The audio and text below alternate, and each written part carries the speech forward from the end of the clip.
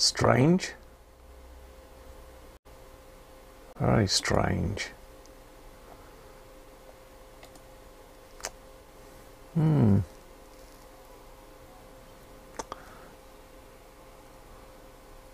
You're not on screen. Am I on screen now? Eighty, how are you, mate? I don't know what's going on because I've just spent the last 10 minutes talking to all you lot and you haven't been able to hear me.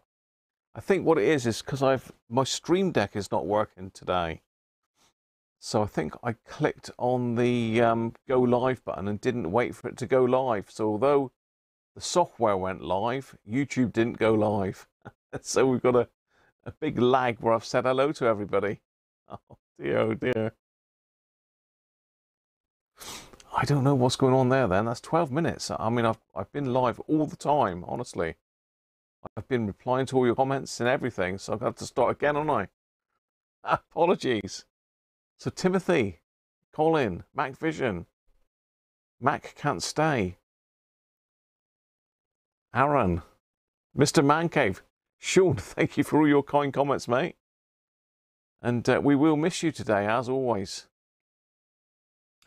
Martin, you didn't win the transmitter. Multi did, and it's still sat in the car with its label all paid, ready to go in the post box, and I forgot to put it in there. So I will get it off. Afternoon Daniels, been in holiday in Kent, and Jess, afternoon Jess. Chris, super chat, thank you very much, Chris. And he is my, my biggest customer at the moment. Harvey's in. It's all my fault. Michael Hyde, Derek Cooper, Galena Crystal. I don't think I've got any of those.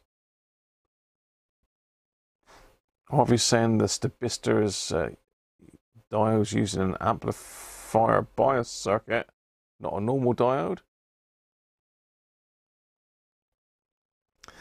So I'm just quickly going back down through. I've been down through the chat once, so so you have to bear with me.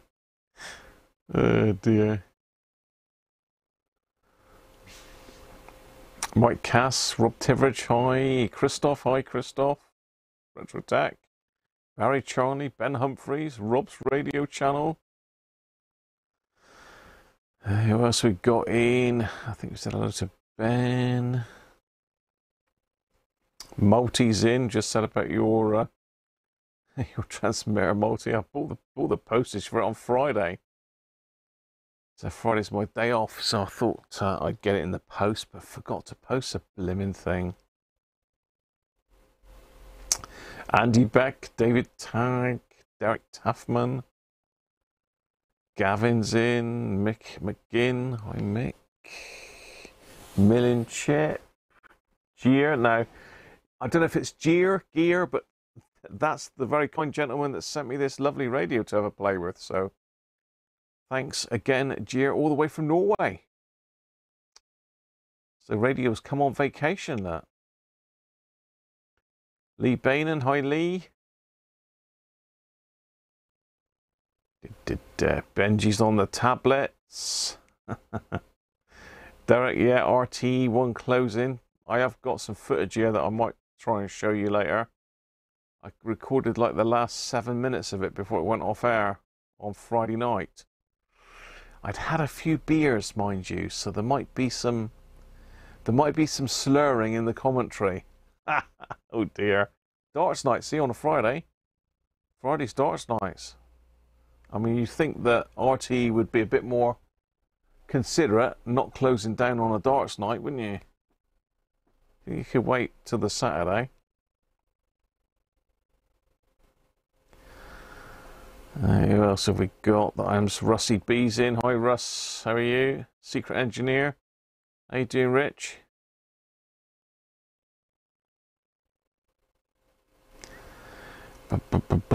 Still catching up, still catching up. I have done this, but there you go. So in Norway, they turned off FM five years ago, and you only have DAB Plus. Really? Flippin' heck.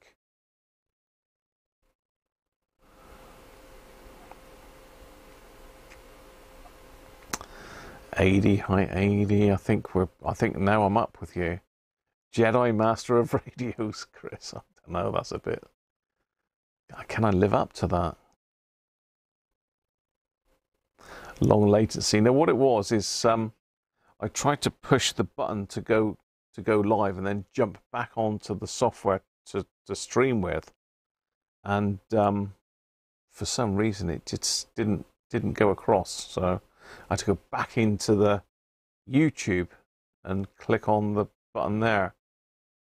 Just too too um trying to be too quick. That's the problem. Thomas Kitts, hi Thomas Susie, Paul Drake, hi Paul, and Rocco.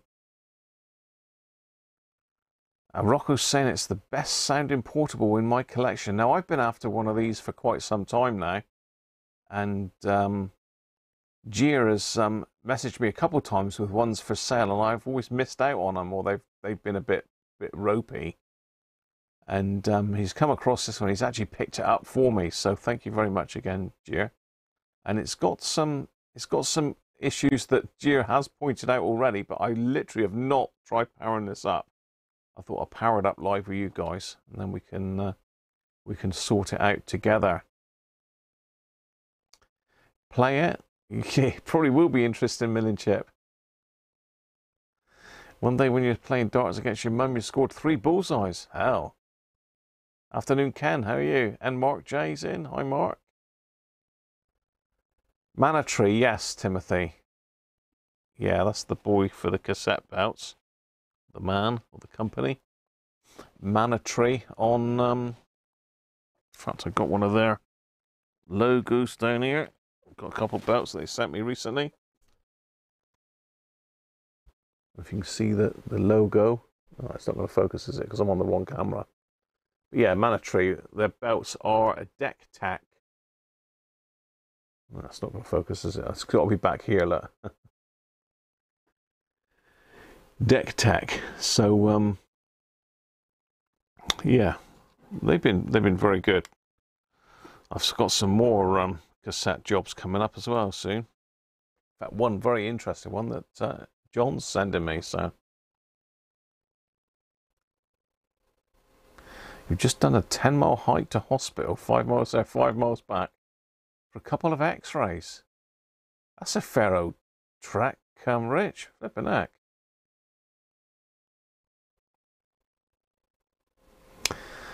It is an unusual radio. Um, I have heard they're supposed to be really good, and like I say, I've I've got reviews back when these came out. In fact, I think this is the one that scored the highest in um, in those Which reviews that I had. I want to see if I can find those. I think I know where they are, so I might go and grab them in a minute. We can have a look at those. Uh, the review back in the day. Cyberflyer, afternoon Cyber, how are you? Right, well, so let's get over. Oh, I was gonna, I've got no Stream Deck because I normally control the live stream. I've got a little, a little device in front of me here with all buttons on for all the different cameras. Well, I haven't got any of that today because yesterday it said, "Did you want to upgrade the software on it?" You know, there's an upgrade available. Click here. So I upgraded it, and now it don't work with the software, which is great, isn't it? Brilliant.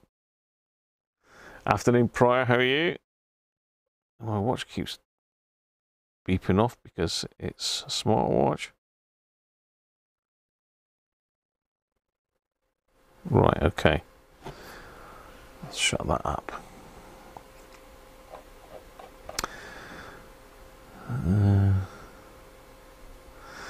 The TP41's a lot easier to work on than the satellite. Yeah, yes, I, I can see that.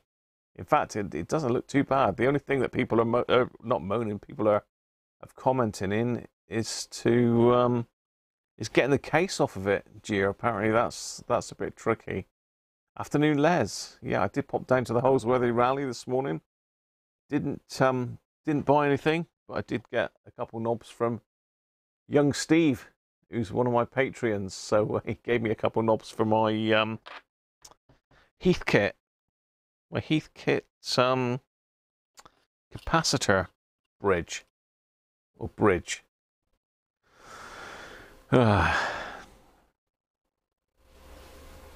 Updates are a risk I can brick some devices. Yeah, I mean, it's lit. I mean, if I show you, I should be able to show you what it is. It's this.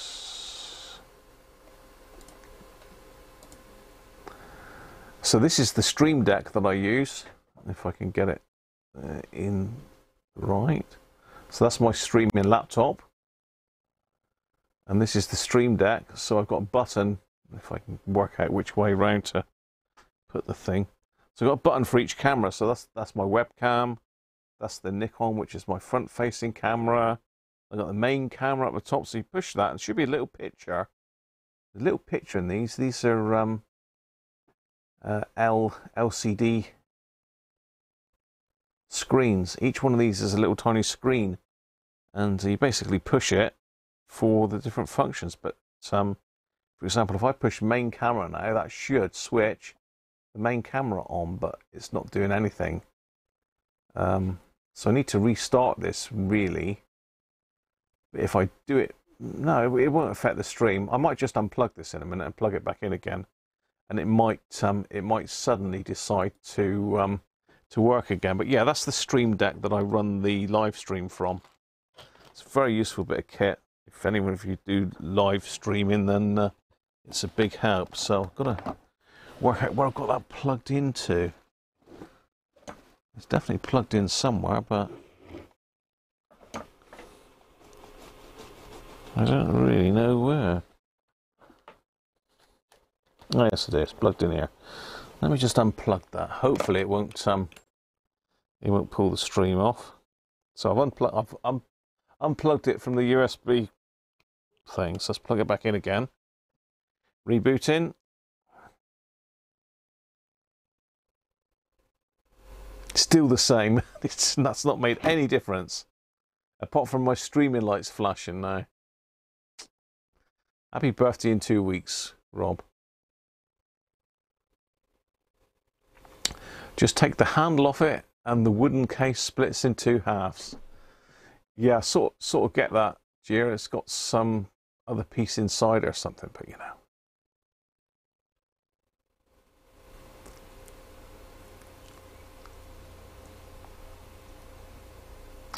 Need to restart it and have a reboot. Yeah, I know. I'm not going to reboot because it'll do weird stuff to the stream. Hang on. And now that one's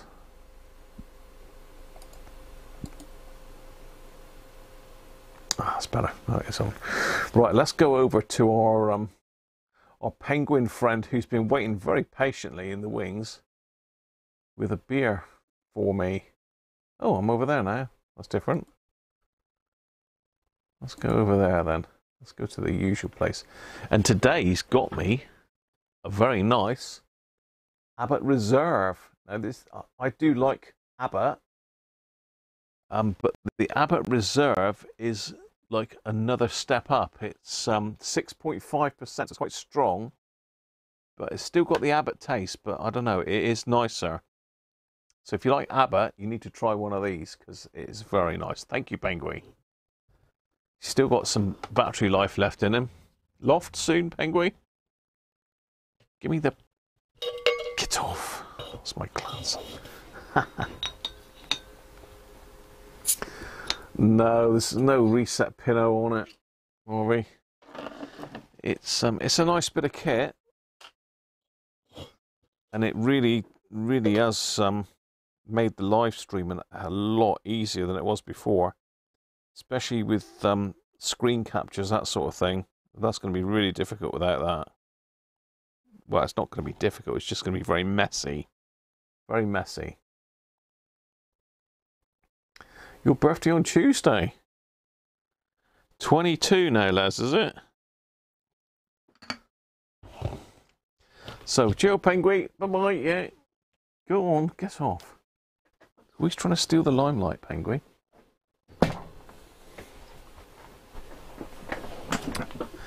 Afternoon, Rich, how are you? Hope you're okay, mate.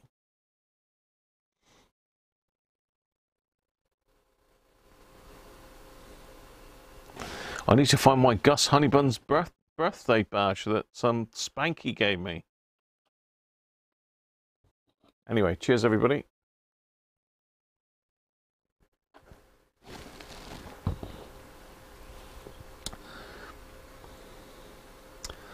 Aaron is saying, is there any difference in sound between a 3 and 4 ohm speaker? I wouldn't have thought so, Aaron. It really is dependent on the speaker, not the ohms.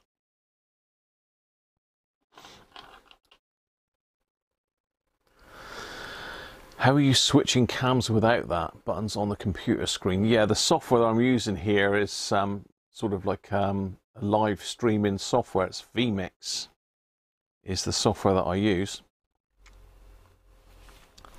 And if I share the screen with you, uh, which is really busy, but you'll get the gist of it, look.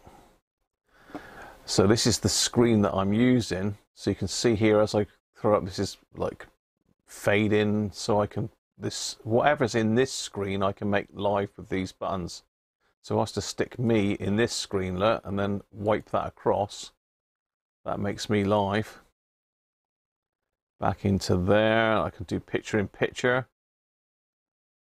So everything that I do is on here. So all my audio is down in this down in this section on the bottom here. That's my audio. These are all my cameras with everything that's on the cameras. So instead of having a button on my desk to push, I've got to physically get the mouse and click on that, for example. Just click on that one and then wipe that across. You get the gist. It is busy. It is busy, but um, it's looking even busier in this window because this is this is a mirror of everything that I'm looking at already. But um, yeah, it's not not the easiest thing to get to grips with. To be fair, it's, it took me quite a while to get used to what I was doing and to set all the buttons up and all that sort of stuff. But um, got there in the end. Got there in the end. So let's get back. Let's get back to me for a minute. BandLab, probably a similar sort of thing, Peter.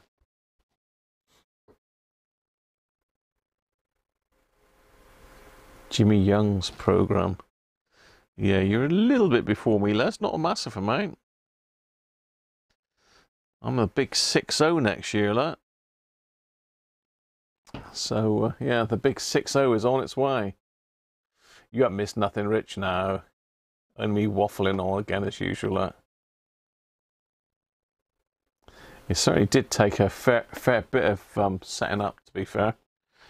Took me a long time to get through. I still don't know it now. I know enough to do it.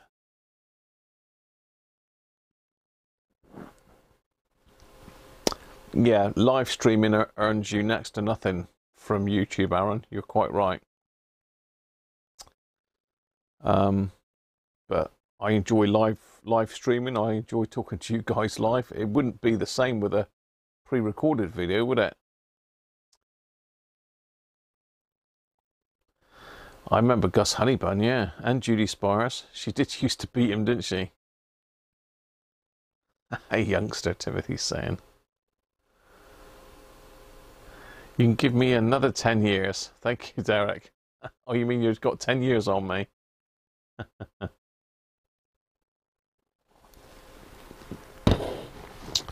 yeah, so the big 6-0 next, not this November, the following one. Right, let me um, I keep going to push a button there and it just doesn't work. Let me go and get the um, the victim for today. Now, Geir's very kindly um, sent me some very good schematics and service info for this. Very, very well printed, very clear, which is always difficult to get. So I don't know whether you've got the original service manual, Geir, but some great copies, mate not your usual scans. So here we are. There he is. He's got it backwards, haven't I? That's a good start. It's, it's actually smaller than I thought it would be. Looking at the pictures, I always imagined it to be the similar sort of size to like um, an R7 707 or a Hacker Herald, something like that. but uh, it is actually a lot smaller than I thought it was. Not that that's a bad thing, it's a good thing.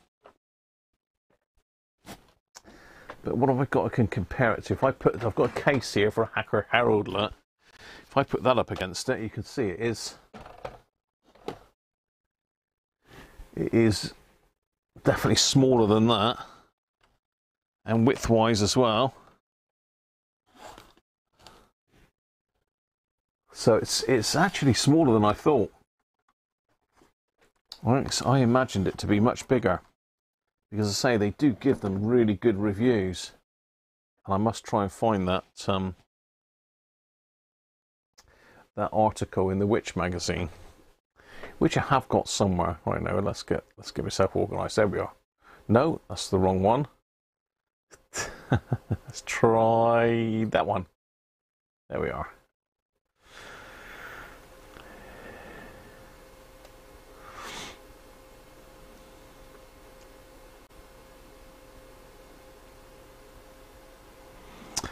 Yeah, it does. It puts some shortcuts in via the software, Rich. So in the settings here, I, I can set up each button individually uh, to put all sorts of different things on screen. I could do with getting some um, audio effects on there as well. I could do that as well. Boom radio. Not heard of that. Hi, John Darwin. How are you? From across the pond.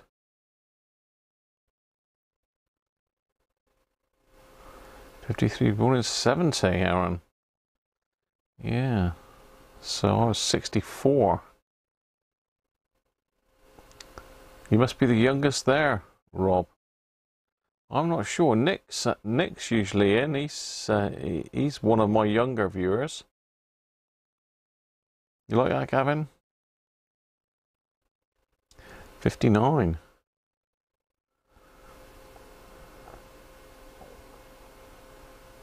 Yeah, Volv radios do sound nice. Danish, how you doing, mate? I'm totally bold around 21 years.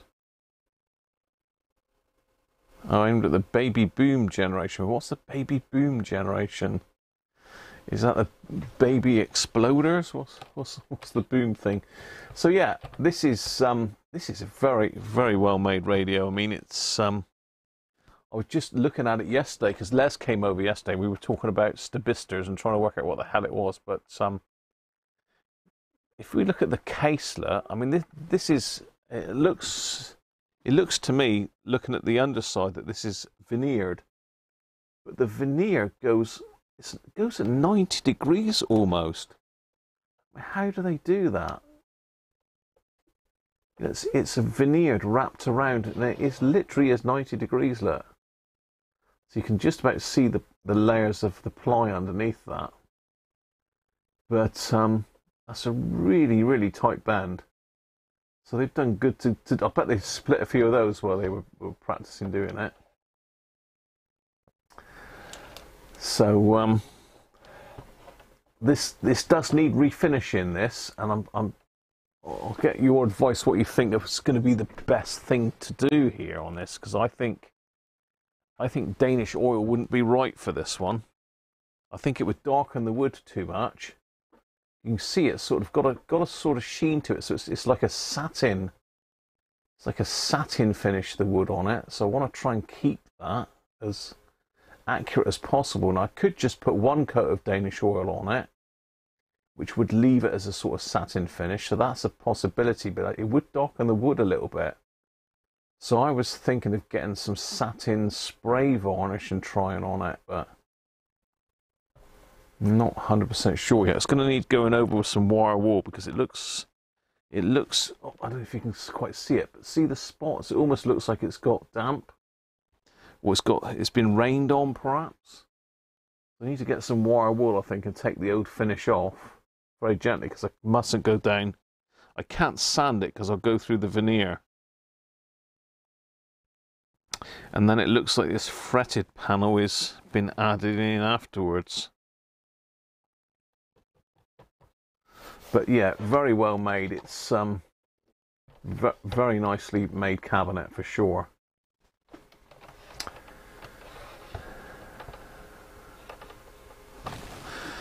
As far as the front goes, let's prop that up on its end. And I'll get the camera down. You can have a look at the front of it while I uh, go and see if I can find this Which advert. Just get rid of my picture in picture.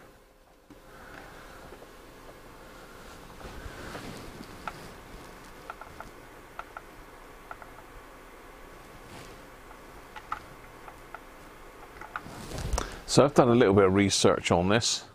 Well, fair bit of research actually, especially trying to find out what that Stabistor was and what it did. Let me just see if I can quickly put my hands on these Which magazines a minute. I should have put them back where I got them from, but that's highly unlikely. If it's going to be plopped on top of somewhere, that's bad. Yeah.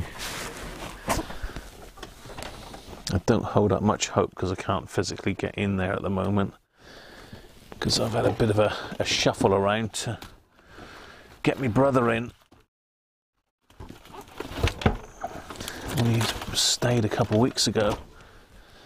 No, I can't find them off the top of my head.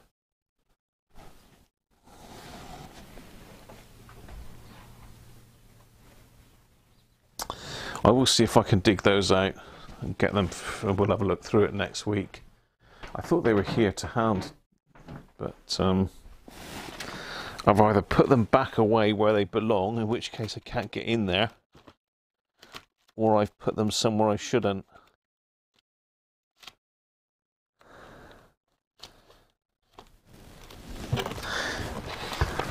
More than likely I put them somewhere I shouldn't.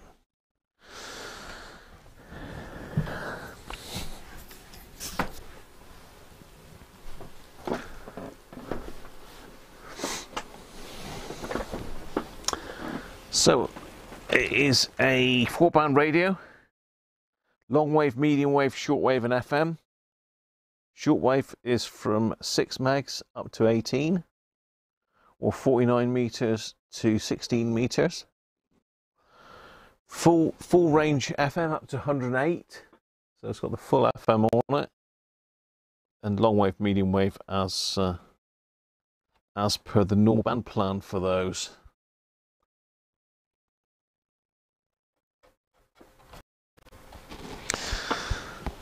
And we have got some inputs on the side. Now this was a little bit strange and I was trying to work this out yesterday with Les because this is a 9 volt radio.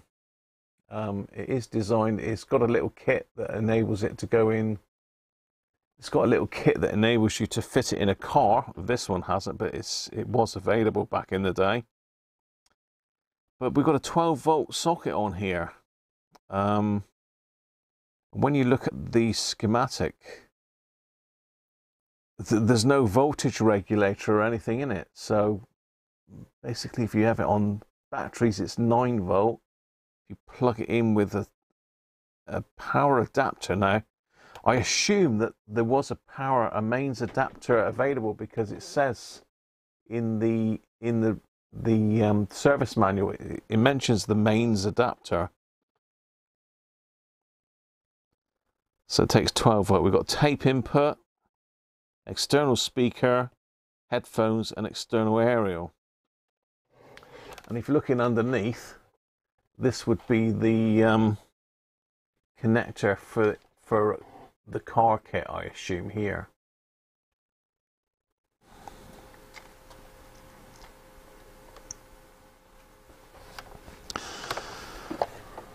And uh, re reading about it, it's very unusual in that you've got the dial here for long, long wave, medium wave, and short wave. You know, you see it moving the dial. But when you're in short wave, the FM, FM button acts as a as a fine tune for shortwave. Very strange, but you can see there's a a Delta S written on it. So that button is um, fine-tuned for shortwave. Strange, very very clever. You know, that's one of the things with these these um, radios that have got a lot of shortwaves all on one band. It's very difficult to tune in between them sometimes, but um, fine tuning enables that to be done. So say this is exactly as it's been sent. It's, I've not cleaned it. I've not taken it apart. I've not turned any power on. I, was wondering what this um, what this label here means. Now, whether Geir can can tell us. If I get it on its um, side again, I'll zoom in on that label. Is it because it's not it's not the Norwegian flag? Is it a French French flag? It's got plus. It's got plus one two five on it. I'm really not sure what that is. Let me catch up with the um, the chat a minute. It's Norwegian, Aaron. George Bodley, how are you, mate? Let me catch up. I'm I'm a bit behind.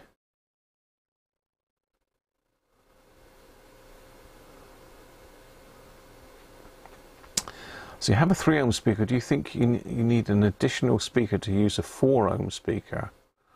4 ohm should be fine with it, Aaron. Um, I think you're not supposed to go down in ohms, but I think you can go up. Is is that correct? I'm sure somebody can um, can correct me on that. I'm a baby boomer, am I, Timothy? Great.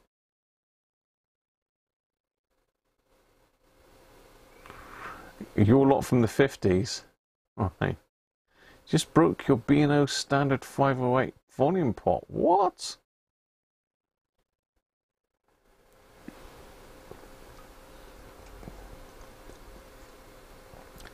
Steam bending, George. Yeah, that would. Um, it's very, very clever how they've done that. Because I mean, they've got to do it on four edges. I bet there's. I bet they had a few broken ones in in the process. You're a '60s baby, John, same as me.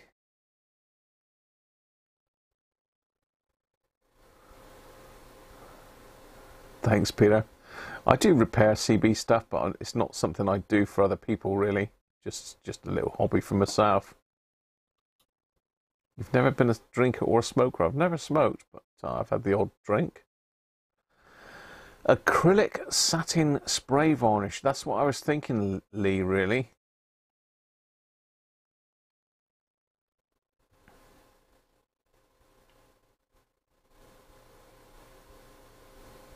Thanks, Christoph. It is a lovely radio. They went bankrupt in 78. They made a lot of tape tape decks. They were very famous for tape decks, weren't they, Tandberg?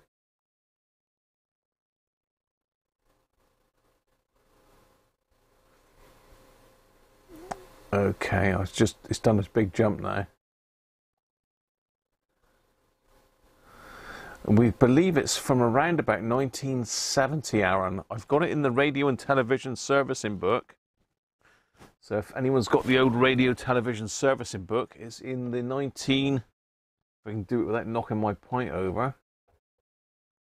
If it'll focus, it's in the 1974 1975 radio and television servicing books. So if you've got a set of these, you dig out the 1974, 1975, it's in that one. It's always a good good way of dating a radio if you're not sure.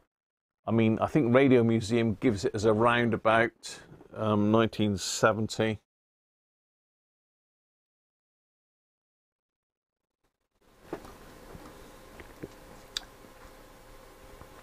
You could buy a mascot battery eliminator to it. Okay.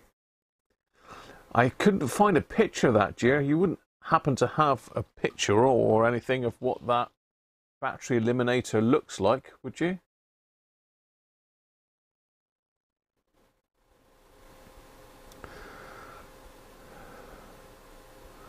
Some Telefunken tube radios have the shortwave find done in via the FM dial too. Okay, Crystal, thanks for that. Does anyone remember when radios used two batteries? Um, there's a lot, lot of radios use two batteries, Aaron. You'll have to be a bit more specific on that. A lot number, it could be, but I don't know. It looks actually looks like the X may have been Handra, is it, or is it a T even? I'm not sure. Is that the French flag?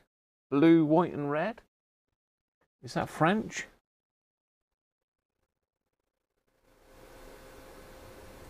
It's encased in Norwegian wood. Looks teak. Hi Doug, how are you?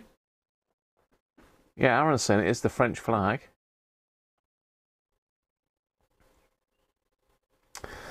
Yes, I've heard that there is another version that actually says on the dial here, US version, I believe.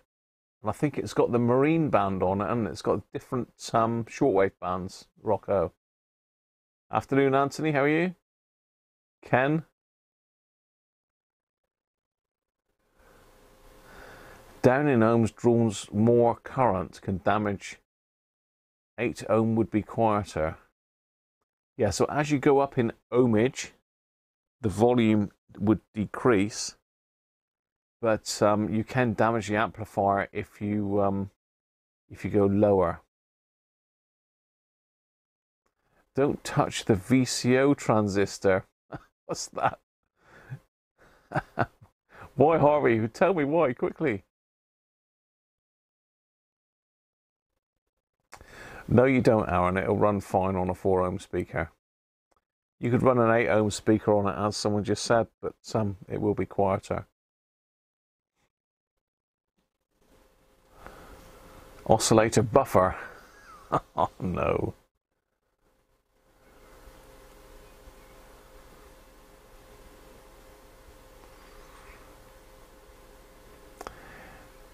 Three volt and 90 volt batteries.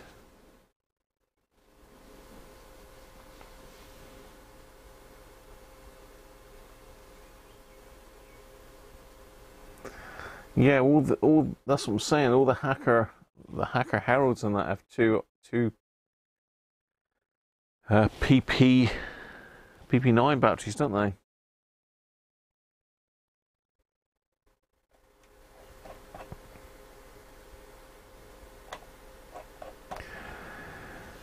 So I've got to assume then that we can use the bench power supply to power this up via the side socket, which is what I'm going to do, but I'm going to stick 9 volts in it to start with because um, it feeds in exactly where the batteries feed in. Now, it's center pin, it does say here on the side, center pin is negative, which I'm set up for, and it's 12 volts.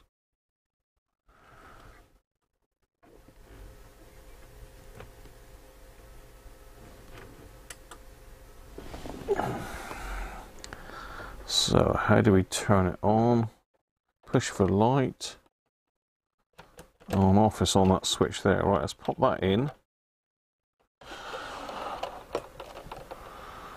Turn the volume down. Okay, well it's pulling 30 milliamps.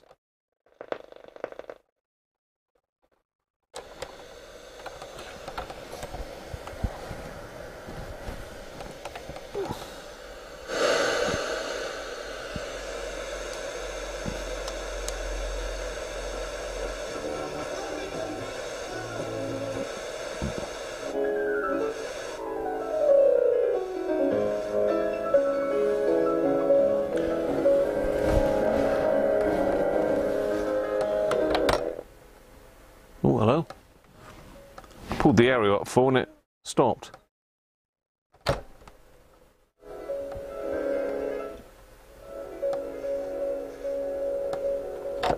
Or did I knock the volume?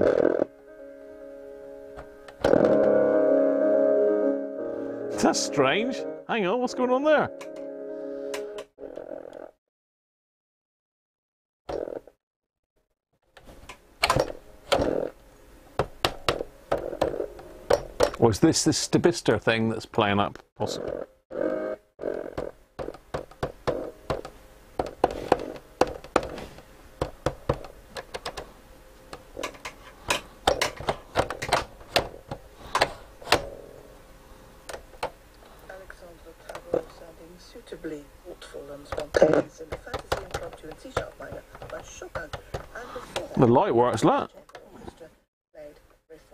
That's actually a very bright light.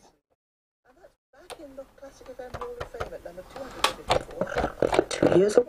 I wonder where it went. Anyway, we heard from one brilliant clarinetist earlier this afternoon on Classic FM. Could be a bad aerial connection. Become one of the leading players of his day, admired for the roundness of his tone. So who better than Bernhard Crusell to write music for his instrument? Sure what's going on there. Uh, let's try.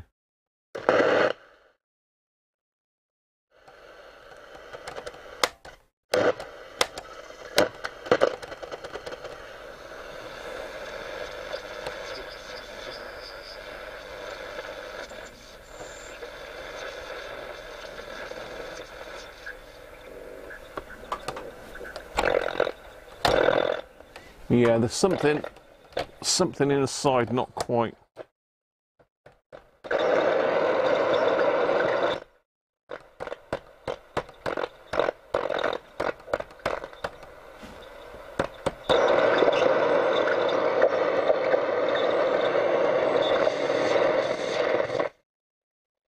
Yeah, something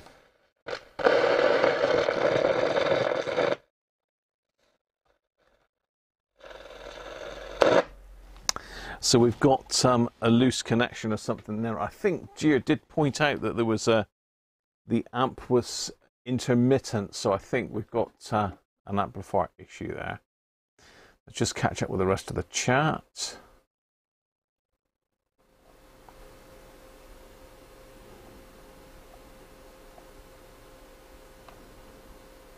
Afternoon, Mike. How are you? From the west of Ireland.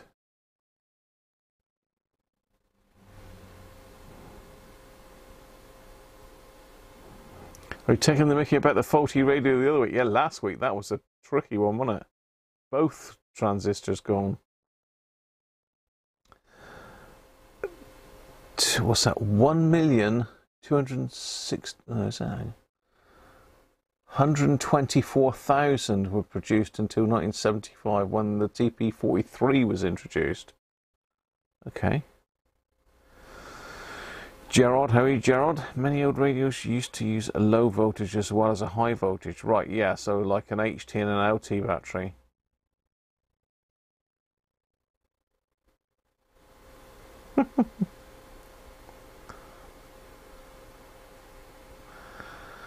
what wattage of 4 ohm speaker should you use in your radio? What radio is it, Aaron?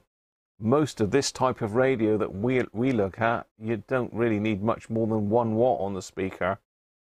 Um, so, I mean, a 10 watt speaker is a fairly common output. That would work fine. It's not going to be the aerial connection because it's the same on medium wave, which doesn't use the, the uh, telescopic aerial. It certainly can. That's the fault, dear. Okay, no worries.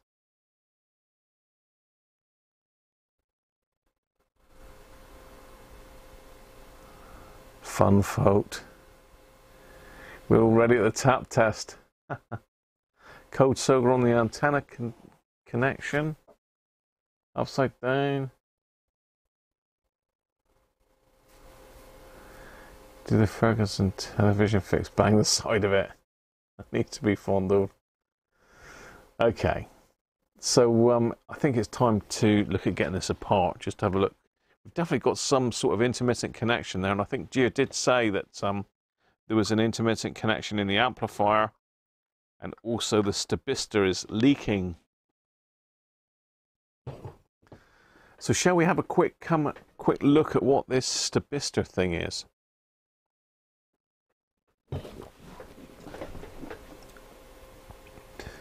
Now I found a couple references to it.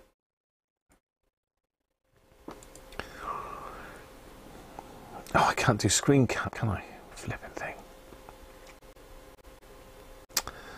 Um, so apologies, it's not going to be a very good transition, but I'm going to go to my desktop and wipe, and then I'm going to go on to this page. So this is Doz's blog. Andy Dawes Blogspot. Tandberg TP41 and the mystery of the Stabistor. It's howling. So, um,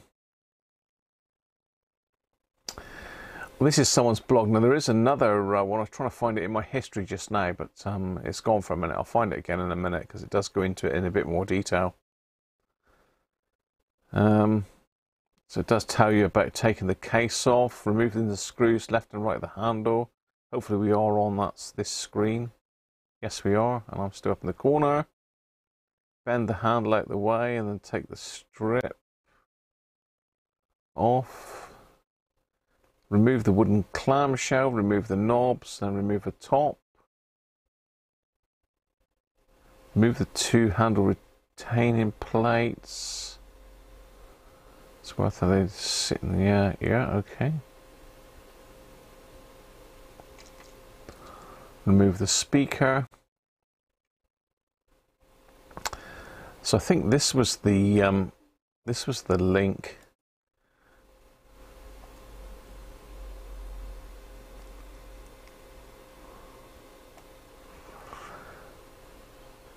So this guy's had the same issue with the Stabistor being at fault. It's it's a very strange little little uh, device. Let me just click into this picture and I'll show you where it is on the circuit. So this is coming from the IF strip down into the amplifier circuit. Um, and this strange little, um, oh, wrong, wrong way. Strange little thing. It sort of looks like a capacitor. It looks like a battery. It doesn't look like anything like a diode on the schematic. It's a very strange little thing.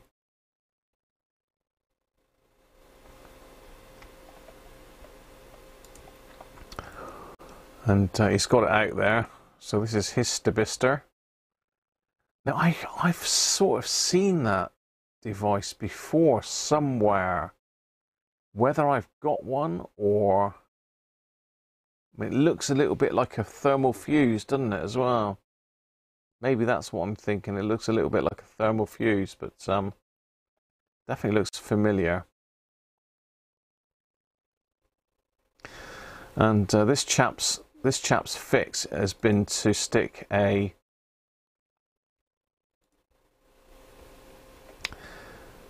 no, I can't zoom in, but he's popped. You can see we've got 220 microfarad capacitor and we've got an LED in circuit. Now the, the idea is to get a a voltage drop of 1.5 volts at this point. So uh, the general consensus seems to be by using um, some diodes to do that. But we've got to try and get some 1.5 volts. So I'm going to actually use diodes. I'm not going to use an, an LED. And the other issue he had was um, these capacitors in the amplifier circuit. So you know, this is a Stabistor and he's had to change six caps as well. And I think Geir did say that the caps could do with them being changed. So if we look at that other tab that I opened, this um, goes into a bit more um, detail. So if I if I copy and paste that into the chat a minute, you can have a read along if you want to.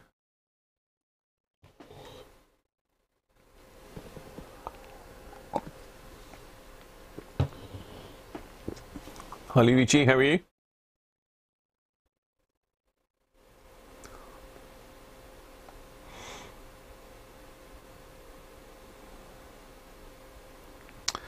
Thanks, dear. We'll see you see you in an hour, mate. You come and save us.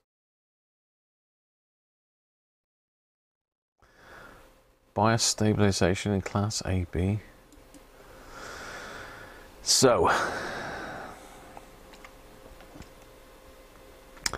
a few unusual elements to the design. This is a very good article, actually. I was uh, I read this through a couple times, and it's got 13 transistors, five diodes, and a component called a Stabistor, a big 9 by 5 inch loudspeaker, so that really does give it some oomph, doesn't it, in a little case.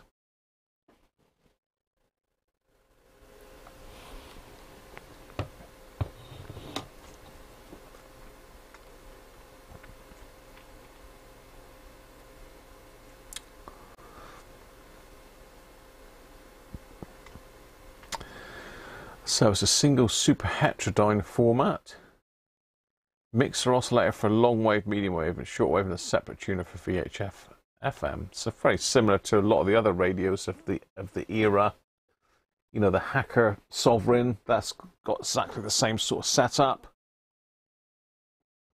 Although it didn't have shortwave, obviously, but uh, the R707, that's got a separate tuner for FM. There's quite a few radios of that era that had separate AM tuners, AM FM tuners. Four transistor audio amp. Diode detector for AM, FM discriminator for FM.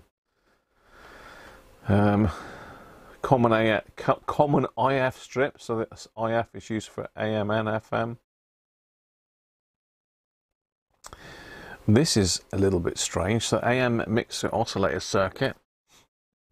Don't think we can zoom in on these, but there's a wire loop on the printed circuit board that provides a shortwave band spread function. Very unusual. Uh, VHFM, IF tuner. So let's get down to the nitty gritty. Let's get down, down, down, down, down. Maintenance issue, stabistor failure. So this is um, this is what we're looking at really. So it's listed as D501 on the circuit, and it's an unusual device that provides a 1.5 volt stabilized voltage used for the bias on the transistors in the RF and IF stages. Okay, so it's it's for the bias on the RF and IF stages. Hmm, okay, I got that wrong then. So it says the stabistors are often reported as failing and leaving a white residue on the circuit board. Apparently this can harm the board, so you've got to clean it off. Solution for this, now this is, this is what I'm going to attempt to do. So uh, the solution that's reported is to stick a network of two silicon diodes and a germanium diode in series used in forward conduction mode as each silicon diode gives a drop of 0.6 volts and the germanium one gives 0.3 volts. This equals 1.5 volts. And it's also suggested that a 220 electrolytic is placed across it to give good smoothing and ensure that no ripple or noise occurs on the line which might give instability. You can see the picture there of the stabistor, and I don't know if I can open this in a new tab. I can, but will it let me zoom in a little bit? See if we can zoom in on that one. So this is the stabistor. It just looks like a, a capacitor, I suppose. If you didn't know, you'd think that was an electrolytic with a plus and minus on it. But it's got ST1, comma 5 written on the board. So we need to take this out potentially and swap it in with a a capacitor and some diodes which I have got to hand and I have measured it out and it is 1.505 volts. My little hash together. Just get that back to 100% actually leave it some leave it out so. Da, da, da, So it looks like they used that on the following. So Geir mentioned the TP43. I've not seen a TP43 to be honest, but uh, that was apparently the version that replaced this one.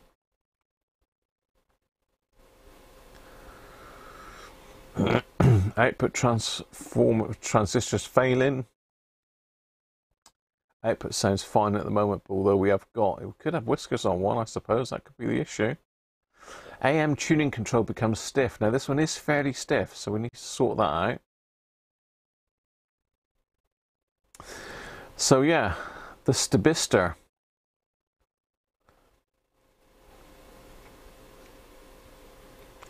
So again, I've, I've got it zoomed in so you can see it a bit better. Hopefully you can. It depends what sort of device you're uh, watching on. I know you said listening on then. So yeah, this is the uh, This is the bit that we're going to be doing. Right, let's get back to um, this, and we're back. Back in the room. Right, let's get me chat back up.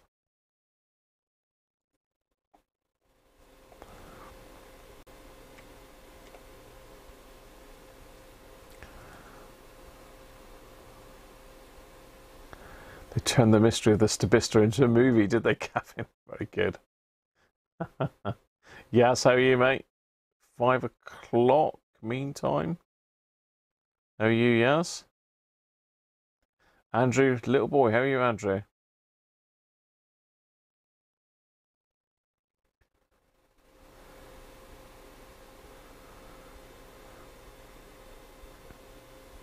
I've noticed that, Andrew. Yeah, Andrew's saying basically that a lot of companies used LEDs because they produce less noise than normal diodes. I didn't know that. Yes, they were into the tape market, Doug, definitely.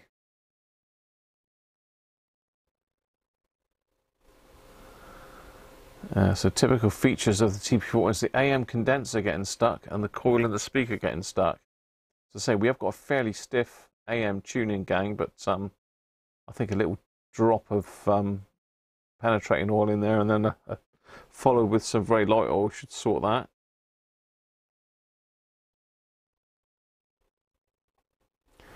What's the input voltage to the new circuit?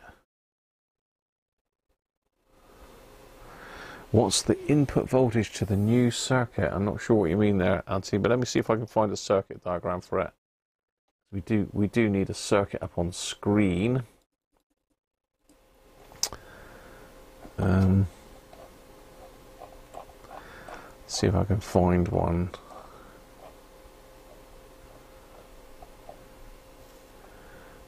TP1.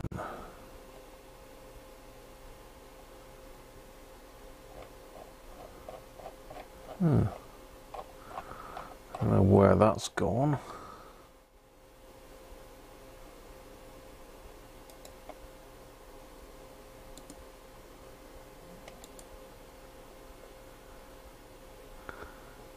No, I've not got a circuit of it to hand. Let me see if I can find one.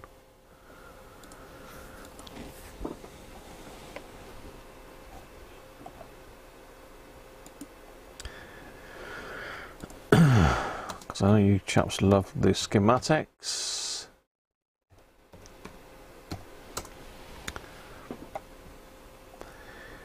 Elektrotanya have it.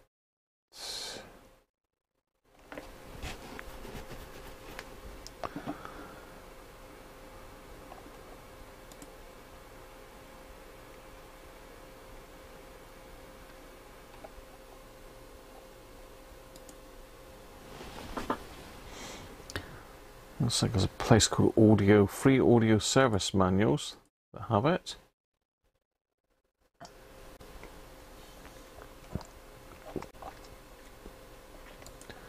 So let's just stick that in the um, in the chat link for you. So you go, uh, Anthony.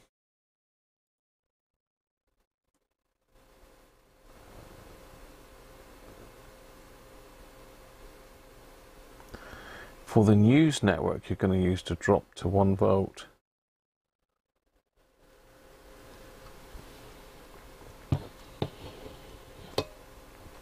Yes, Jared, I did. I did see that um, someone had used the an LED to drop the volt. 1.45 apparently with an LED.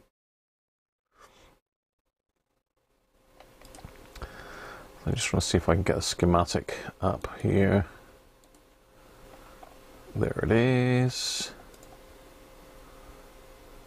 Open image in new tab. Then we need to somehow rotate it. How can we rotate this? More tools. Hmm.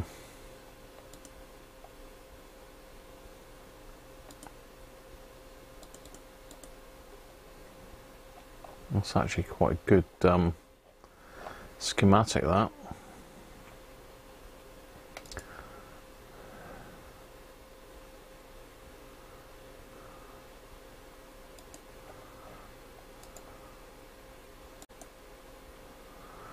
I'll have to save it and open it in a different program.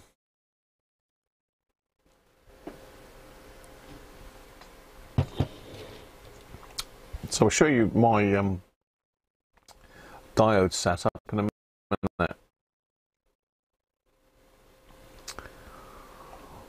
Okay, so if we open that, what's it going to open it in?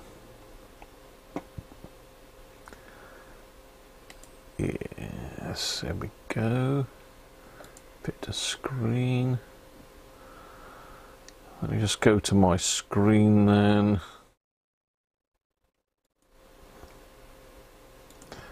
Desktop capture. Uh, go here. No, it's not that one. It's this one. Now we need to zoom, zoom, zoom. Is this going to be a, is it going to go good or is it going to be fuzzy? It's fuzzy, isn't it? That's a shame.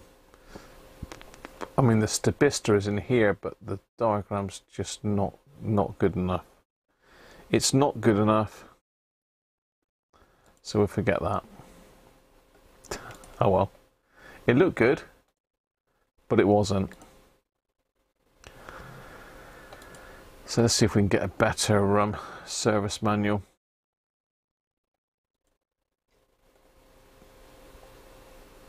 A schematic even. Radio Museum, they got it, haven't they? They got everything.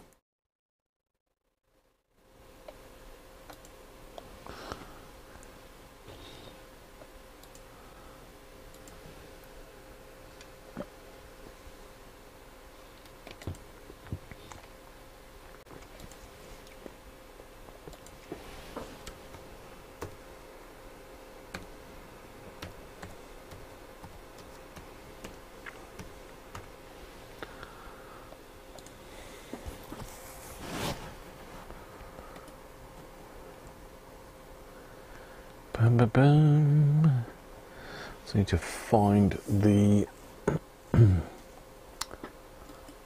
That's them on the Radio Museum. Let's um, let's get you in on the Radio Museum. Cracking um, what's the word for it? Cracking resource. So here's a TP41. Now they're giving it as 1970 in Norway. Lineup of the transistors.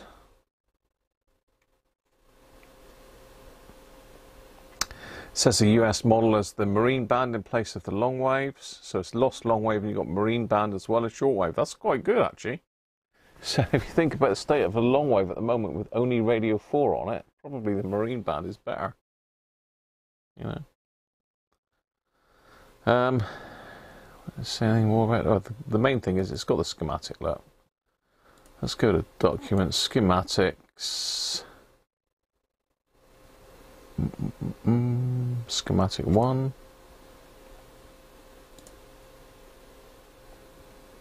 Here we go. Okay. This looks a bit better. So this is the IF strip up here. So this is FM front endlet. This is the IF strip. So this is this is actually producing the bias. So this, here's our stabistor down here. Look. So let's have a look. That's positive there. That's saying.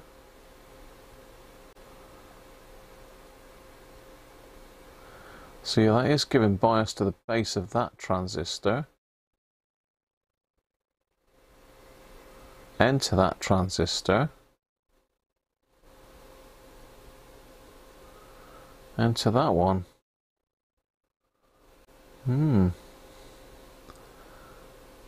So it's picking up, it's picking that up from the amplifier rail, or power rail, isn't it?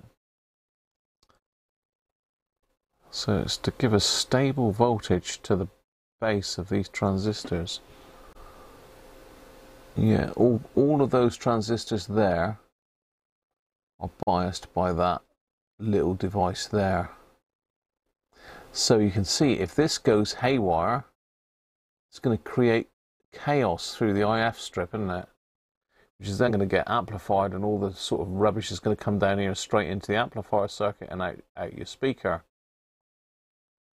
3.2 ohm as well. It's unusual, isn't it?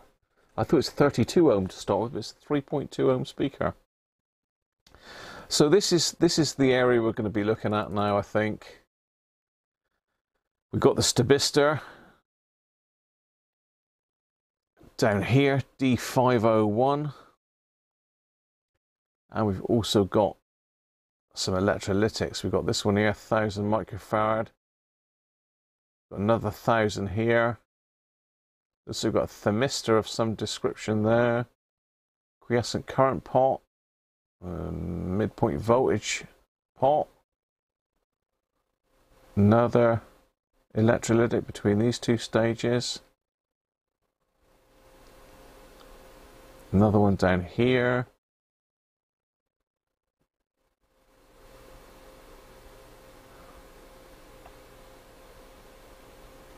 Okay, let's um let's get the thing apart, shall we? Let's get her apart. Let's catch up my chat a minute because I think someone's just super chatted me, which is very kind of them.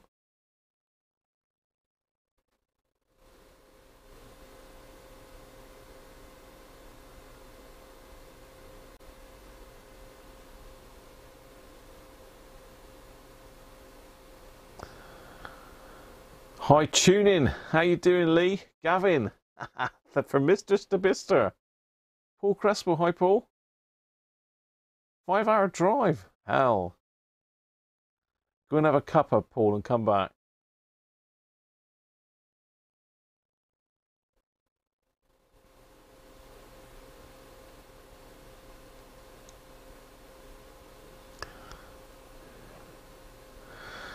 Wouldn't a voltage regulator replace a stabistor?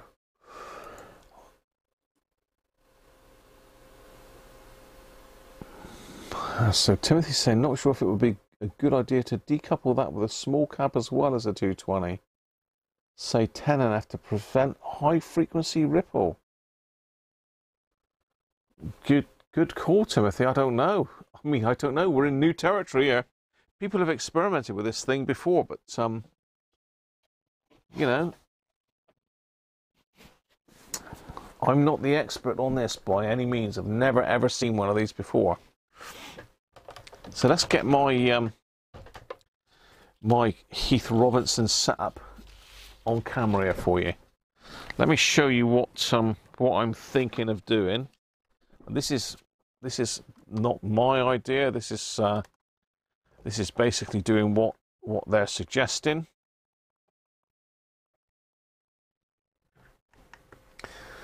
So let's go to that. Make that a bit brighter.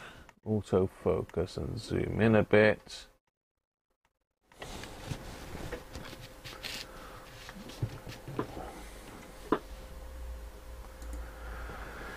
Right, let's get rid of me. This is what I'm proposing to do with that that way round in the middle.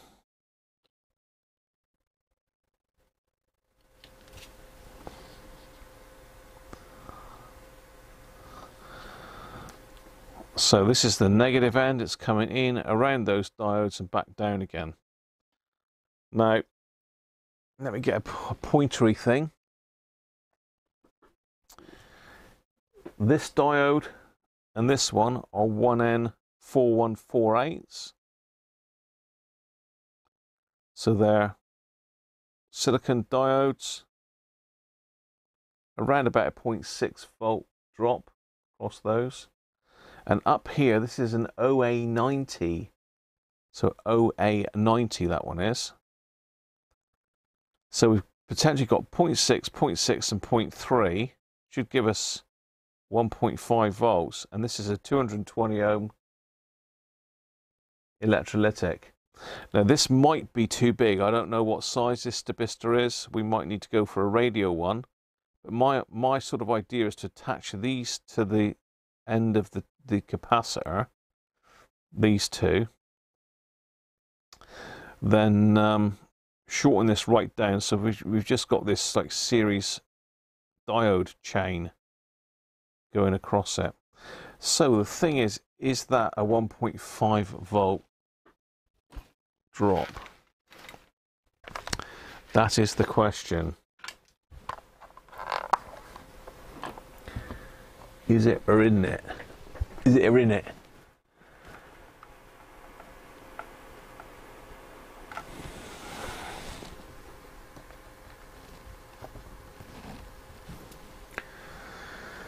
So let's go. Oh. Get to the right one. So let's pop this on diode mode. I'm just going to go across these two. I'm going to bound to get these leads the wrong way around. 50-50 chance. Oh, right first time. So there we are. Look, we've got 1.5 volt. Exactly, pretty much. So uh, you can't really argue with that. That's pretty pretty good. So that's that's what I'm going to fit in this radio in place of the Stabistor. Mr. Stabistor. That is what I'm going to do. Whether that's going to work or not, who knows? As I say, it's all new to me.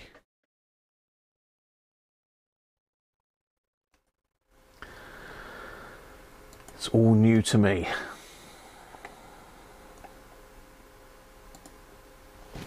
Let's get that out of the way. So, what's your thoughts on on that kibosh?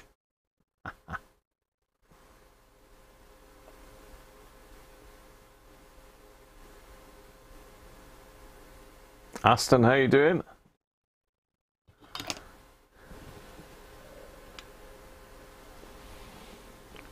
No, apparently it has failed, um, Matambly. Had a look inside this radio and said it's definitely gone, so it's on its way anyway. Are the diodes the right way around? I think they are, Timothy, yeah. How critical is the 1.5 volt value? Apparently it is fairly critical. So I have I have selected diodes um, because the fir the first um, attempt I had was about 1.6 1.7 volts. So that's why I changed to an OA90. I had an AA119 in there to start with, I think, and that was too much. So I have selected them to get to the 1.5, Doug.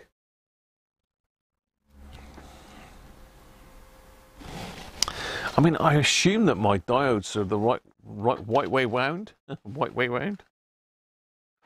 That's the word. Stuff's gonna start. Stuff's gonna start cascading down if I start trying to draw things out. But um, I want to keep those. Really, I want to draw on that. I took my bit of drawing paper downstairs the other day and what have we got here then?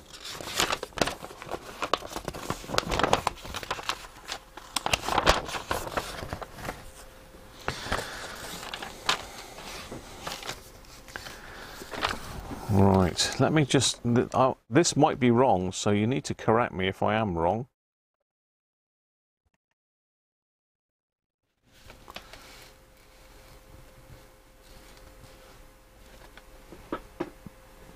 So let's um, just go to that. Let's get rid of me.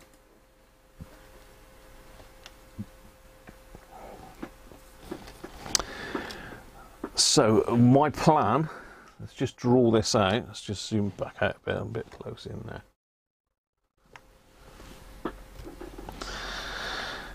This is my diodes, so we've got one there.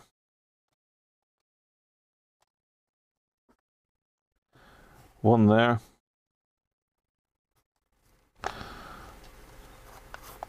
One there. All joined up. Well, it would be if I could draw it. So that's that. And then across here, we've got my capacitor.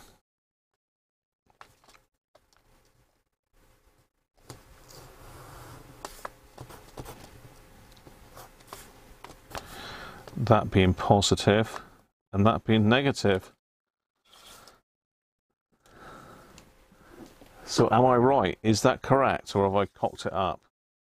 It's obviously a technical term. So this is positive and this is negative.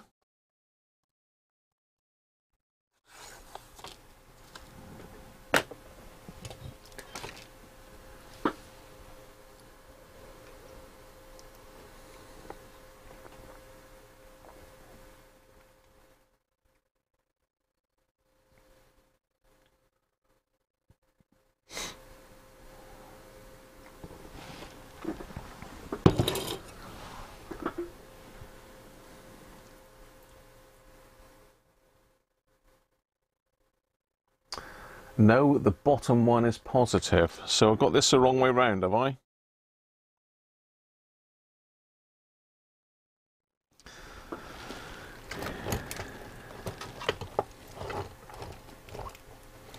Let me see if I can find a rubber.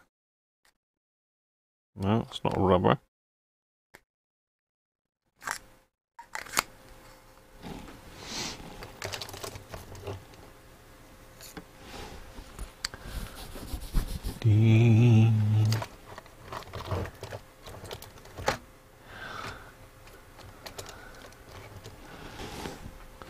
Can't find my rubber now.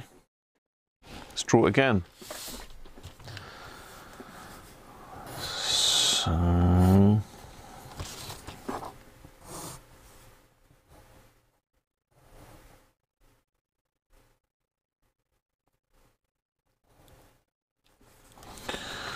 Okay.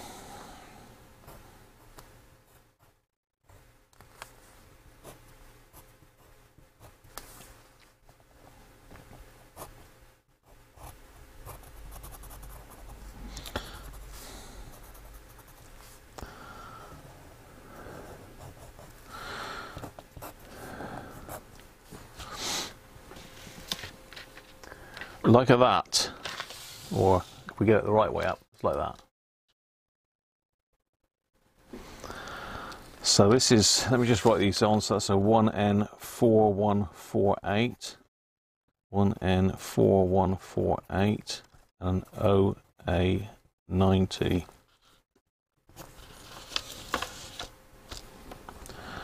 Two twenty UF.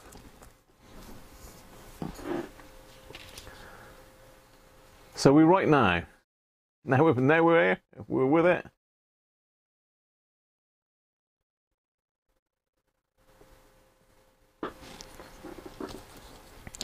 So we're actually that way round, like that.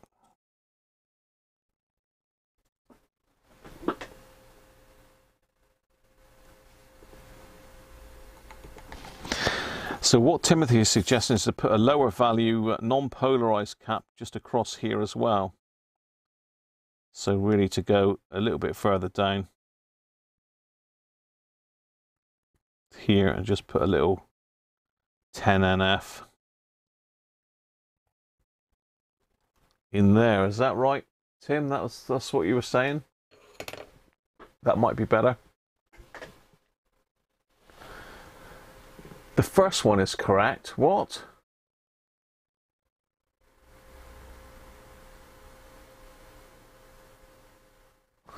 The first one is correct. What, this one? Is it this one or this one? Now I'm confused. So what we're saying, because Derek is saying the voltage drop is when the diode is forward bias. Yeah, so I I was right the first time, is what you're saying.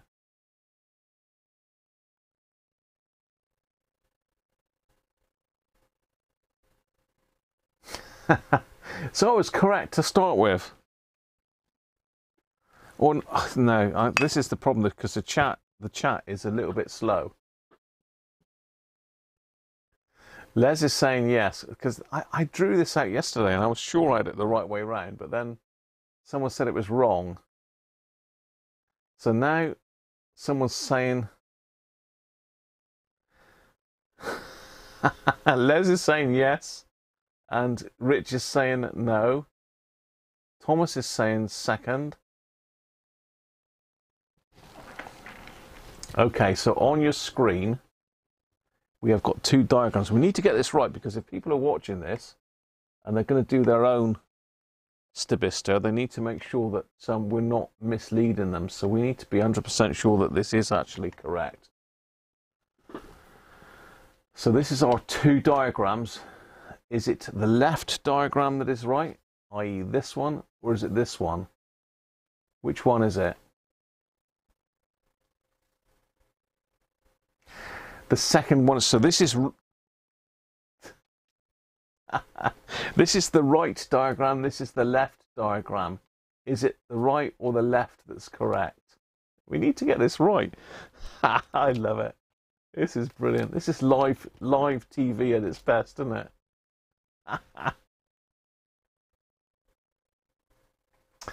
but we're saying it's when it's reverse biased that we're getting the the voltage, aren't we? So uh, Matambly wanted to um,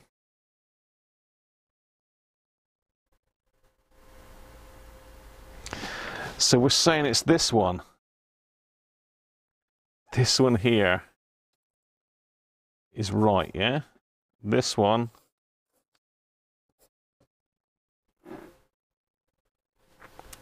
Let's just catch up. Let's make sure we make sure we're all on the same page here.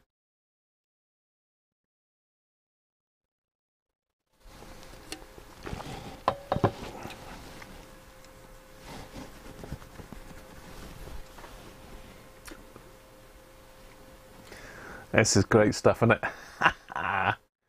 It'll be Chris. It'll soon be Christmas, everybody. It'll soon be Christmas.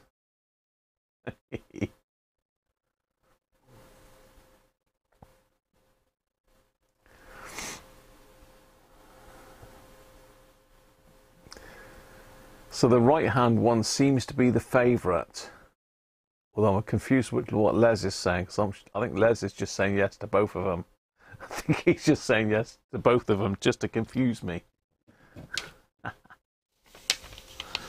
right. what what's right? The tick is right.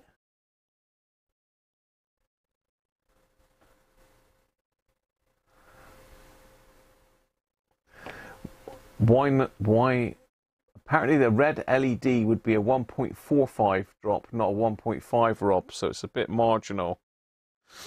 This gives us exactly the 1.5 that we need. This LED gives us. We'll, we'll, test it. We'll try it. Let's get a red LED. Look. Let's pop. Let's pop out a red one. Look. I've got one to hand. Look how. Look how. Um. Look how organised I am. It's phenomenal.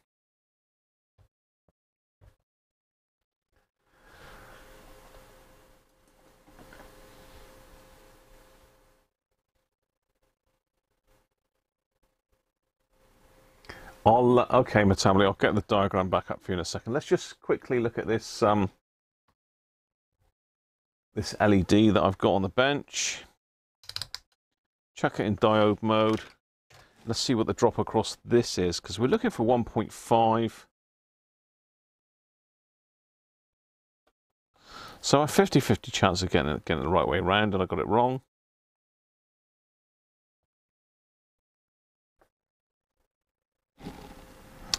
To be fair, that ain't far off, is it? 1.52. Now, whoever was it was was testing it last time. I mean, that is lighting it, I suppose. So whether that's causing a issue, but that's not far off the diode, is it? I, I prefer I prefer the diode method rather than having an LED inside. I don't know.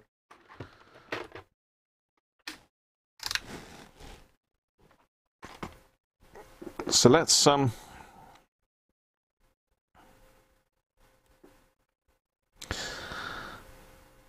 Let's look at the diode then. So the diode, this is the, the LED, sorry. So if we're drawing it with the LED, obviously the um, I'm not sure on the LED. I know that the longer leg is positive. So if we've got the LED, are we going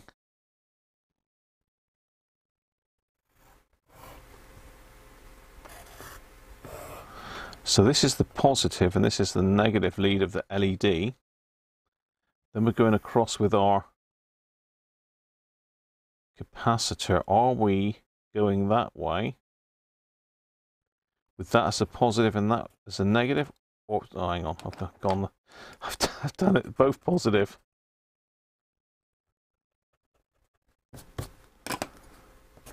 Are we, are we like that? With the LED.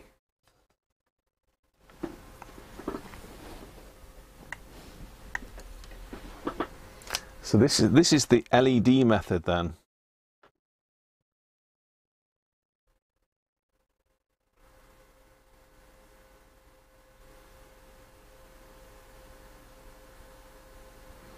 So Jira has used the 3 LED version before and it works great.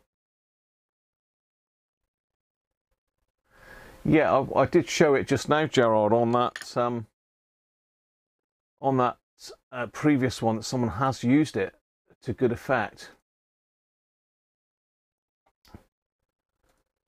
If you look at this um, this diagram what we looked at just now, I'm not sure if this was after before you joined um, Gerard. Let me go to there and we'll go to my screen and then we'll go to there. So if you look at this, um, no, get back. Let's see if I can go in a bit closer.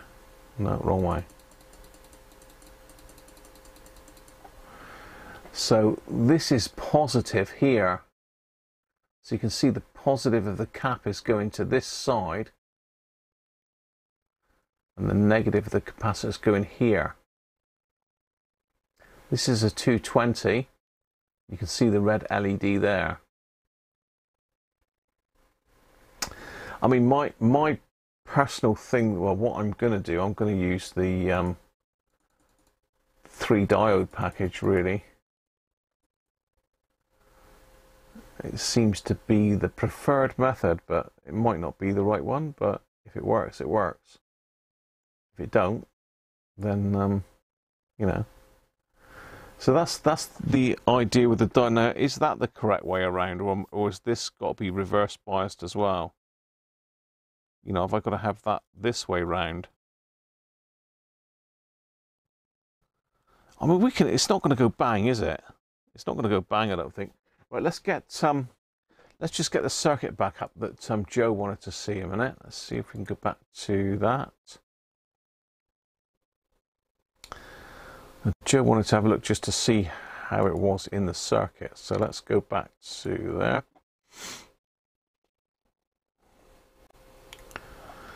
Hang on, Where, uh, there we are. There we are.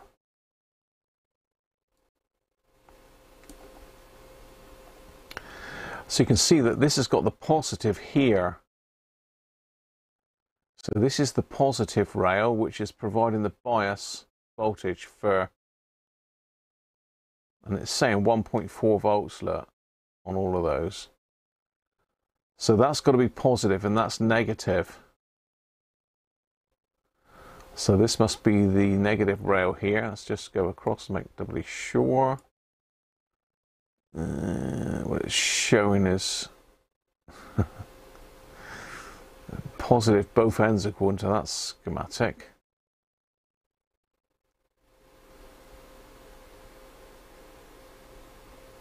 But yeah, that, that is the negative rail by the looks of it, isn't it? So this is a negative rail coming along here. And that's the stabilizer the infamous stabilizer. Positive this side to the resistor, negative this side. We haven't even got the case off the thing yet. Jesus. We'll get there. We'll get there. Don't panic. Right, let's get the main camera going. Let's get back to that one.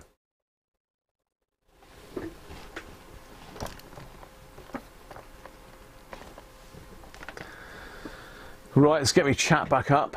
Oh, I need another beer after that lot, after that session then. right, okay. Left is not right, right. Don't start, Ben.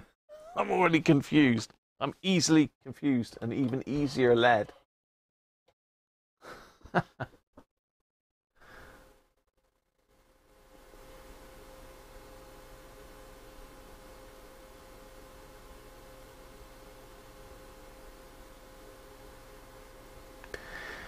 Three diodes, not LEDs. Whew. Forward biased. It's not operating as a Zener in avalanche mode. I think we'll try both to compare. LED would be less fussy. No worries, Ger Gerard. No worries, mate. Good, good to have your input though. LEDs work forward biased. Anode towards the rail. Need more coffee. I need more beer. Right, I'm going to have to go loo. I'm going to go tut loo and then I'm going to have another beer and we're going to get this thing apart and have a look at this mystery stabistor. Why isn't anyone making stabistors so as we can fit the, fix these radios? Surely somebody in China can be watching this and say, ah, we need to remanufacture a stabistor so Graham can fix his Tandbergs. right, I'll be back.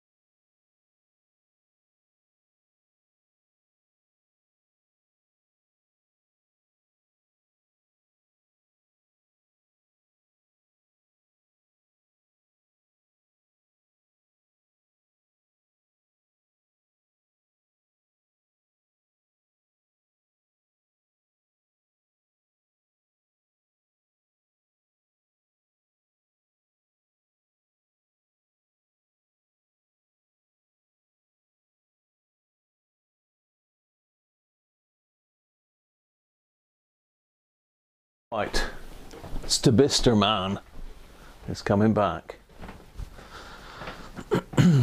I suppose you could. You could package up a.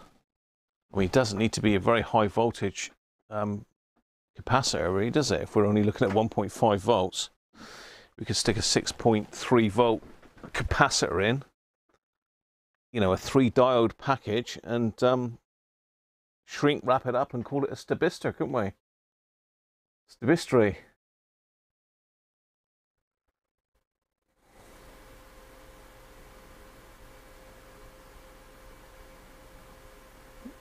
This is spelt to Lou. Hi David, how are you? Right, let's um let's get back on it then.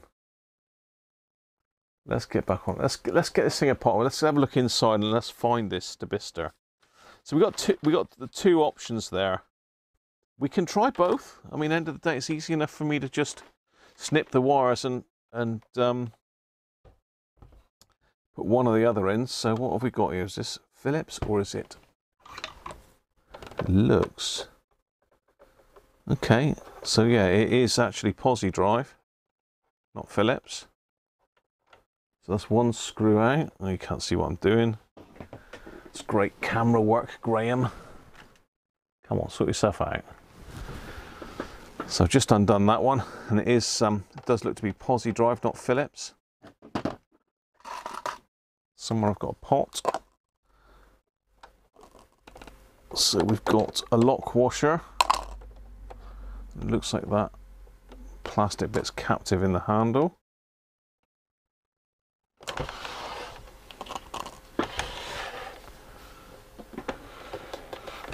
Oh, thank you, Geir. Thank you very much. Say that schematic is not great. The one that I'm looking at is better than some of them. But the, the schematic that Geir sent me was absolutely brilliant. I mean, this this is um, what Geir sent me. I mean, this is really, really good quality. Very, very good.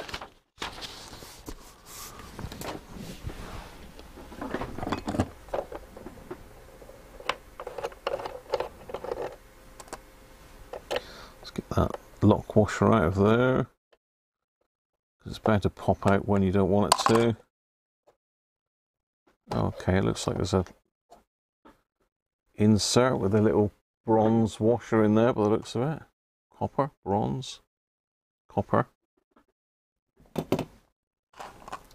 I think these come out and push down. That's easy enough. Let's do the other one.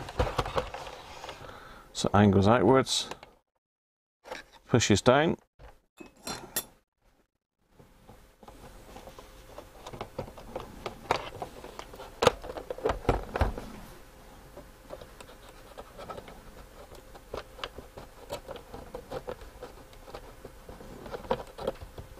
That's a little bit in the way there, that one. Let's just try the other side first then.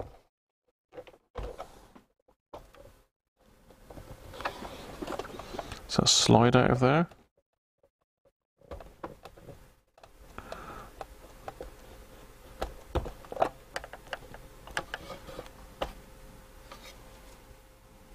Okay. Very nice construction. I mean, God, they make know to make their furniture, don't they? Yeah, very nice. That's one half. Look at the size of that speaker. That's a monster speaker. Got a crack there, so just a little crease. Might just stabilise that with a bit of PVA. That's a huge speaker. Right, let's have a look at this other half of the case. Because it's got a sort of angle up.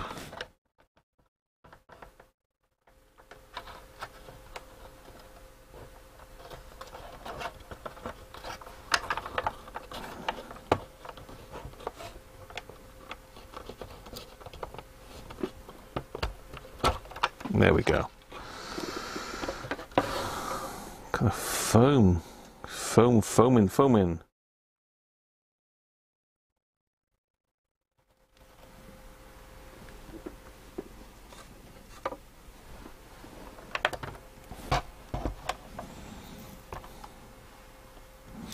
Got a label that's just dropped off, says FM OSC. I don't know where that's come from. I can see the the sneaky Stabistor. Let's pop this speaker out. So it looks like there's four screws. Two have got screw holes in them, one hasn't. I suspect they're all metric. Shall we go for five mil? Smaller. 4.5. No, okay. So it looks like 5 mil is the closest, but not exact. A little bit of play. It's not imperial, is it?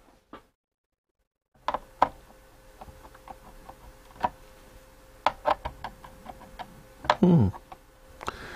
Yeah, imperial fits better. So it looks like the two ones with a screwdriver head are on the bottom. Pop my soldering iron on because we're going to need to pop the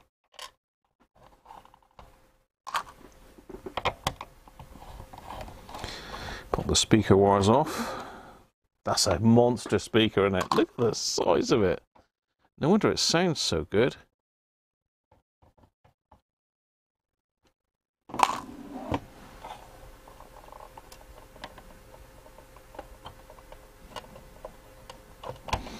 Okay. The speakers on two wires at the back, and we've got Well, they're both black, so it doesn't matter which way round they are. Just pulling them off. One. Ah. Cool, that's tight. That's tight. That is very tight. I do not want to be thumbing this speaker. Watch me, Doug. Yeah, that's very tight. Why is that one so tight then?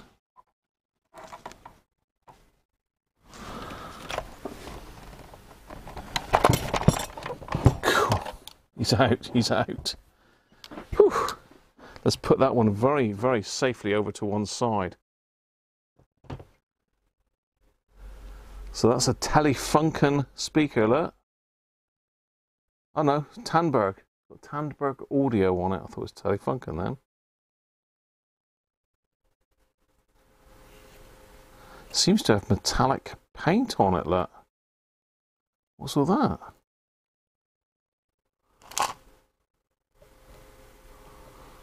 Hmm.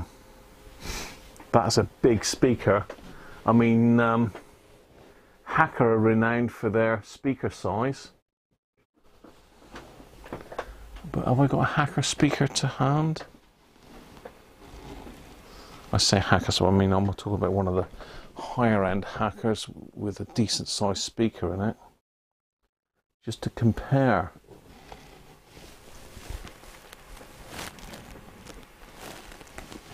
Hmm. I, I had a speaker there for ages, but it's gone now, isn't it? It would do because I need it. There's definitely gremlins at work in this place, I can tell you.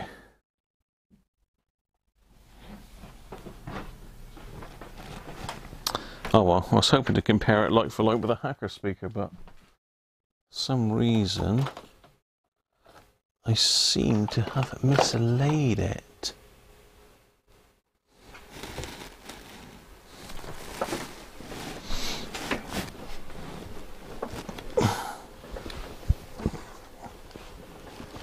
We can certainly see a hacker speaker in, in there, and that is bigger than hacker speaker. This is a um, hacker Herald. It's got the same size speaker as the Sovereign, Sovereign 2, and that is a bigger speaker. Look at that. Who would have known? If you compare it to an R707, for all you Roberts fans, well, actually, this is an R600, but you know, you can see the the difference in size. R707 slightly deeper, but the same same length. Yeah, that's a big speaker, a beauty.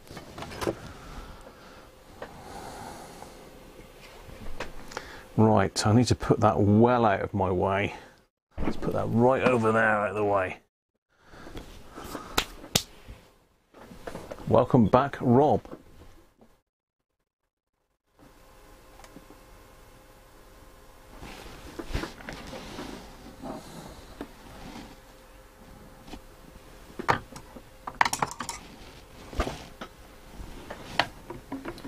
Catch up on my chat a minute.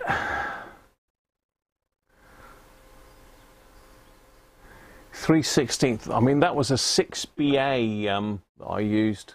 Yeah. GTGF, afternoon, mate.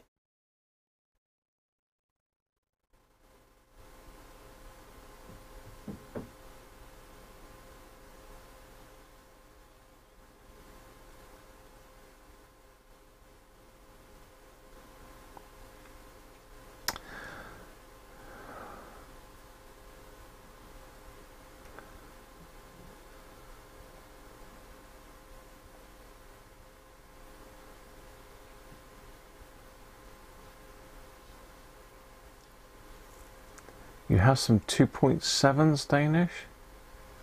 Penguin's got it, yeah, he probably has. Right, okay, let's um I can see I've seen the Stabistor, I've seen the light and it definitely has had it.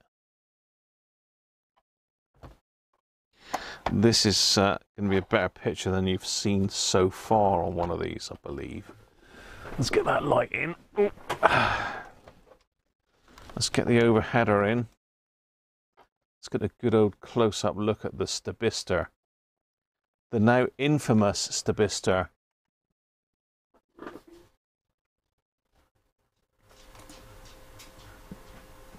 There he is. Center of shot. Sammy the Stabistor.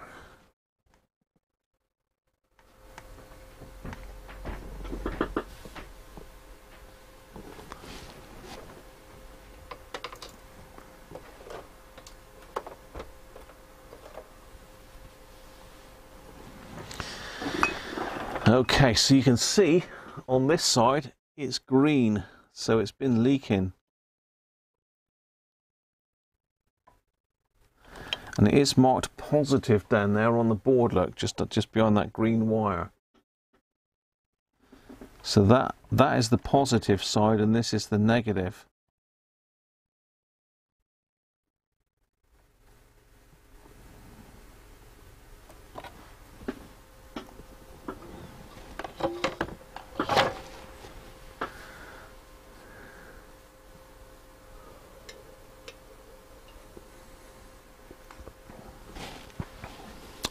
can remove the battery compartment by removing two screws at the bottom of it.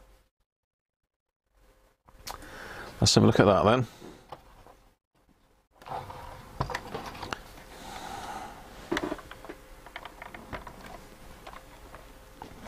I take it we mean these these two here.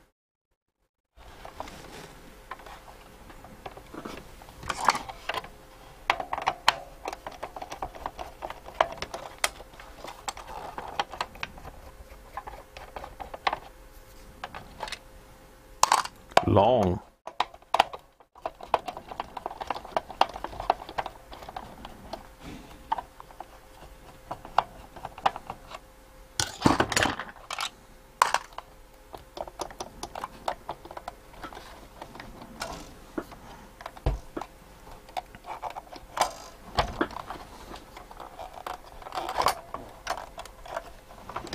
Very good. So that's our little strap for the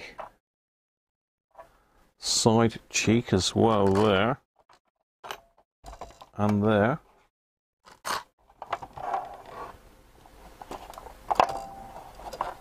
Bit of an unusual battery situation going on.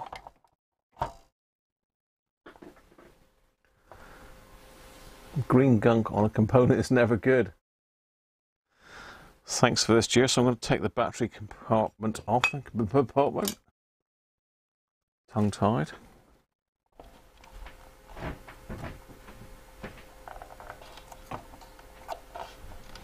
Positive. Negative over here.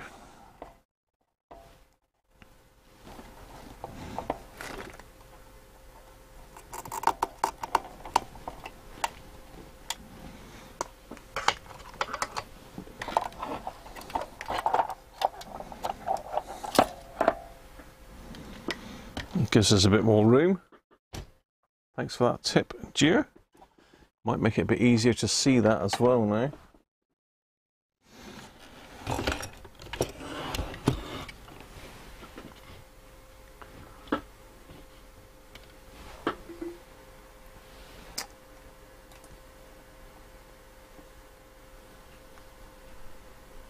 So yeah, what a strange thing.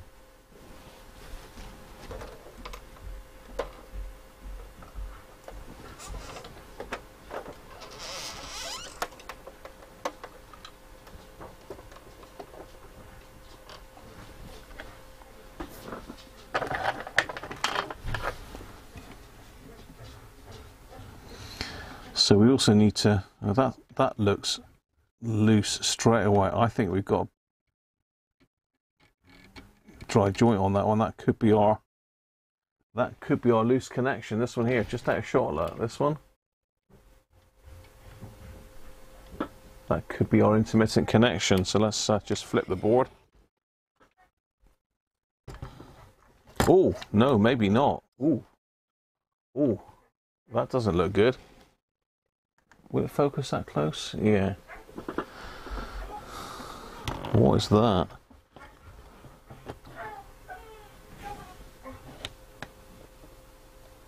That's, I think, that's a bit bit too close, but uh, let's just come come out a little bit.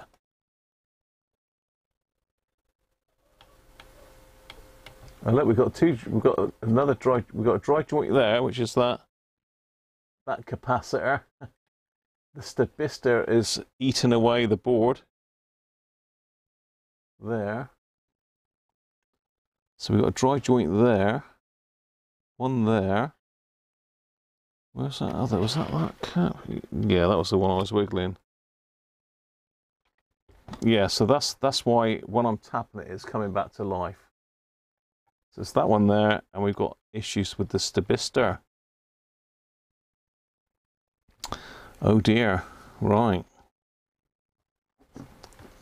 But that's not um, not the end of the world.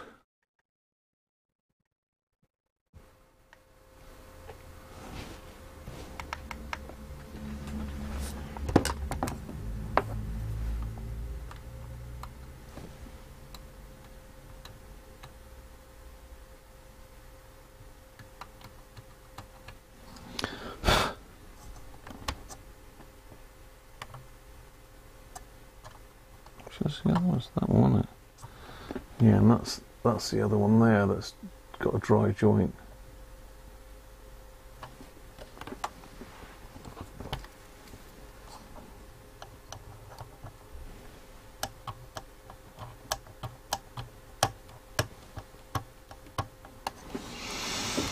Right, I wonder how much um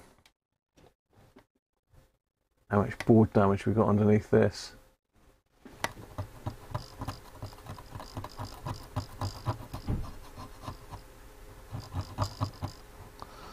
Wonder what's in that stabilizer then. There must be something. It doesn't look like electrolyte damage, does it?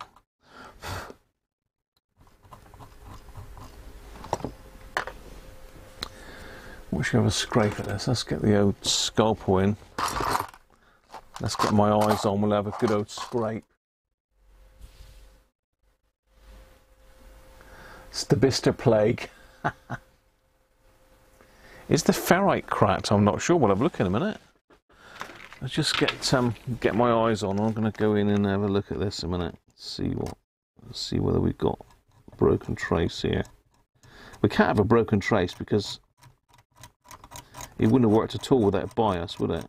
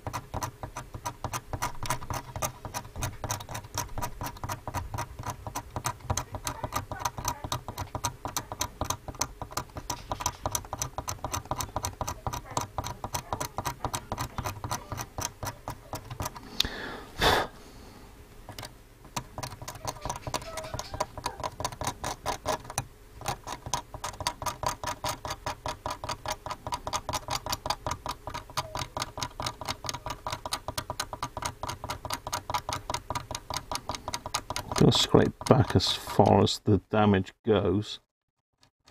Then we can put some more solder mask on it after.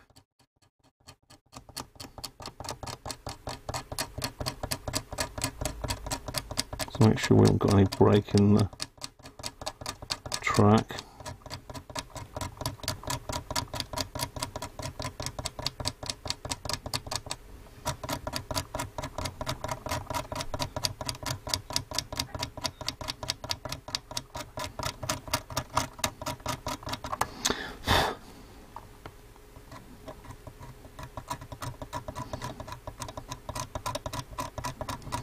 Hmm, yeah, we got a little bit missing there, I think. Possibly, or was that just corrosion still?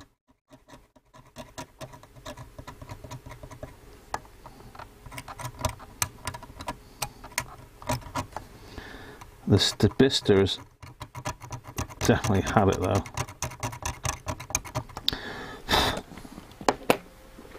Let's just get rid of that some solder around that. So it's a bit glary there, isn't it? There you go, that's a bit better.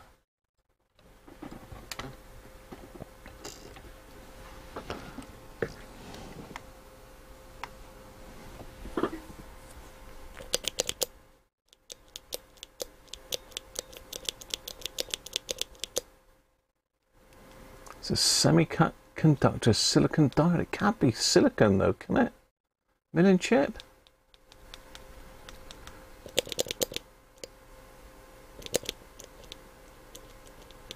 There's lots of lots of stabistor. but this this is the pin of the stabistor, I'm sure it is. Yeah, so that's definitely that is definitely there that is definitely what's loose, and this is the other one that's loose.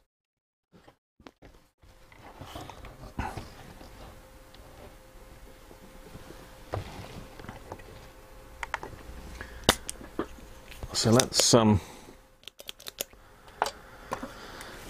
just remove that. Well, if it, it's not even going to take solder, it's all gone crusty and crystallized.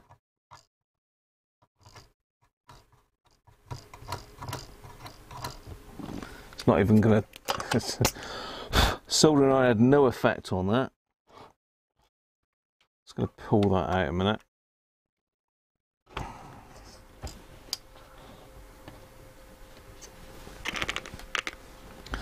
So another bit of a scrapey scrape.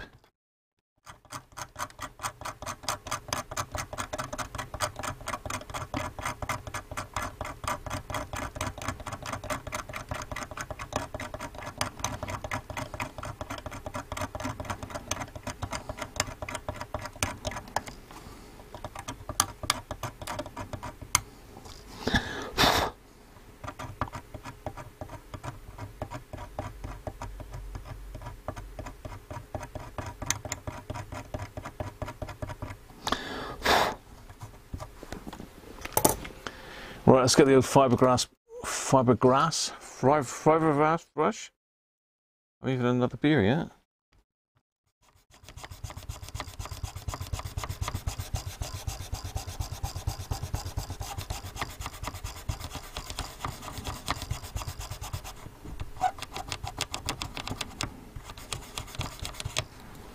It's a bit cruddy, isn't it?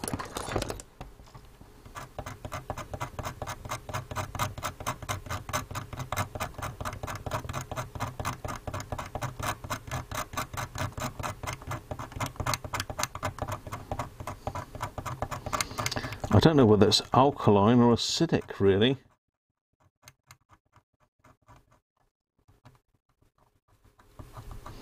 What we don't want to do is seal it in underneath some new solder mask.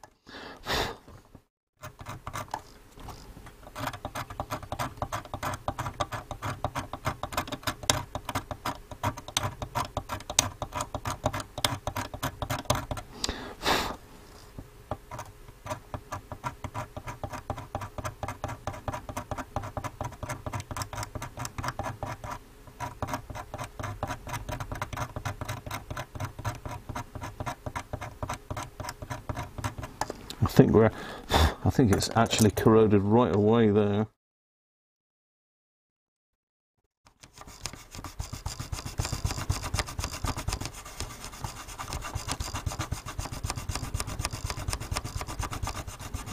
Yeah, that's barely any copper left there. It's all corrosion. Hmm, it's not looking good. What we're going to do here then?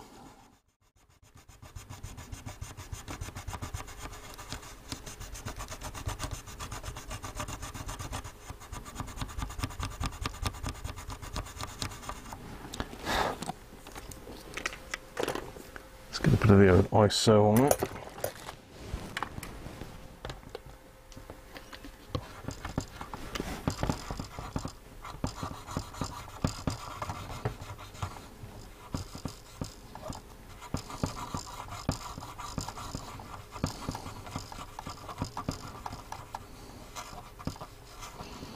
Yes, hanging on by a thread that trace. Think I'm going to have to. What should I do? Should I cut a piece of copper?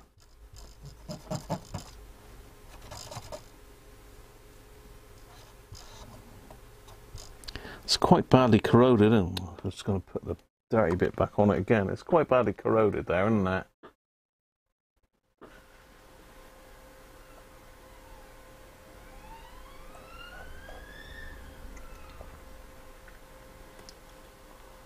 Copper wire and a lake of solder. I'm going to stick a bit of that copper tape back on it, being I've got it some to hand from last week.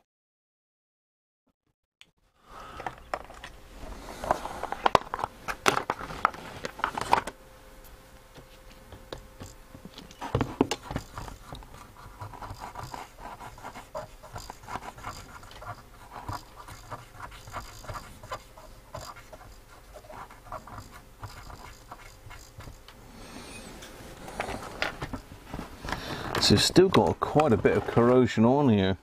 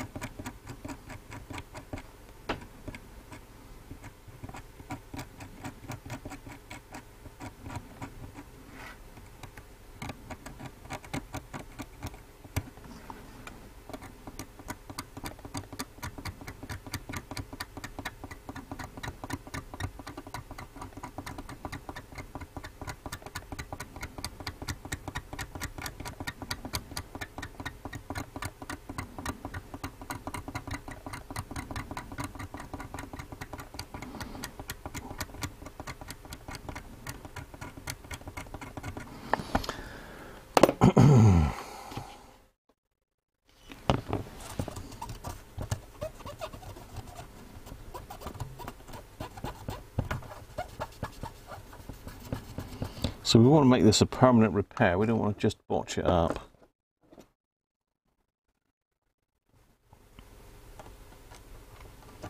That's why I'm being extra finicky, but that's what I do in it. It's the way I roll. yeah, I don't know whether there's a, not a break there as well. what I think I'm going to do is I'm going to stick some flux down on it. I'm going to tin that piece of the board. So I've moved off the camera there? I'm going to tin that piece of the board.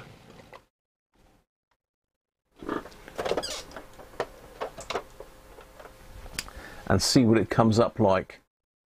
And then I'm going to put some copper tape over the top. Wire wrapping is a wonderful bit of support for solder. Bridget. Valdir. Boatarde. What's Boatarde, Valdir? How you doing, mate?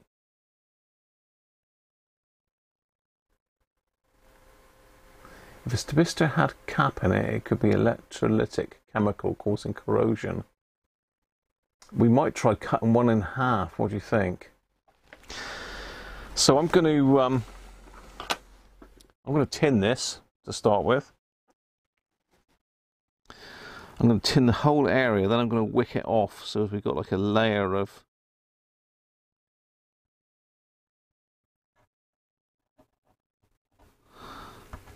a layer of solder over it. I'll do that as well. So we can see where we're missing. I will say I'll wick it off and then um,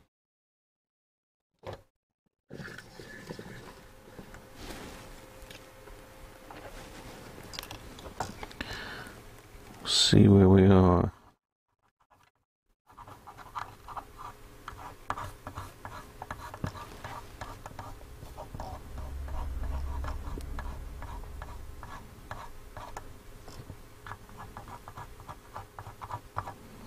Yes, I'm not convinced of that connection there either. Looks all right up there now, but that doesn't look good there.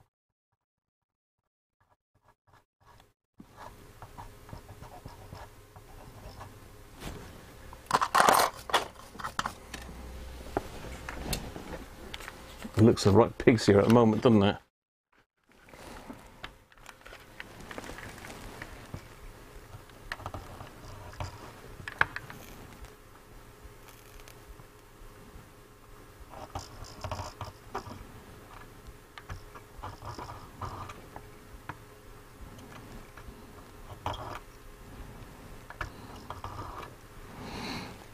Yeah. So it's actually worse than it looked. it looked pretty bad as it was.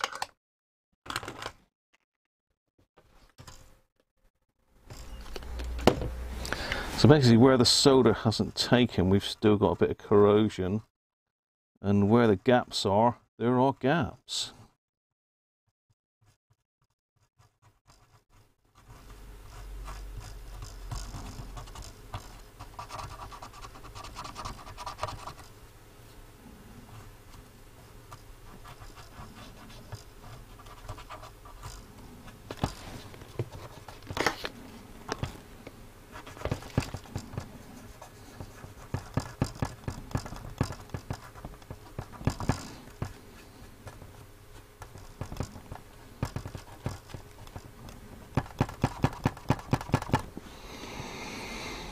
Mm, right.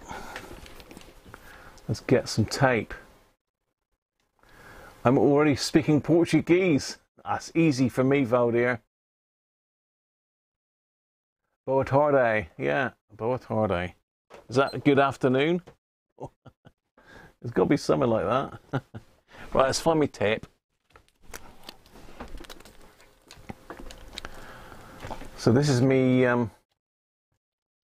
me tape, me tape.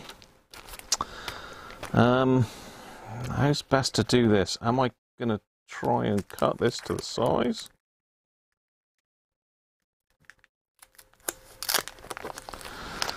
Am I going to do a paper template and then somehow miraculously attempt to match it up?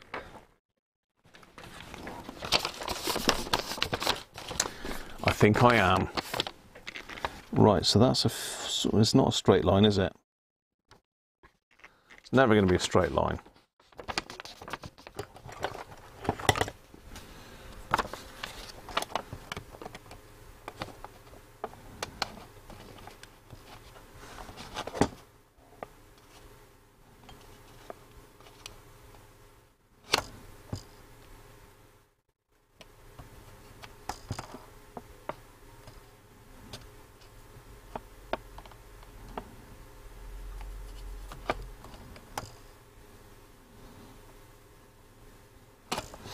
Okay.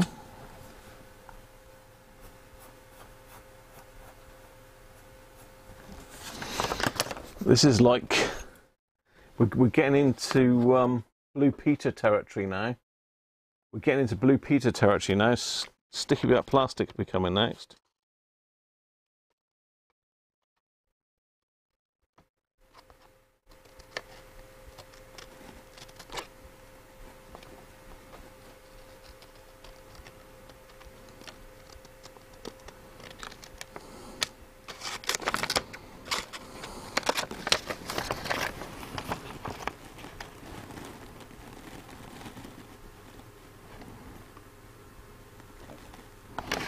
Oh, that's totally the wrong way, Graham. What are you thinking?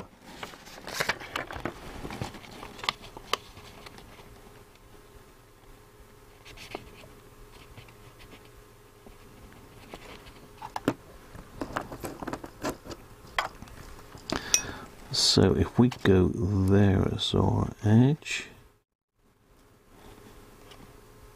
and mm, then we've got to come up here further. That's there, okay.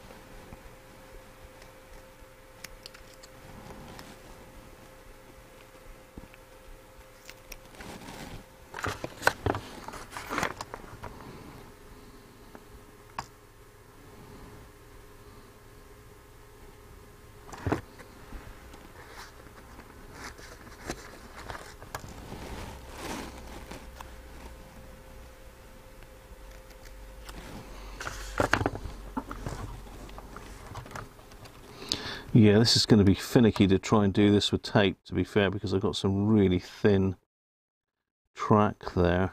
But I've got to bridge that bit, and I've got to bridge that bit. So then that comes in sort of like that.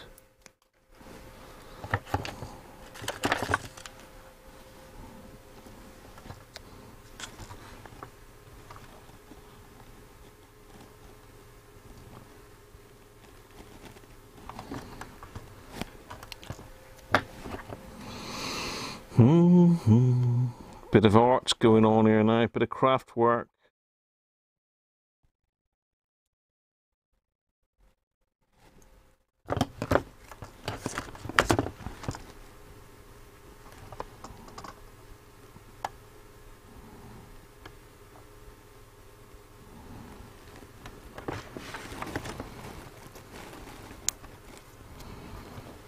Can't get my fingers underneath it now even.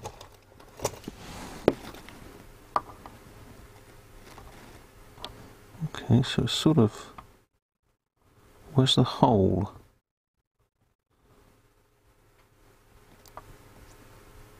Hole is there, okay.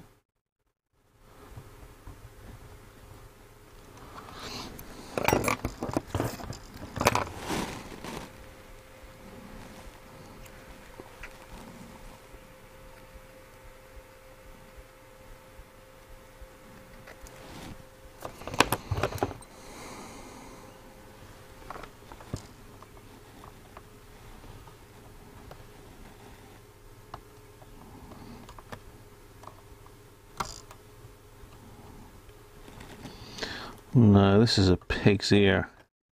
I'm getting there. I am getting there. So I need to take that off. Sort of there, really.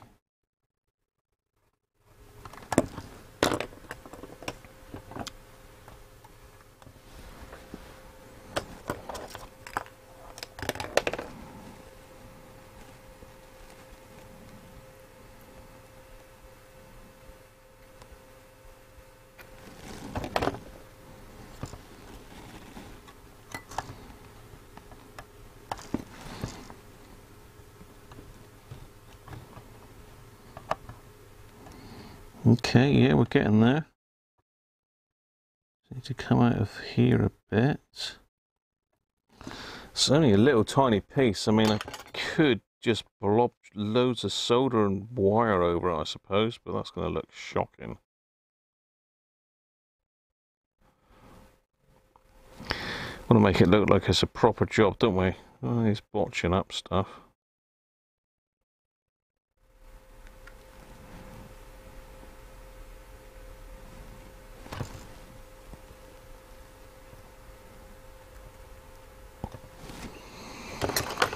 This is a little tiny bit of copper, really is.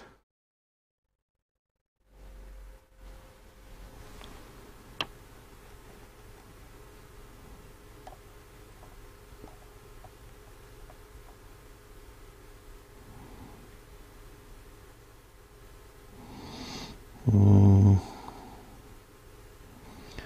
We might have to do a bit of both here, a bit of wire and a bit of cotton. I don't know, might be able to do it. So I'll thin that down and just come out with that a bit further.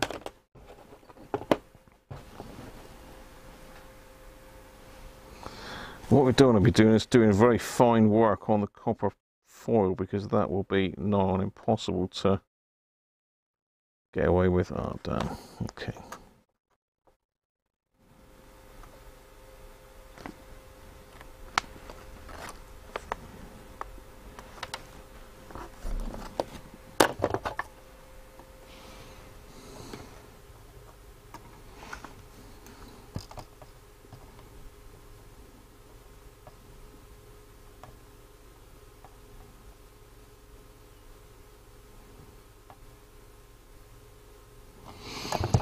that bit of paper fits.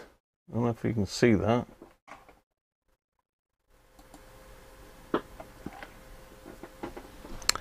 That bit of paper fits, so roughly oh, that's the sort of shape that I want the copper to be.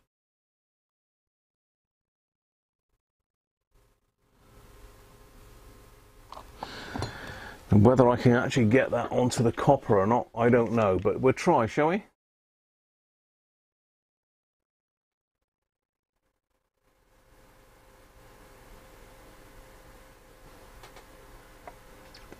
Dwayne, how are you, mate? Good to see you.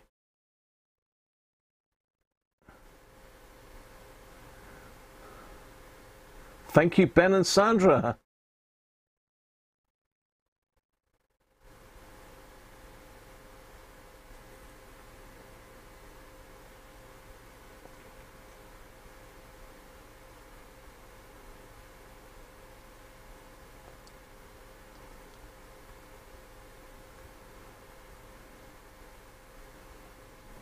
The old foam needs to replace. Uh, two pieces of foam on the speaker too. Yeah, this is um, this is had it, but I'll have to I'll have to do a bit of jiggery pokery on that. I've got some other tape that might do it. So we need to get this onto the um, tape. This is Sunhayato tape. See, Japanese as well. There's no stopping me.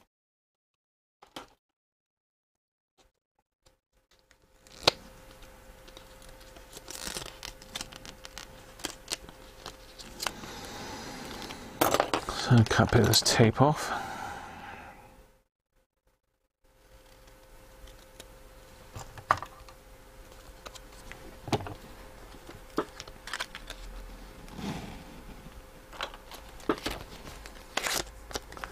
Yeah, I'm at it, Dwayne. You know me. Just can't leave it alone. Just doing a bit of a board repair here. I could just do a botch up with some braid or something, I suppose. But let's just stick a bit of copper in because I've got it, you know? If I've got it, let's use it. Right, that's the... Um, that's plenty. Let's pop that back off. Let's pinch that. Stick that on there.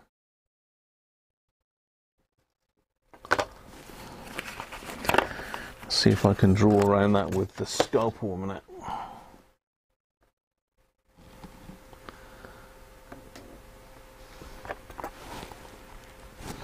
See, I actually don't really need to come up here because I've got a good solder edge on here. So I need, I don't really want to try drilling a hole in the new copper because that's just going to make it gather. So could probably just go across and down there with it, but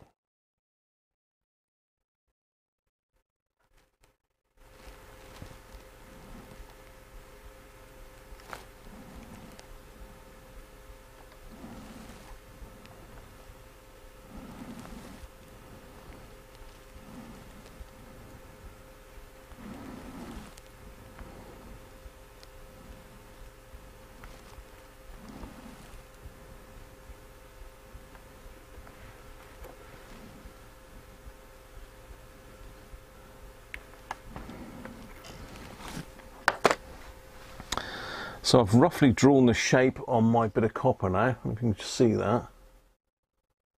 I'm going to try and cut that out. The little marks are just um, just where I pressed with the tweezers, that's all.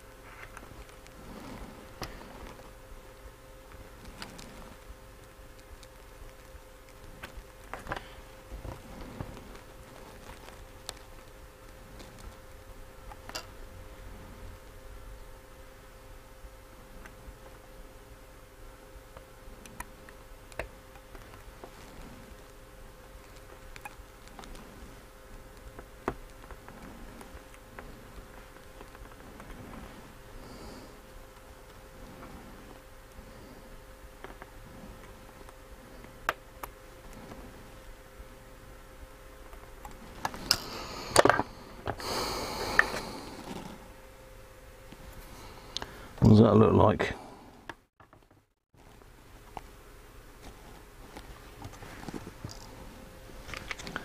Need another pair of tweezers.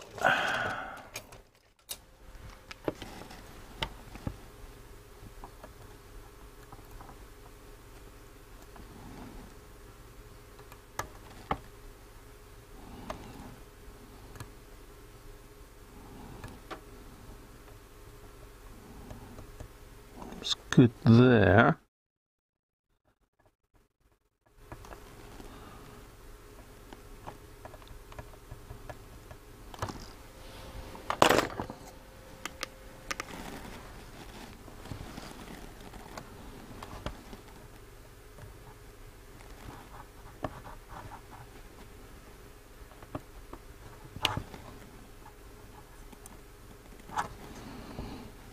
Got to come off there. Come off there.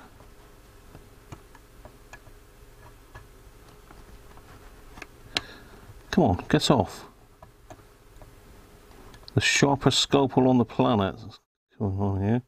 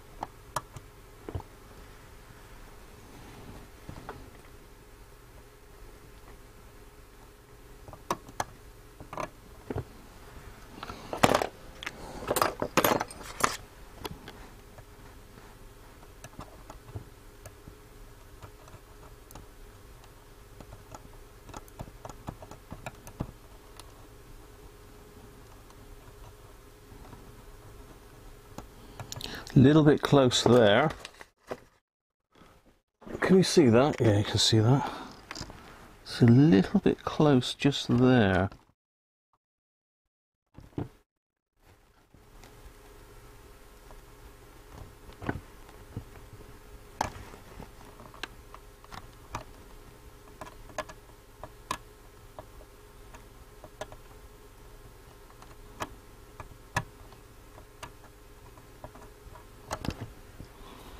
Better.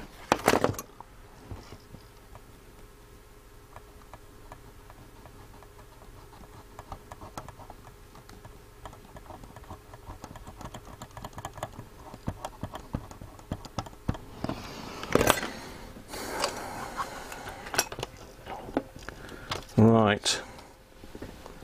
Let's see if we can get some sort of connection on here.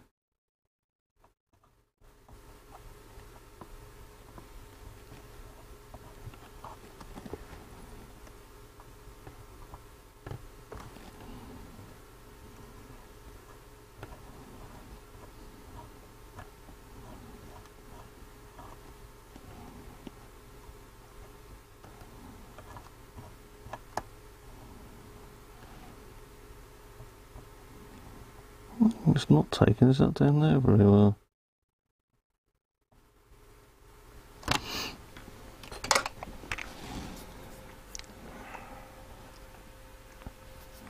I think that's it.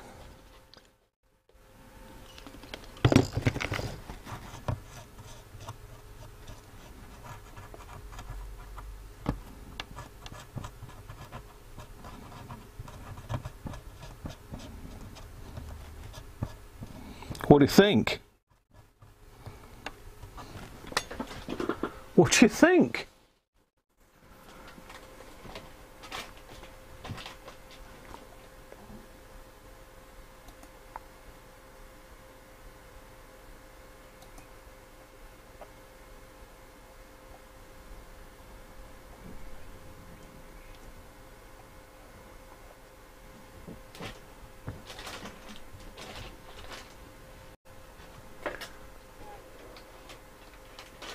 concrete.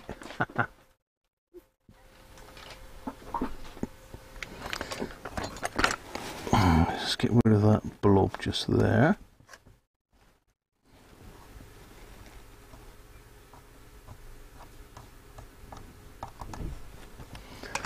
Let's make sure we've got continuity down through there. I'm going to use ohms, not beeper, because we want to make sure that um, we haven't just got continuity, we've got good resistance. Let's go from there to six five.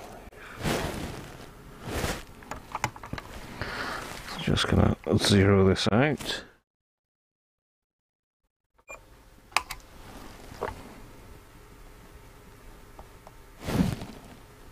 Yep. Perfect. Okay.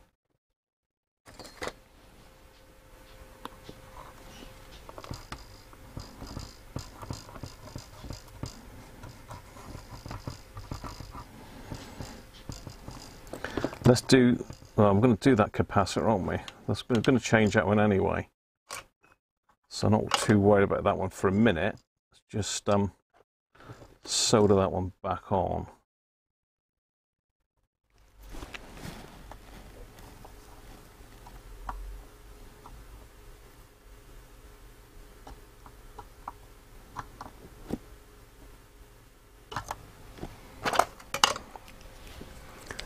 sure that's not still dry jointed.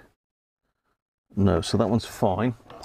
So what I need to do now is get some solder mask on that, and I'm going to use the green nasty because it's quicker. Um, and that'll help keep it down on the board as well, because obviously we're not fully soldered to the board as such.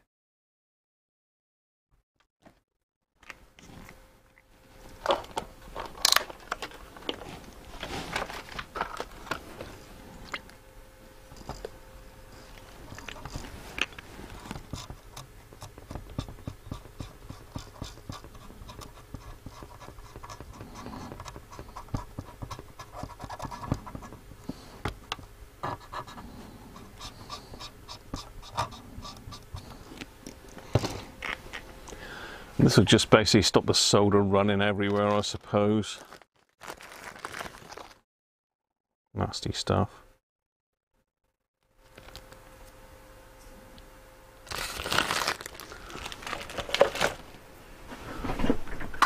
Oh, what's that? I'm just twanging now. So I'm just going to use some UV Cure solder mask. We need to definitely make sure we got these tracks covered. We don't want them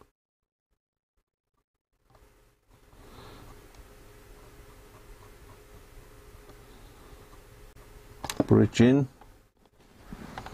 And up here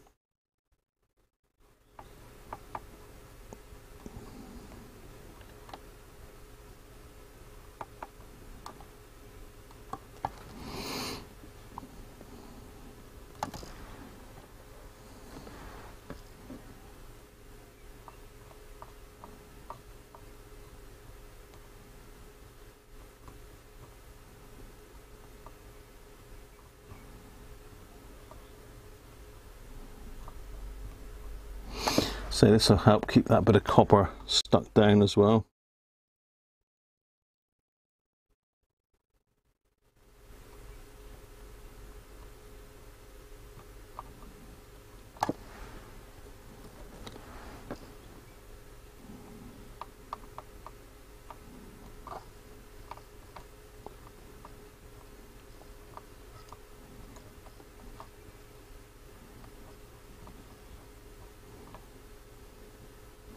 But we want to leave a pad for the capacitor to take there.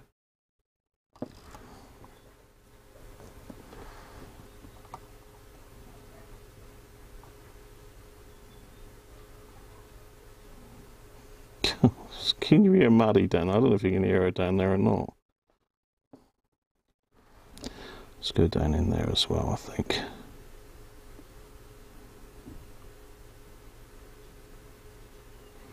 A bit of copper showing there, just touch that in as well.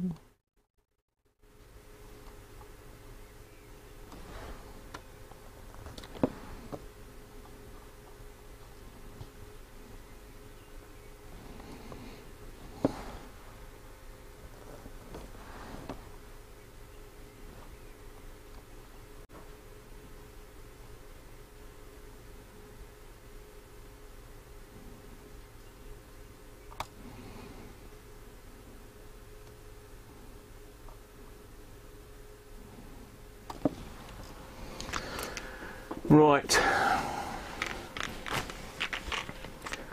UV light time. And a bit of hot air.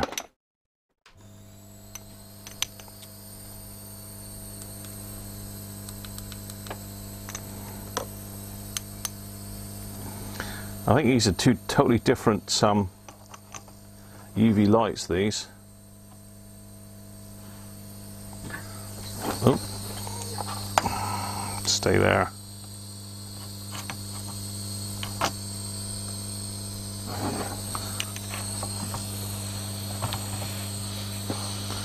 Giving it a bit of heat as well. Speeds it up apparently.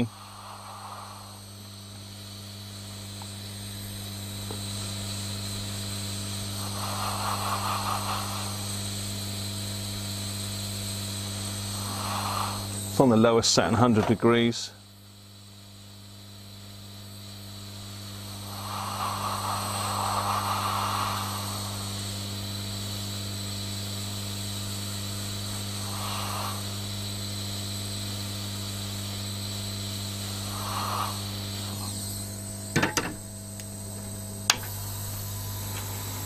Let's just prop that up a minute.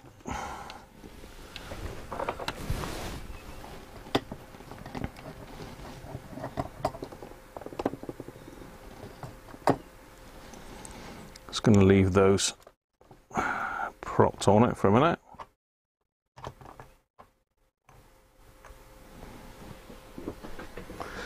Let them go off. Drink beer. Yes. let's get rid of the Abbot and let's bring up um,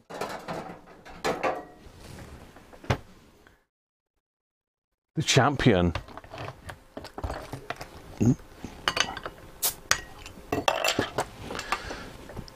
One of my all-time favourite beers. Can't beat a drop champion.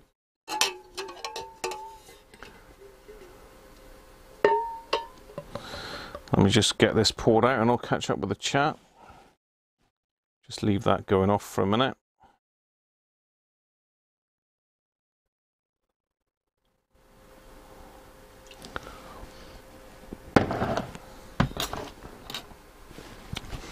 So the solder mask I used is this this stuff here. This is um, Mechanic brand. I got it from China. In fact, no, I don't. I, I didn't. I got it from eBay, I believe. So it's Mechanic green UV UV cure. It comes with that little light. You actually get it with with a light as well. Not not the big one. I bought that separate. That's a rechargeable one. This one here works on coin cells. But works works fine. So let's catch up.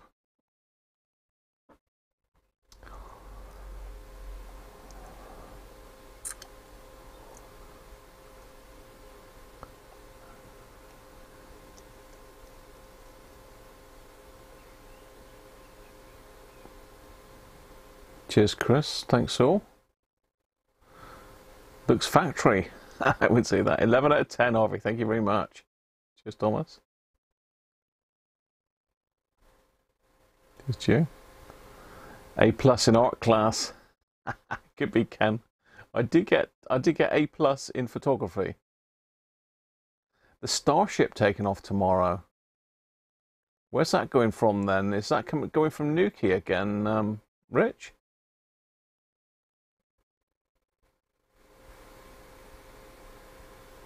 Uh, slap some nail varnish on it.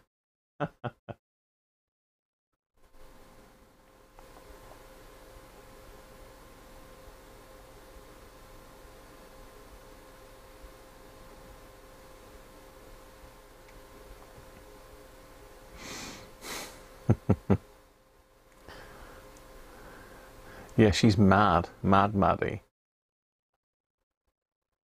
Thank you, Rob. Cheers, Rob. Hi, Ganesh. How are you? Right, there we go. I'm up. I'm caught up with the chat, I think. Apologies if I've missed anybody.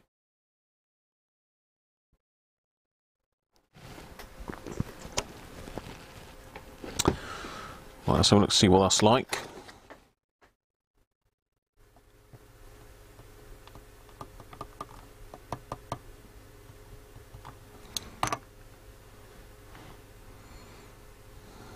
Don't cross the beams.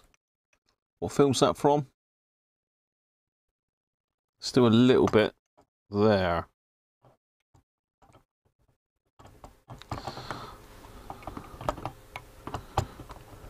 So a little bit more courage just there. Oh, damn.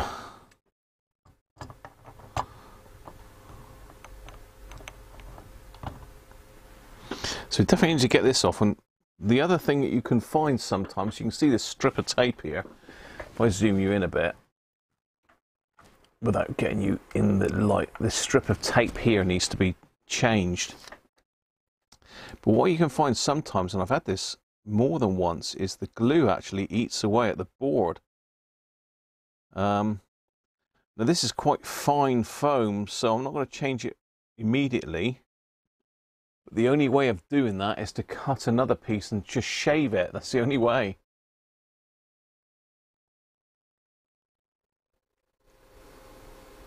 You got a boxer Matamble? Yeah, we got. Well, you've seen my two dogs on on the um, on the what should we call it? We got a fox instead, Benji. Yeah, you've seen my two on the trailer.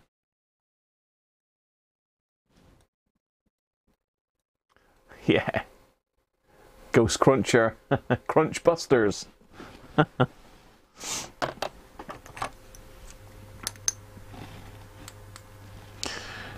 Uh, remember, this is a three pusher, this one. Three settings. Right, okay. So we'll look then.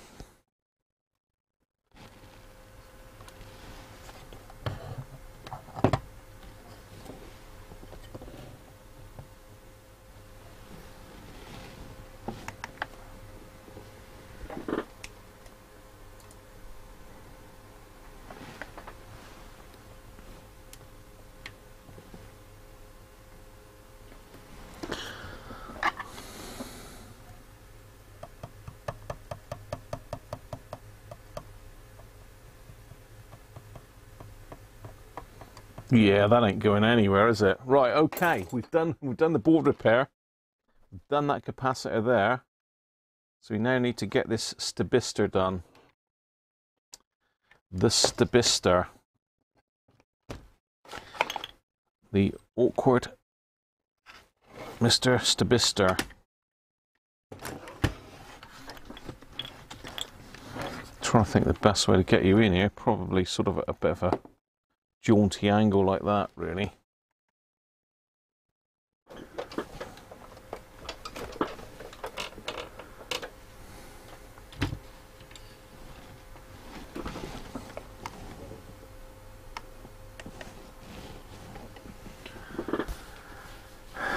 Stabistor.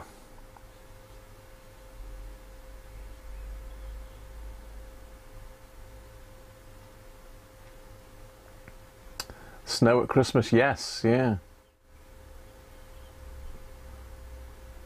Yeah, cheers, cheer. I haven't got any. Anybody know of a source of that foam? I've got some, some foam here, but it's a bit thick, really. I can cut it down to suit, so it's not a major issue, but. Right, Stabistor time. So we can see that that's definitely the positive there. It's marked positive on the board. I'm sure you can see it if I go down a bit closer.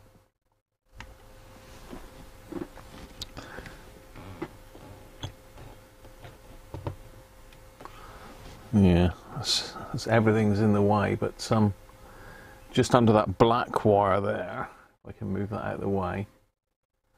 So you can see we've definitely got a positive marked on the board down there. So this was was the leg of the Stabistor, the, the one that's got gunk all over the board and nearly ruined it. so take it, our, our capacitor's got to go that way, hasn't it? I'm going to need to come back to the main camera because you're not going to be able to see what I'm doing here because I'm just up too up way too close really. And it's going to be easier for me to work this way around. So uh, the other side of the Stabistor is just up here. So let's get that out. Mr. Stabistor. It's good that you guys haven't come across this before either. I mean, obviously, Geir has worked on these and he's done the fix with the diodes, which works fine.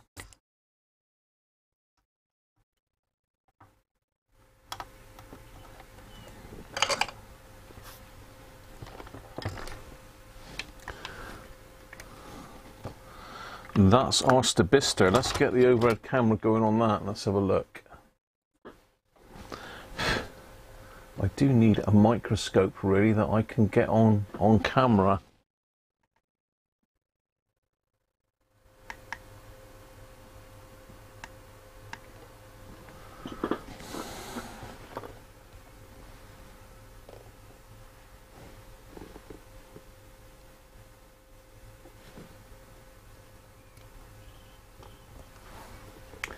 Yuck. Zoom out a little bit and let's see if I can cut that off.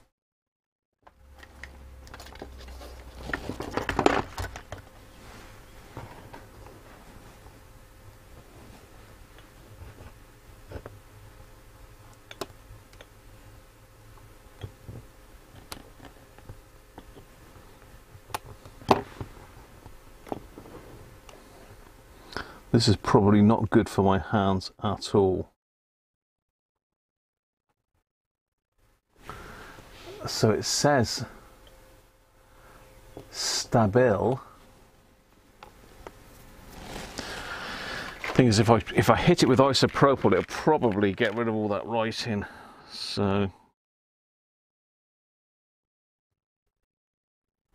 it's got a manufacturer's mark on it. Stabili, Stabili something, Stabili, Stabili no mates. So it's definitely something's definitely leaked out of that end. Look, I mean there must be some electrolyte in there. There must be for it to go green and, and damage the board like that.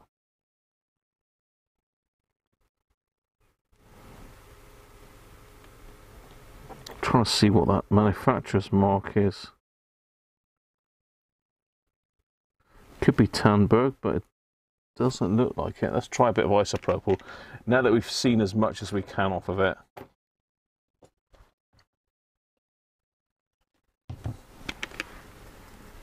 Is that disappearing before our very eyes?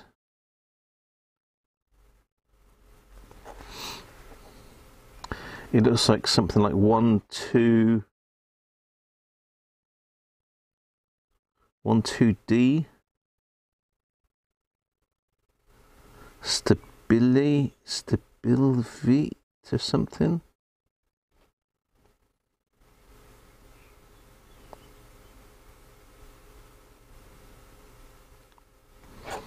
Yeah, the isopropyl is, is knocking off. It's almost like a Mullard badge. It also looks like the isopropyl is um, dissolving that green stuff, which would mean it's potentially. Hmm. Is it acid, I wonder? Let's put a little bit of vinegar on it and see what happens. Let's put a bit of vinegar on it, see if it fizzes. If it fizzes, it's alkaline.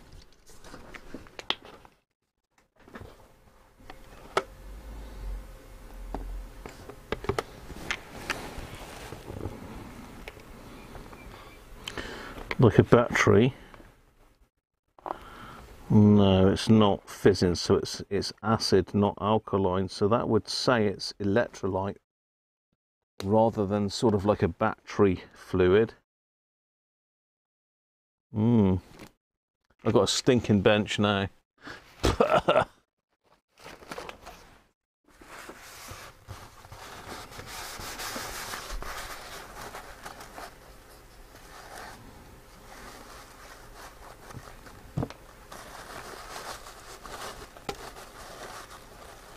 Phew.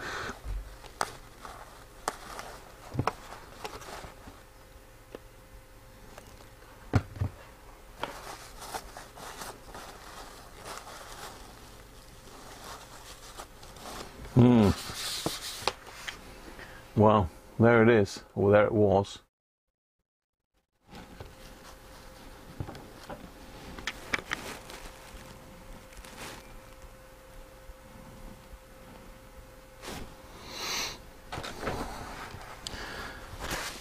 So let's zoom it back out a little bit.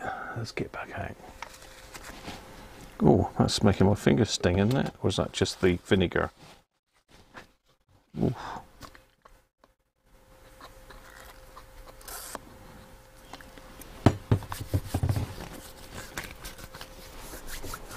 Right, I think I best go wash my hands a minute because that's making my fingers sting. But it could it could be the vinegar. So how does that compare size-wise? That's pretty good size-wise. Just gonna wash my hands a minute.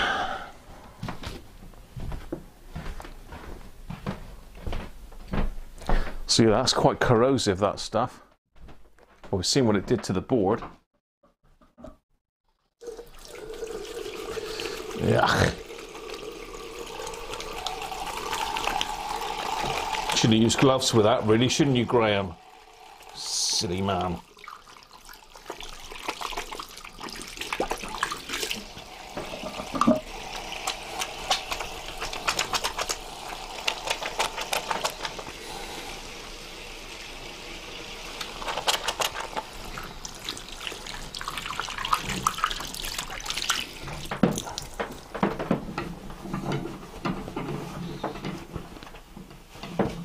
Right. It's better.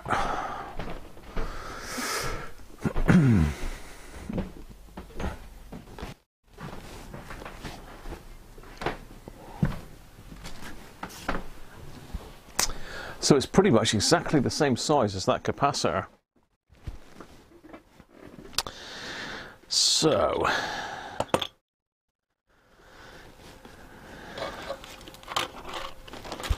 I've actually dropped the other components here. There we are. Let me have a bit of a clean up a minute. Let's have a bit of a clean up. Put it on the peak tester. Yeah, that's a good idea. Good idea, Rich. You never know. It might um, it might come up with something. Do you think it'll say Stabistor? Stabistor.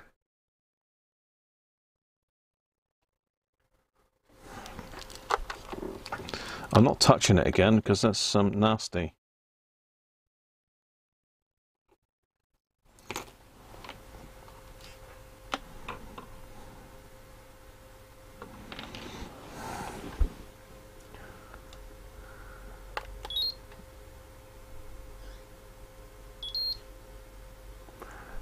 So look, it's actually reading as a 1.5 volt Zener diode.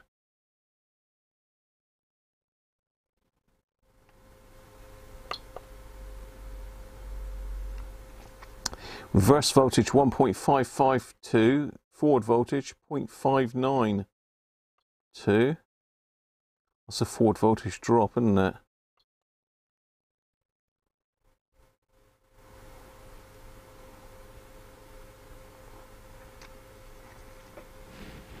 There you are. Hopefully you can see that. So really that one, although it's leaking, it's probably still working. Well, the circuit was working, wasn't it?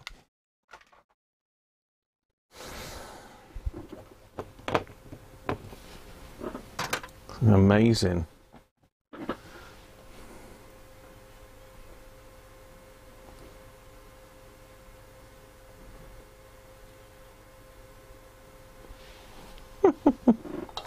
Red Dwarf. I'm never a fan of Red Dwarf, really.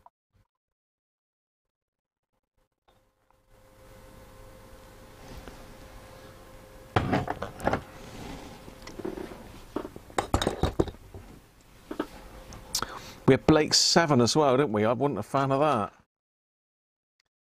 Yeah, not a fan of that either. So I quite like Tim's idea of going um, going across with a another one, another capacitor to knock out the higher frequencies. It's almost like we're trying to Im improve it, Tim, Timothy, isn't it?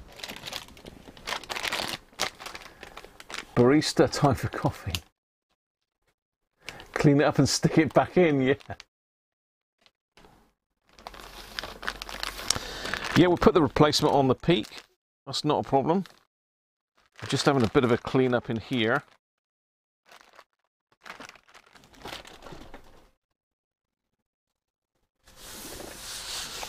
Uh, an en masse cleanup.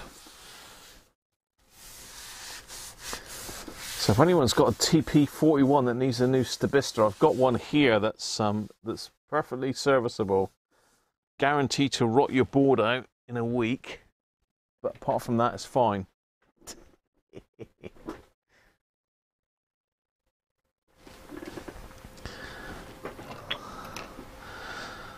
so what we'll need to do here, I want to try and get this neat as I can. I'm going to use use the three diode method.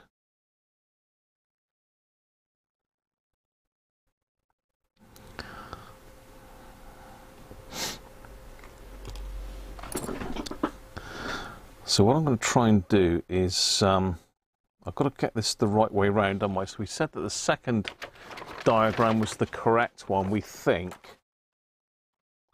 So that's with the negative there to that one.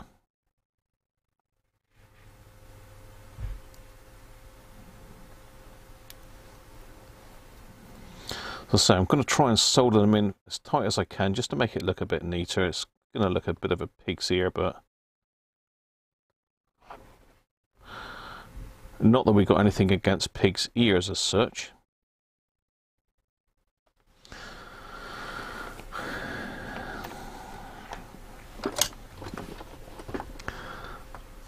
So I'm going to sort of build this up as we go.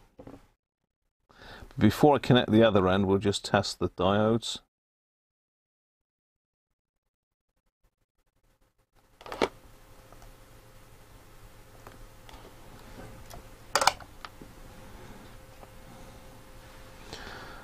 So that's that diode on. Ow. I'm wondering whether I should put the diodes in some heat shrink.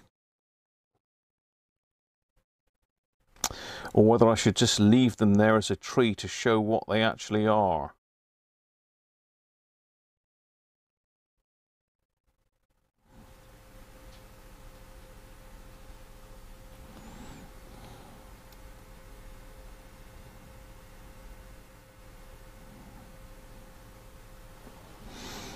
So that's that's where we are so far. Got one diode tacked upright. So we've got the red stripe going to sorry the stripe going to the negative.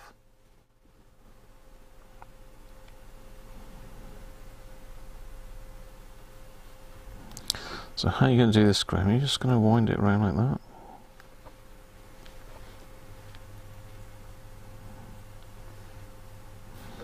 It's like a little animal coming to It's like one of Paul's creations.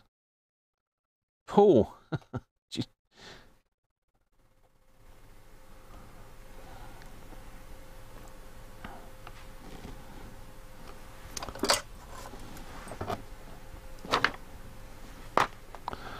Let's join that one there.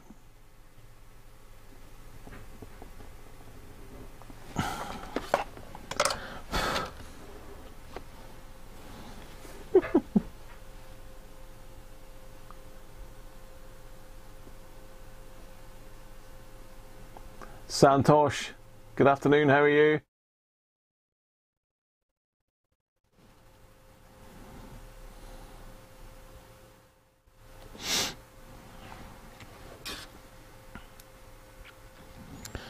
So that's got to basically be about there.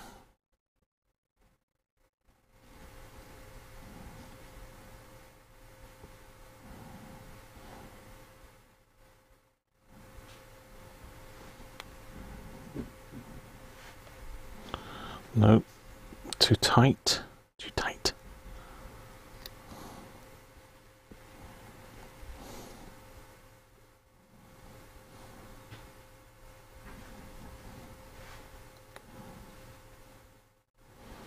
Better.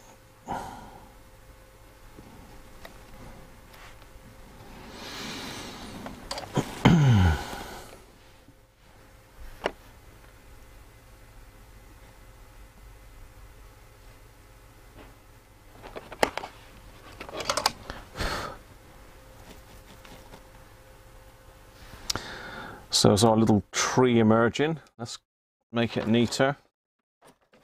Let's make it prettier.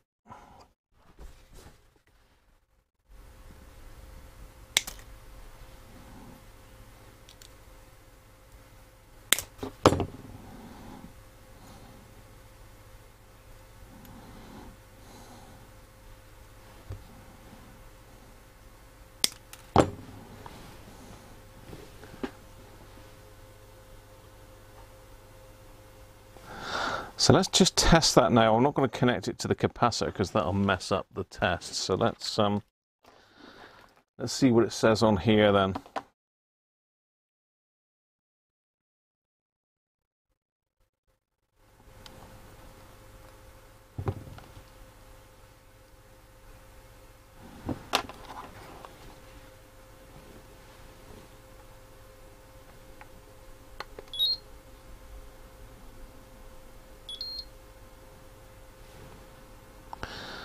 So it says forward voltage 1.9. Says it's an LED. Hey? What's going on with that then?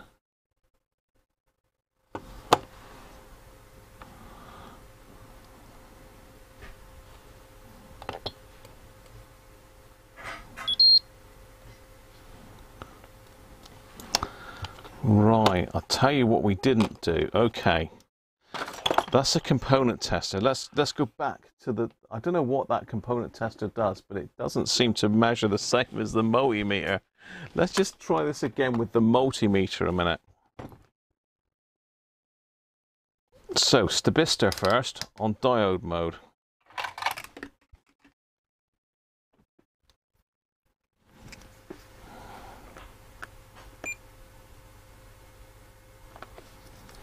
Other way.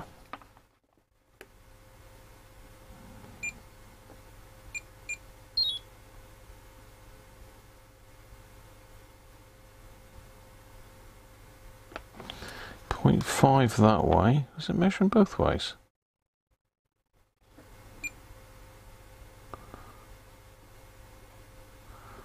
Okay, so it's sort of, you can see it's moving all over the shop, but it's, it's gaining. It's almost like it's charging up. What is going on there then? Let's look at our new um, device. Nothing that way conductance. 1.49.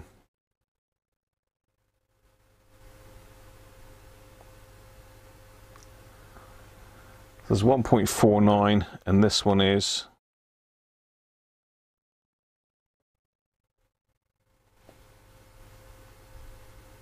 had it.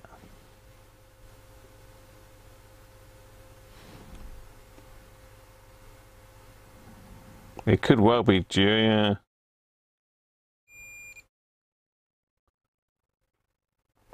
It seems to be charging and discharging it like a capacitor. So that's, that's one way round. Let's see the voltage just climbing. It's like a capacitor, isn't it? Let's go the other way.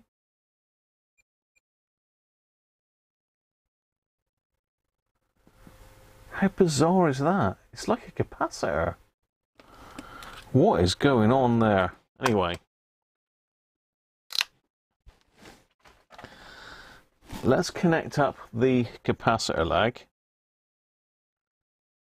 Now, are we sure that this is this is the right way according to our amended diagram?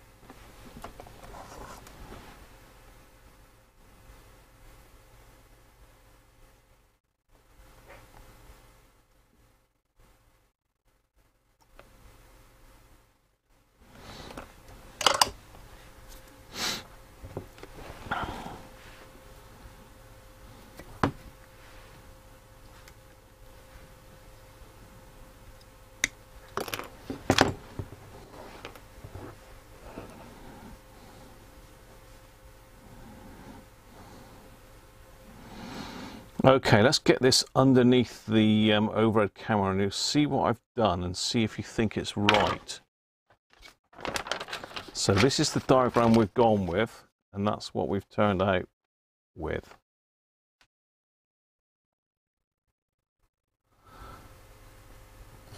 That way. That's right, okay.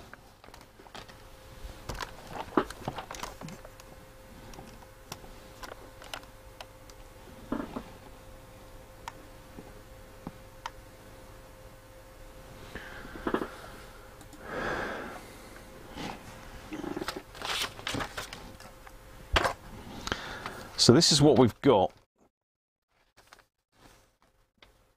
So this is our 220 microfarad cap here. Positive side against the,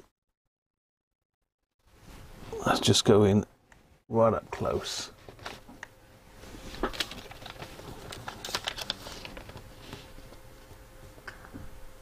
So we agreed that that's our 220 and that's our diode in the correct orientation there.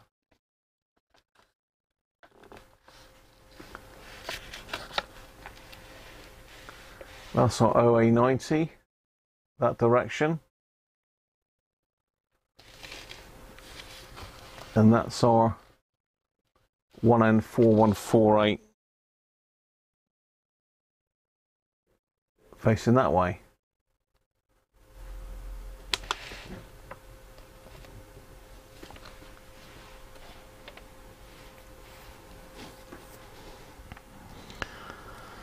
So I think we're good.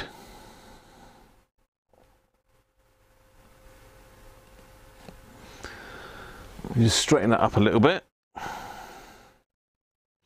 Now I'm thinking with um, Timothy's suggestion with the other cap, I can actually tack that across the underside of the board rather than complicate this even further. I can actually tack it on the underside of the board, that 10NF.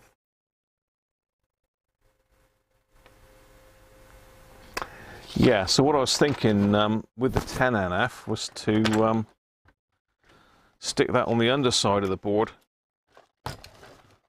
because basically that's our two connections there.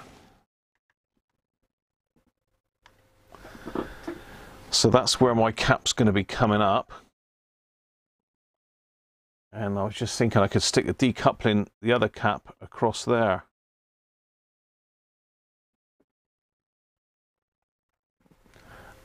What, what's your thoughts, Sen? So we've got to get this the right way round in the circuit here.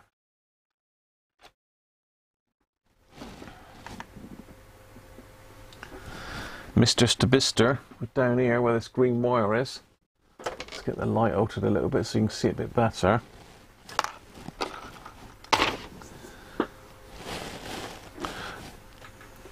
Now I've, re I've really made that hellish complicated, am I, by all the messing about I've done, but If anybody's not sure, then they can follow this video back at a later date, can't they? If it works. If it doesn't work, then don't follow it. Because it ain't no good.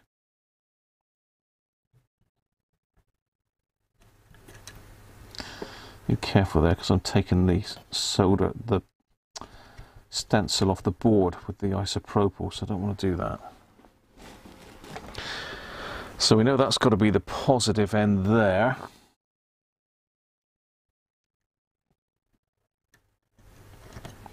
That's the negative end there.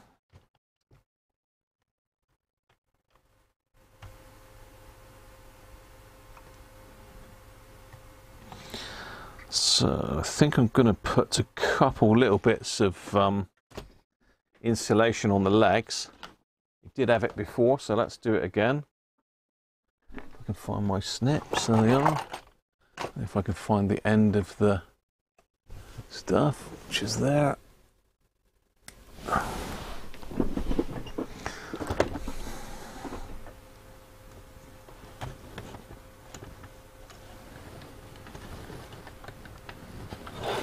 It's gone up at the legs of it. Okay.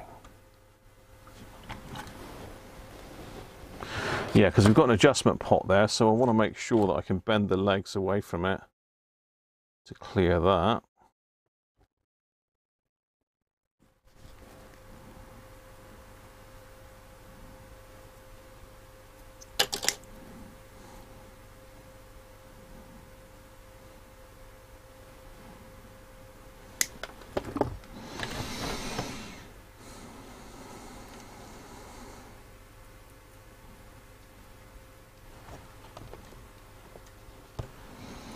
Would have liked to have heat shrunk that really as well, but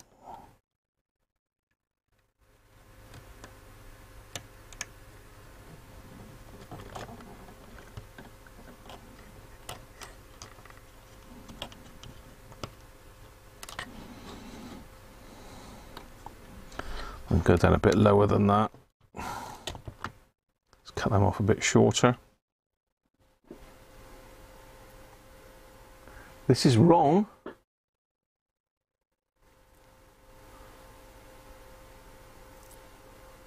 Mr. Laser Sound. How you doing? Stop, it's wrong. Why is, why is it wrong, Rich? What have I done?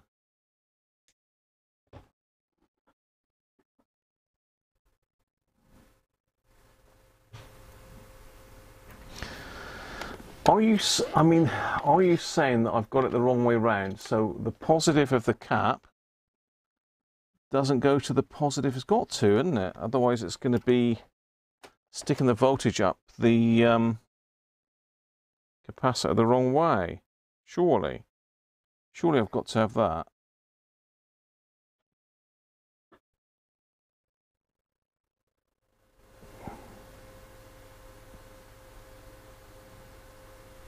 You still put the 10NF.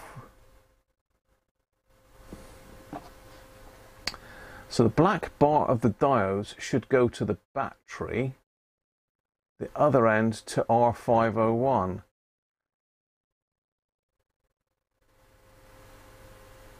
The negative side of the cap goes to the plus sign on the PCB. Okay, Rich.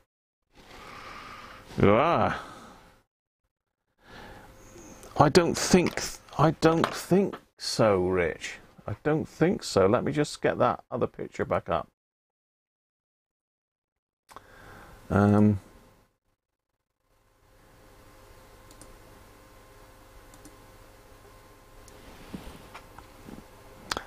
so if you look at this picture here, with somebody that's actually done one with the um, LED, Rich. Let me just get a screen. Desktop capture, there we go, there.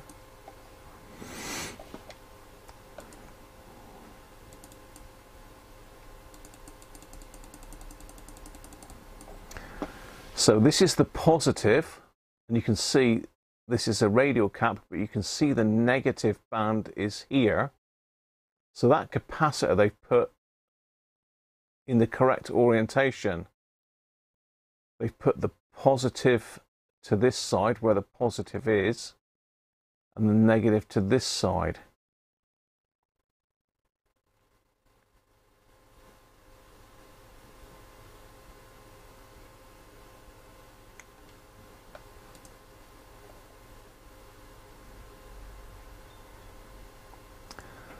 So this is this is the negative rail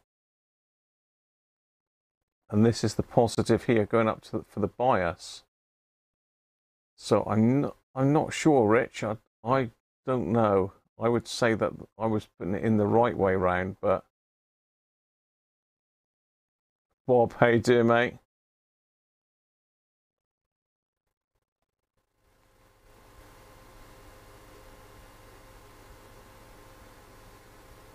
Yeah, getting there, Mike, I think.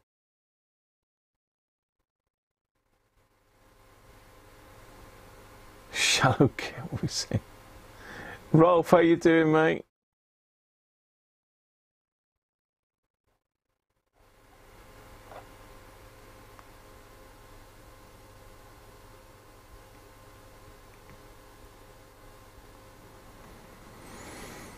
So, you know, this is negative. So surely the negative side of the cap's got to go to the ground and the positive side going up to here.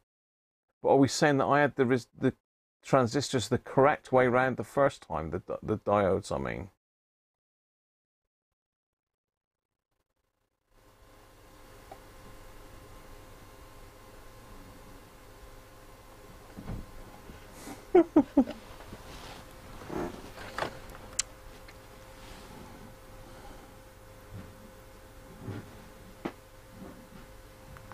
Rich, tell me, Rich. Rich, where have you gone?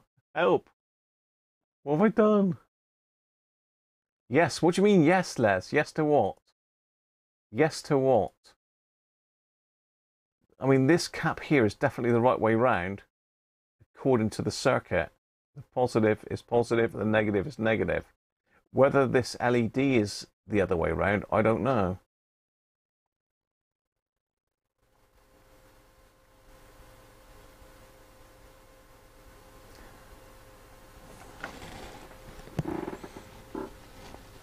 Uh, it makes me wonder whether I had it right the first time. I don't know.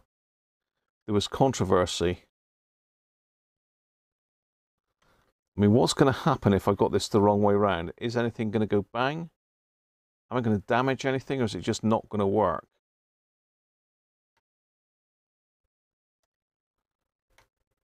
This is the question.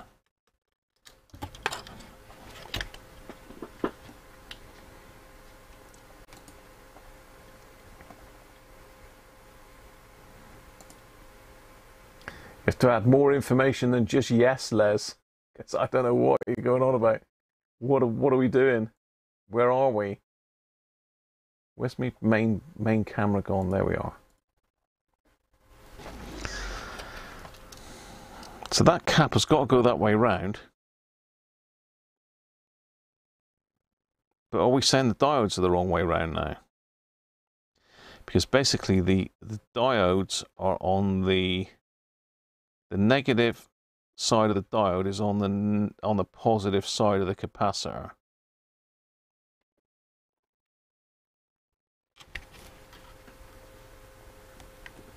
Yeah. Yes.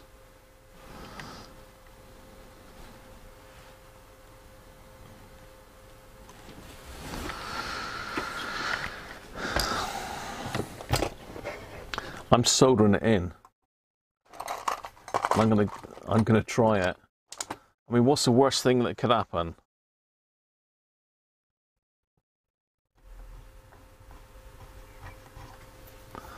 What's the worst that could happen? I think the worst that could happen is it just not work.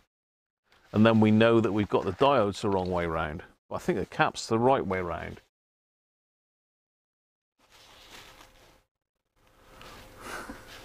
What's wrong, Les? What's wrong? You said yes. No, it's wrong. It's going in. It's going in, Rocco. It's going in. I can't take it. I can't take it. I can't take it anymore. I cannot take it. She's breaking up.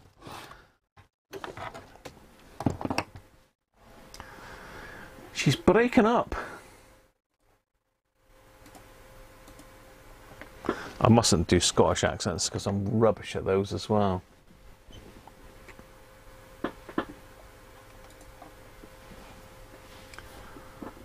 Yeah. Well, I could take the transistors out. I've got replacements.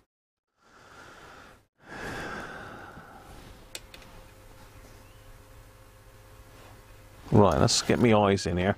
So this is my uh, new piece of board. So I need to make sure I've got this um, soldered up nicely.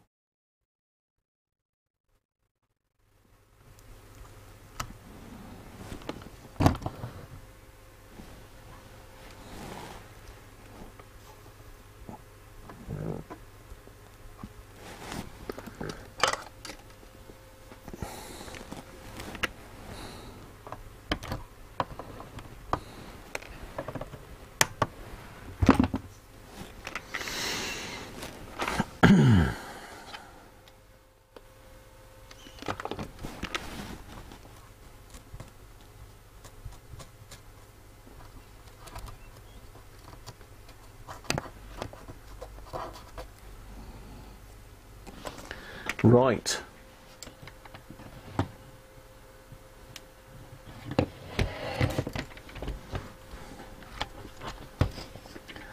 The the cruncher cruncher stister's in.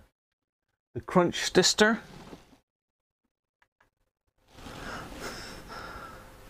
Oh, hang on, we've got a wire off. Oh, it's a speaker. I think. No, that's a battery. so that's the crunch stister.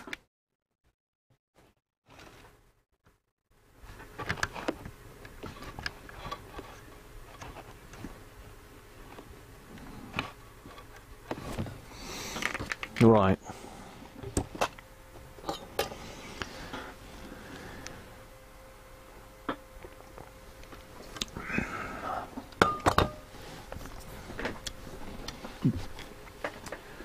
Now, somewhere here I had a 4 ohm test speaker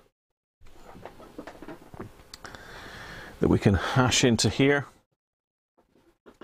to give it a go.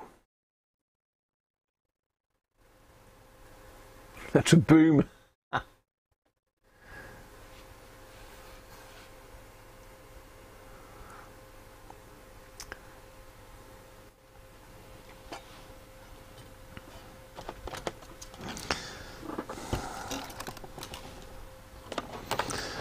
So we're going to put the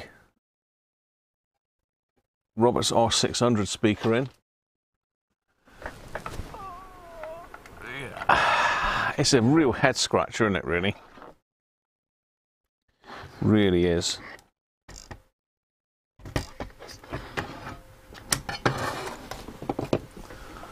Really is.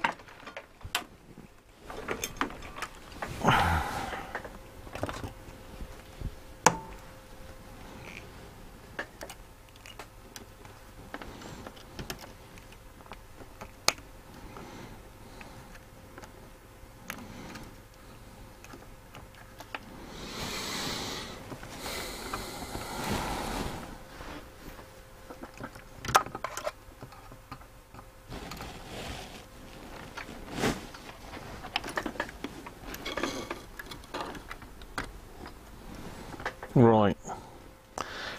In, speakers on. Place your bets, everybody, because I'm going toilet again. the tension. Oh, something smells nice downstairs. Mrs. Crunch is cooking up a storm again.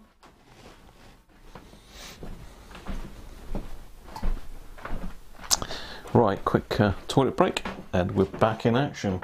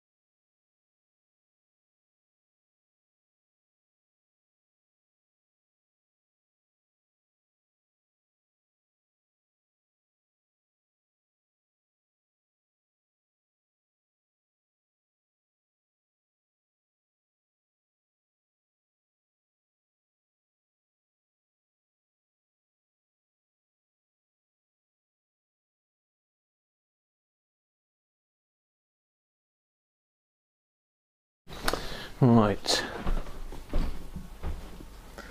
Let's see. We should have got the intermittent issue sorted anyway, that's one thing. Oh.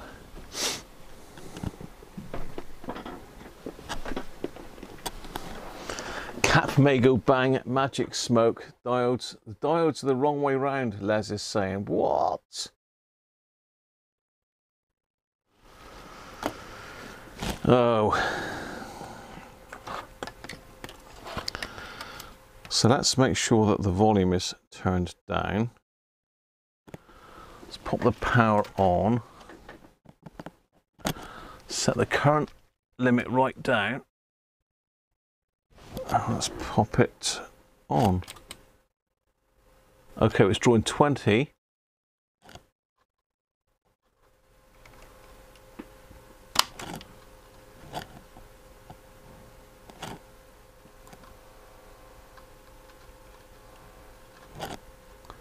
We have no signal though.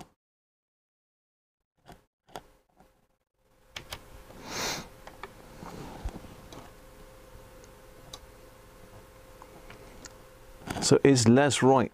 Are the diodes the wrong one way wound? There's a pop from the speaker, so that indicates the amplifier is working, but no sound. Okay. Um, let's get the multimeter. Let's have a look to see what the voltages are on that capacitor then.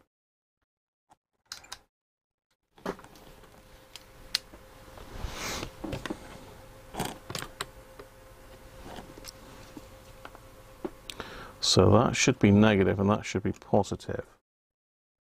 So we're only showing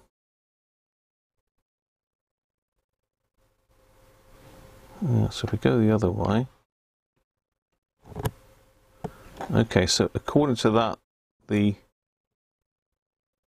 that's the right way round. Okay. So, Les is saying that the diodes are the wrong way round. So let's disconnect the power again. It's definitely not working at the moment. I can't hear anything. There's no no um, no audio getting through. No worries, Les. Appreciate your help, though. You know damn sight more than I do. Right, how are we going to do this then, Graham, now that you've done them so neatly?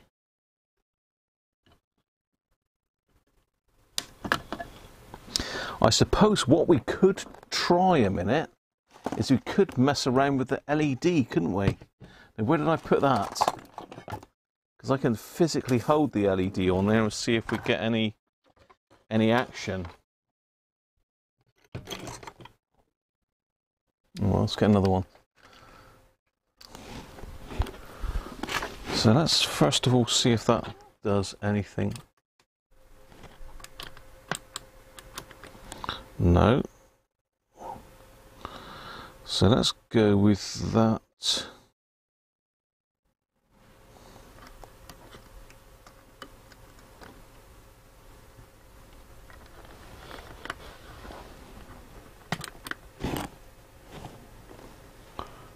No audio that way and it's not lit. Let's try it that way. And it's not lit that way either. What?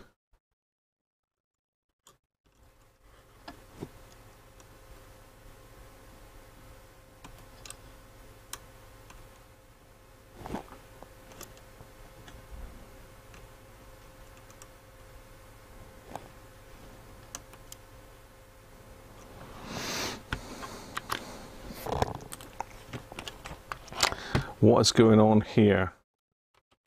Okay, so I've got it on FM. Let's try out medium wave then because I've got no aerial. Con oh, I have got aerial connected.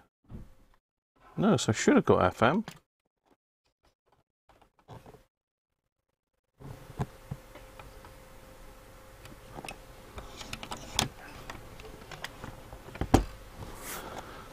So let's just try the voltage with no diodes in.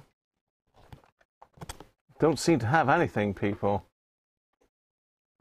I've got to swap the capacitor around as well, Les. What?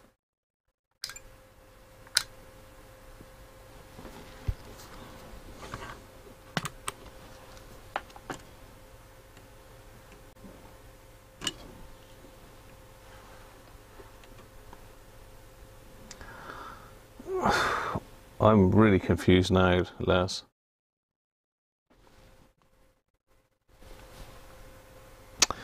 I'm really confused now. So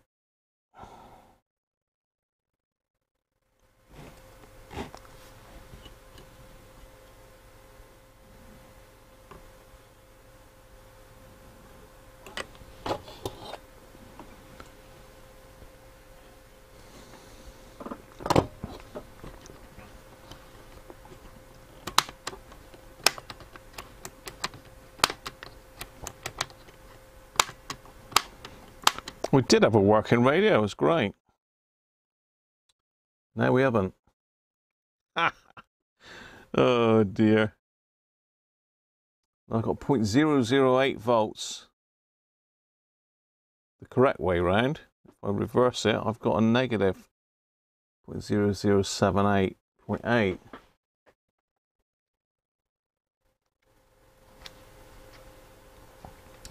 Check the LED.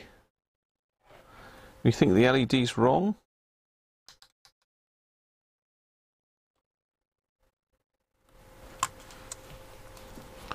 Dead LED, you think? There's definitely an LED.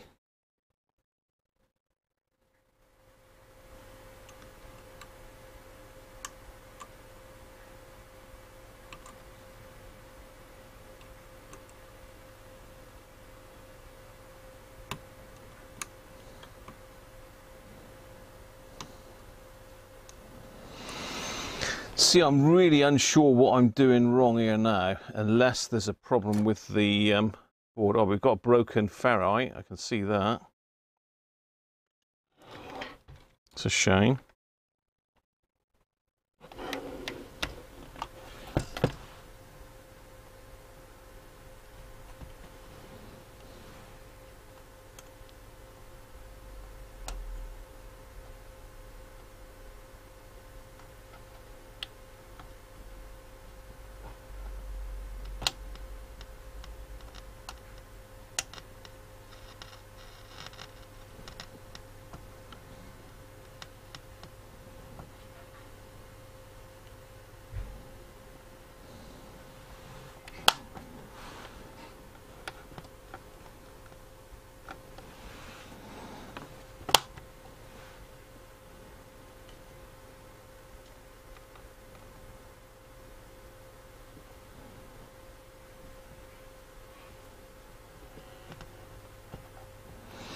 Okay, I'm wondering whether we got another issue here, you know. Because I know what we're saying, that potentially it's all wrong. Actually, check the PSU, check voltages.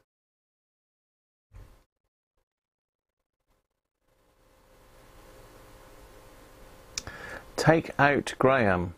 Take out Graham. Put the positive of the diode to the positive on the board.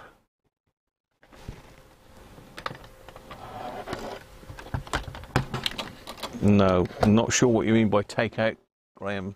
I understand what you you mean by the positive to the positive.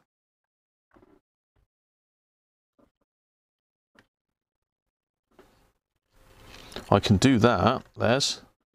But I'm doing that with the LED is what, what I'm trying to say to you. I'm just doing that with the LED by holding the LED over it and it ain't doing it.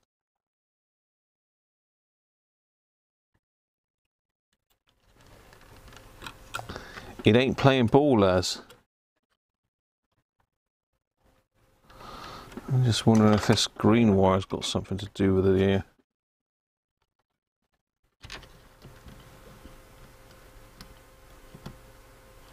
Nope. So what I'm what I'm trying to say, Les, is I'm I've disconnected the LED, the sorry, the the diode altogether.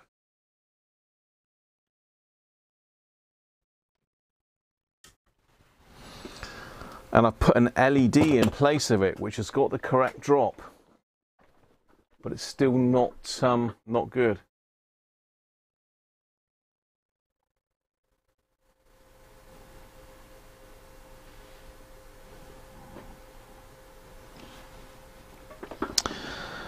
So,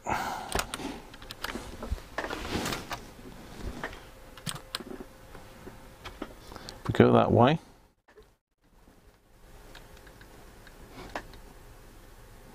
Nothing. Now, if we go what Les says and do the positive to the positive.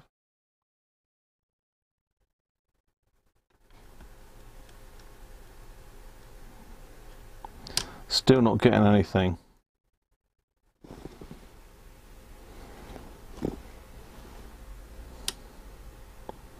No audio. Now, why are we getting no audio?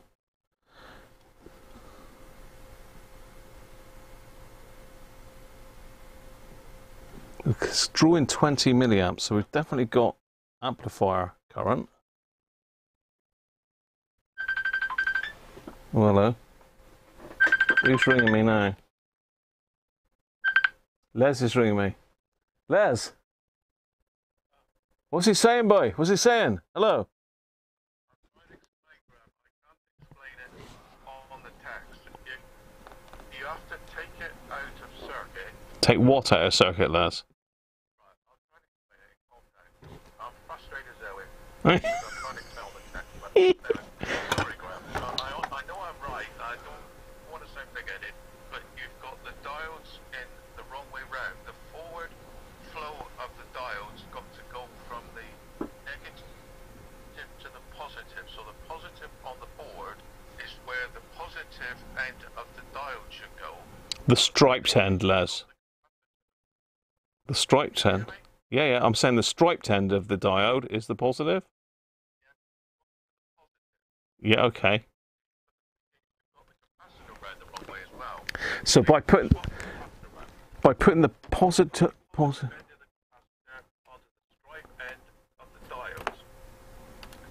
Yeah, I had that. I had that, Les. Les, Les, Les. Stop, stop, stop.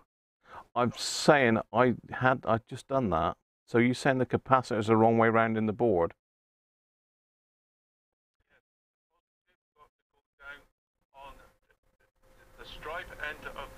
No, ig-.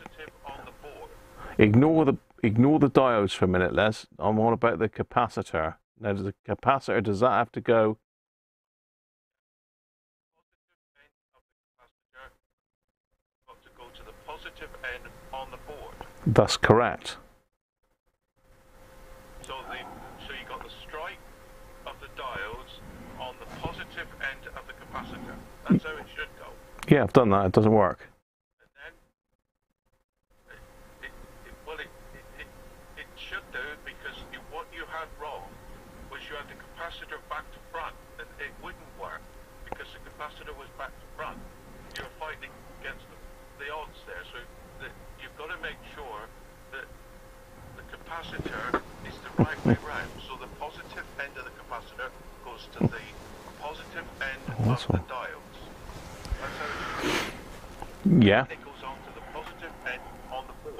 yeah, I've done that, Les. It doesn't it doesn't work. Alright, I don't want to confuse Les, much, I know. Les, Les, Les, really well to do it, Les, right, I- I- Les, Les, stop, stop. I've done that. It doesn't work. I've done it. It doesn't work. I've just swapped it around. You saw me do it. Right. Um, if you take the capacitor, disconnect the capacitor altogether, Yeah. and then put the diodes across, that should still work. That'll prove that the board voltage is going through the diodes. All right. Well, I can do that. So the, the capacitor's irrelevant. The capacitor is, is only there as a smoothing. Right. So It still work just on the diodes alone, but you've got to get the, the diodes in the right way round. okay. Right, Les. Yeah. No, I have tried that, but um, it's not confusing. I have done that, but we're good. We'll do it again. All right, Les. Yeah, you should have the 1.5 volt on the positive end on the board. No, there's, Dialed in the right way round. there's no voltages there anywhere for some reason. So I'm still on it, Les. On the other side of the negative end of the diode, is there a voltage there? No. I haven't tested it to ground though, to be fair. I haven't tested it to ground yet. Let me take this cap out, Les, and um, we'll we'll re we'll rejoin the chat. No worries. I, I did I did try it both ways, Les. I did try it both ways, and neither way worked. No worries, Les. Cheers, mate. Cheers, bye. Bye. Bye. That was Les live. Live Les. live Les. hey, Aaron's off. Oh, Aaron, how can how can you possibly leave when we're on such a cliffhanger? Right, I'm going to pop this um this capacitor back out a minute. And the reason for that is I'm just going to try the diodes in on their own because I'm wondering whether this capacitor is. I mean, it, it's there's something else wrong. I'm doing something else wrong. I don't think what I've done here is wrong. Something else has happened that's stopping it working. And I don't know what yet. That's what I'm working on. So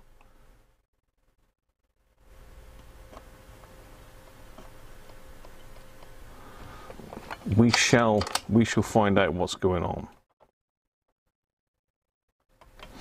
So if I pop that cap out,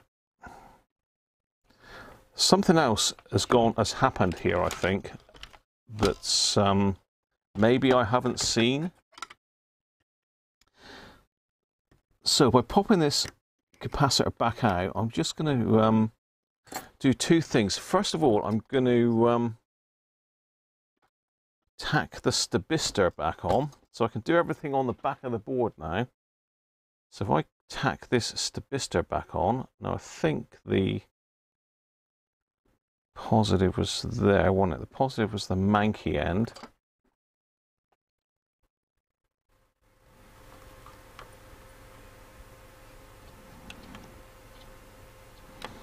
Yeah.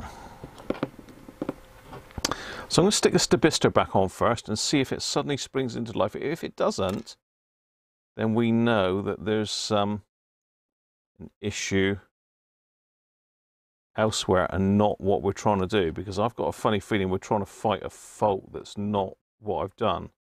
You know what I mean?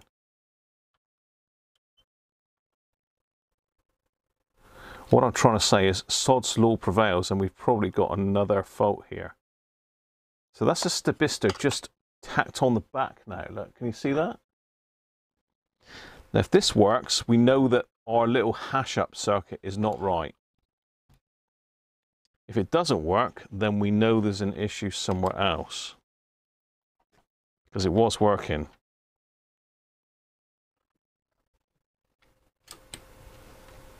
Right, so as I suspected, it's not working.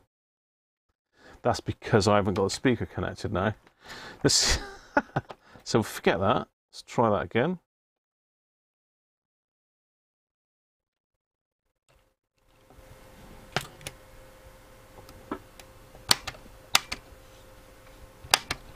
Okay, so with the stabilizer in, we're still not working. So it's not what I've done, it's something else. so the capacitor is disconnected and Sammy the stabilizer is back on the job.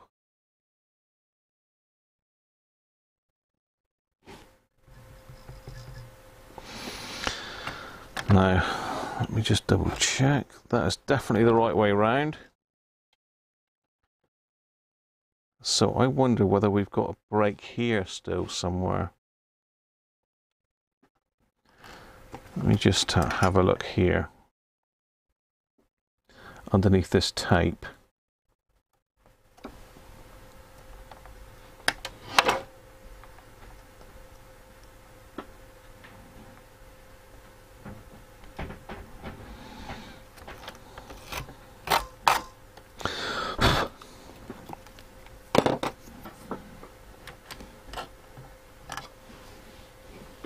So we have an issue, and it's not what I did. No sound is speaker not working properly. Yeah, you're definitely right. I need another another swig of beer. So cheers everybody. I don't know what camera's going where now. I've got this one here. I didn't even know I had this one turned on, but you know. Cheers everybody. I think I think I've got Les wound, Les Les wound up there. We're all right, lads. We're all right. We're still in the room.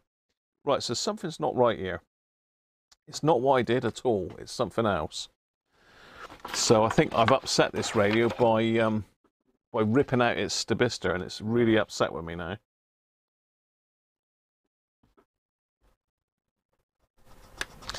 Let's see where this track goes.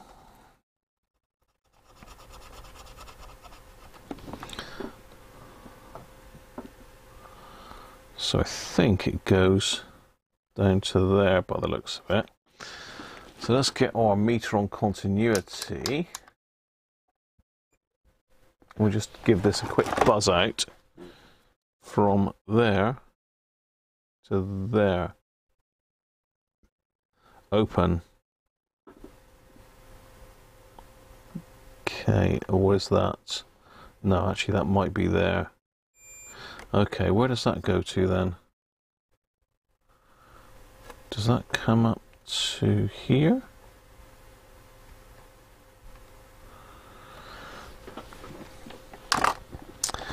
Right.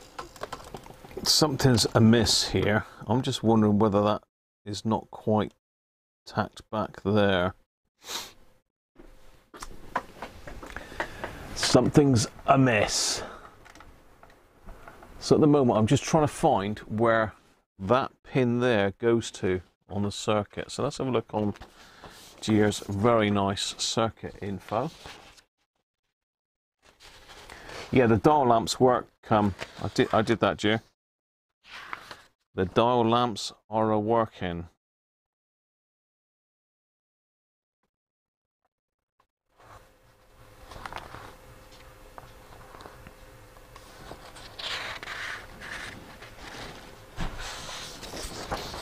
Right, so that's that way up.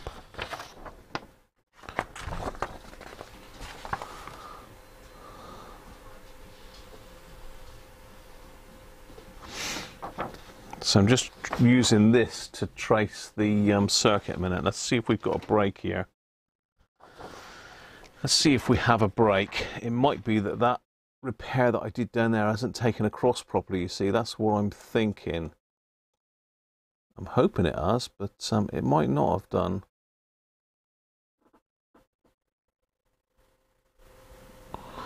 We can also check, just make sure we are in continuity mode. We can check between there and there.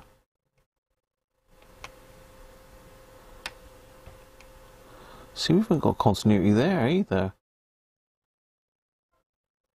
What's going on here?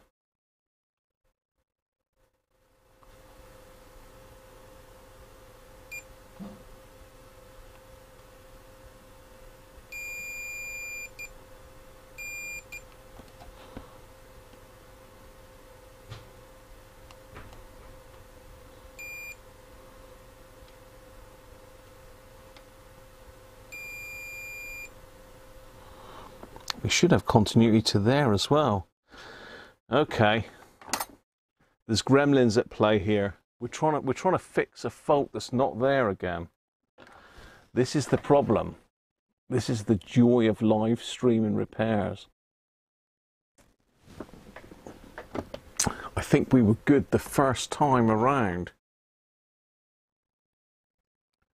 But sod's law and all the rest of it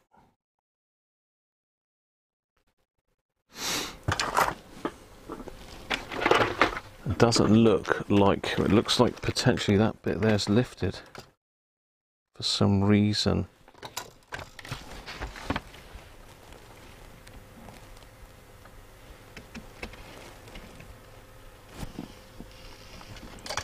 So let me just put a jumper in here a minute.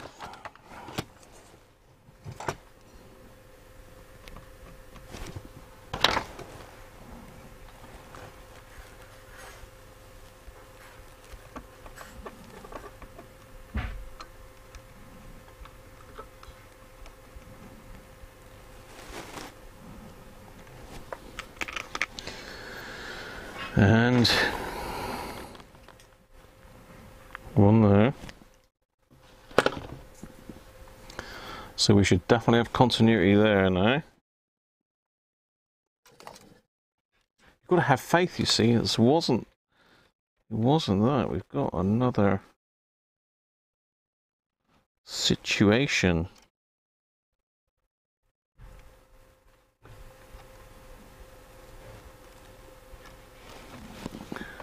All right, okay, we've now got that connected, so let's um try that again.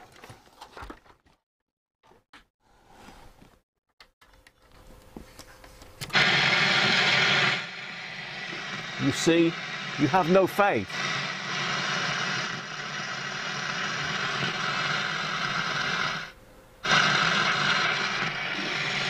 to help prevent energy crises and keep future costs down. Plus, we're the biggest generator of zero carbon electricity. Right, so all you doubters, it's, it's it wasn't my Stabistor setup. It wasn't my Stabistor setup. You see, it was a dodgy joint on the board here. So let me now go back to what I was doing before. I'm going to tack it on the back of the board for testing purposes at the moment. Am I? No, maybe I'm not. So I'm going to stick my capacitor back in the correct way round.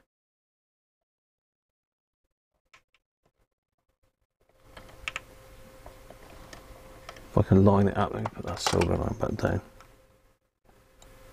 Sorry if you can't see a lot here at the moment, but um, I've got my great head in the way.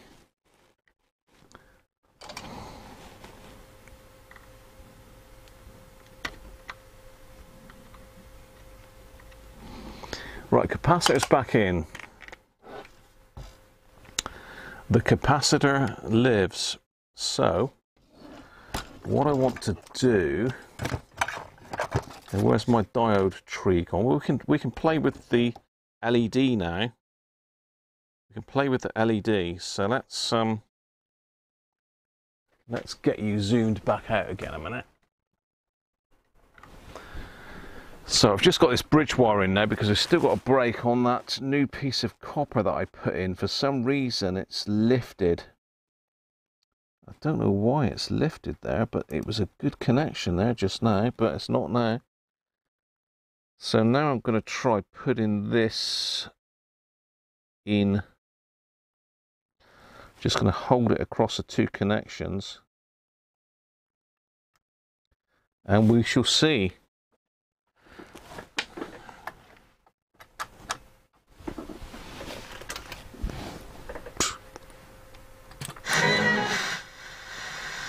So it's sort of not really wanting to work. So let's go.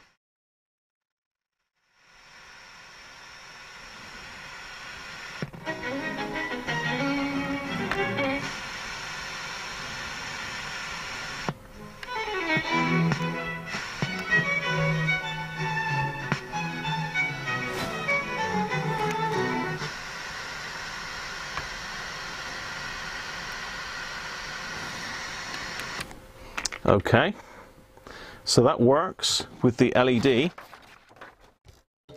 So what have I done with my little diode tree? Oh no, where's it gone? Where's my little diode tree? I love that tree. I love that tree. There he is. Let's do the same again.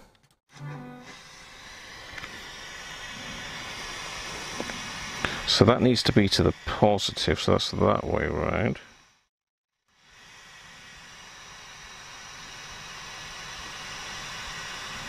Nothing that way.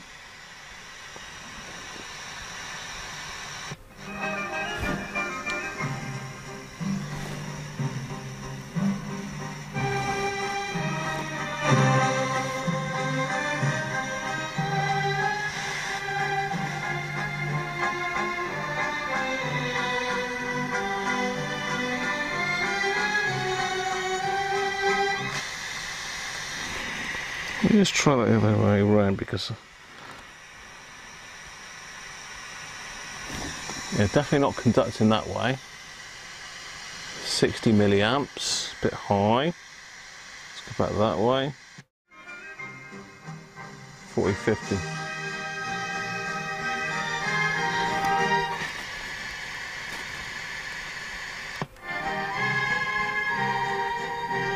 It sounds better with the LED in.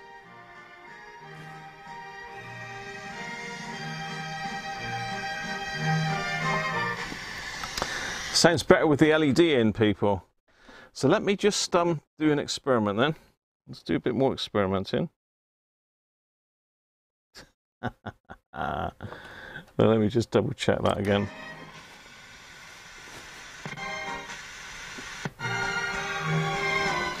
That's that way.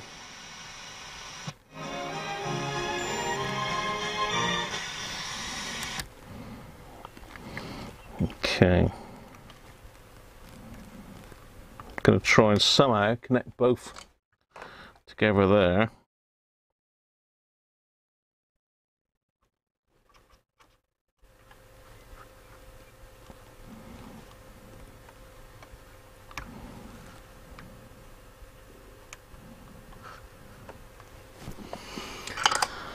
I'm going to connect them one at a time and we'll have a look, listen to the difference in the audio between the two, between the diode, well, between the LED and the diode tree.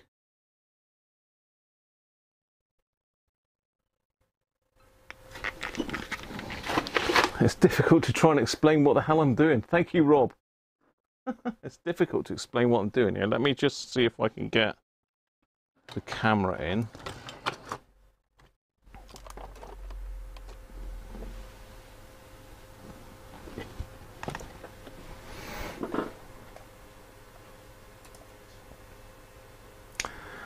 So you can see that I'm joined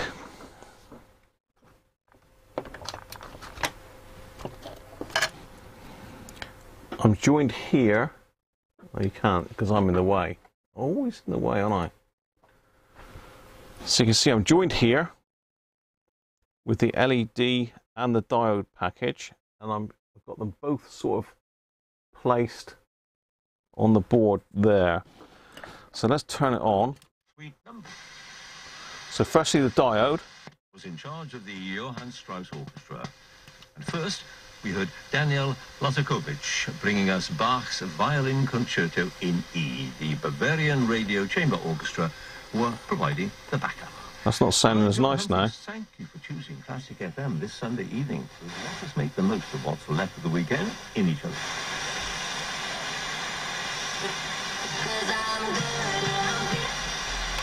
And a new of Schubert, our Classic FM album of the weekend. Right now, heard from S. Bach. So how about we keep it in the family? Take his turn in the spotlight.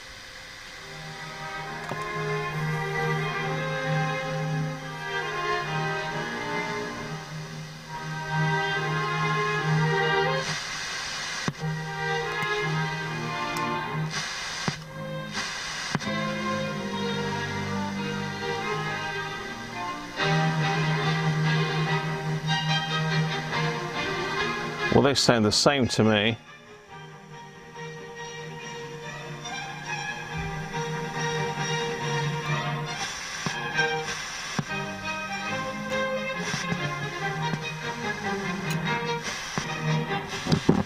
But momentarily, can't get it to stay on there.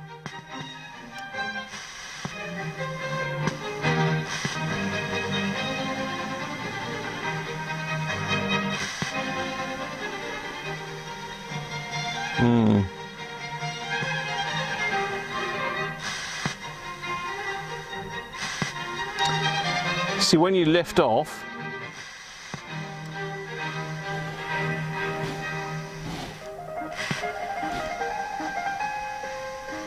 so it's on there at the moment,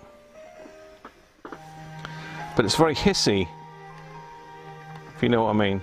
It might just be the fact I've got no aerial.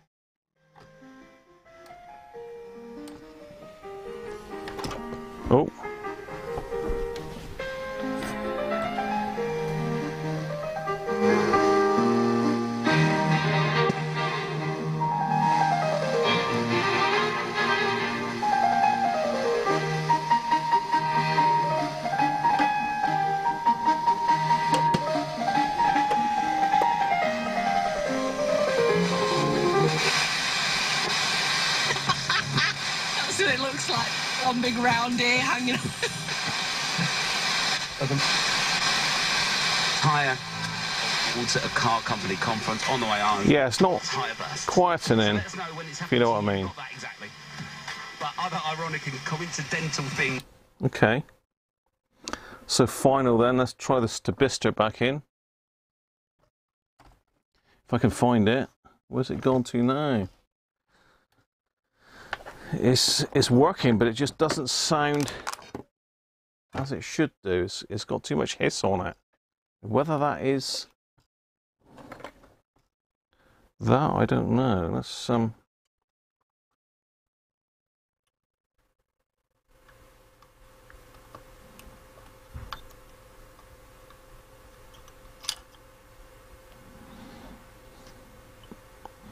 So basically, the, those two sound the same. So let's try it now with the Stabistor. So diode. That's a diode. Stabistor. Oh, the same. No difference. Okay, no difference. So maybe we need to do some um, work on the amplifier then. I'm trying to find a fault that's not there yet again. so I think we've got a plan now anyway. So it's working with the negative side of the diode to the positive side of the capacitor. If you know what I mean. So let's see if I can get, get it back in shot again because I've moved the camera out of the way. Apologies a minute while I just refocus, reassess and all that. Blue sky thinking and everything. What's going on with these cameras? I'm just not not not with it. There we go. So focus, darken it down a little bit and zoom in.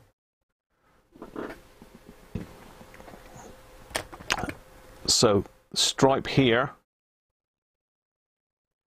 stripe here, going to the negative side of what was the stabistor, which is now the capacitor.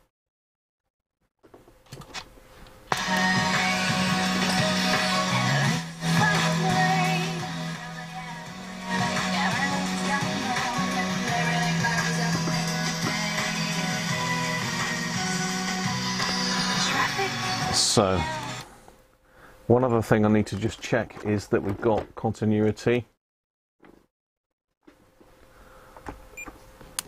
between here and I think, is it that one? Yeah, okay.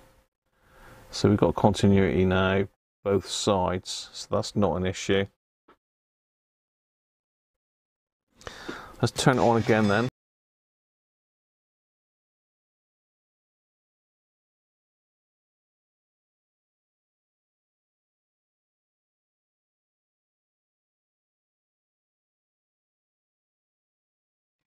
We've got copyright material.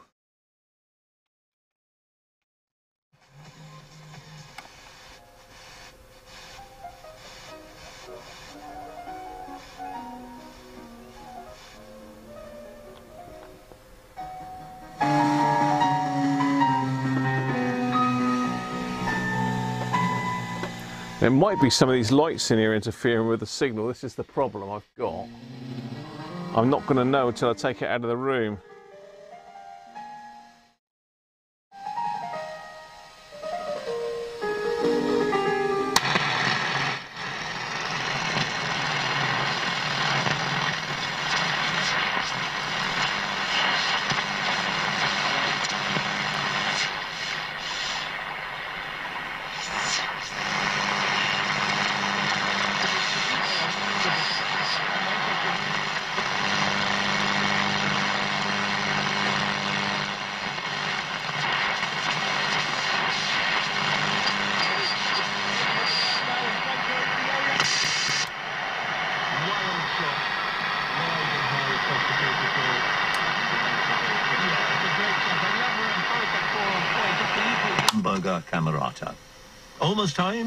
From the Classic FM album of the weekend. But first, Tchaikovsky.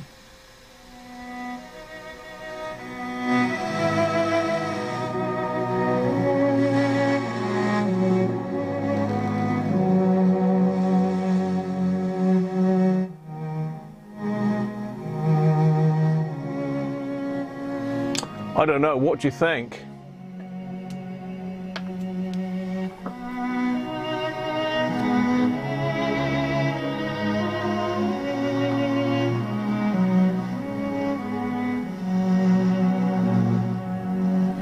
Just an aerial thing. It's nothing to do with my Stabistor.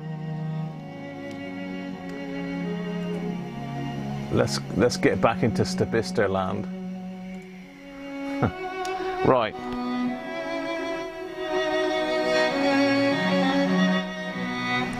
Really want some speech, really. immerse myself in this stories very close to home alongside So if I grab the aerial, positive and educational all mixed That's up not gonna do it. simply it's been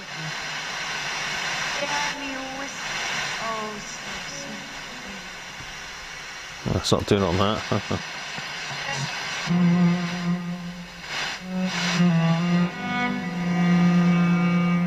so you can hear the changes as I touch the aerial.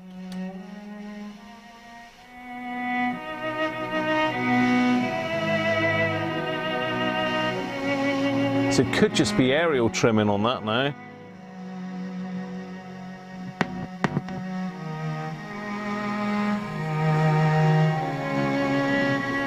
I think the Stabistor thing is done. What a game, isn't it?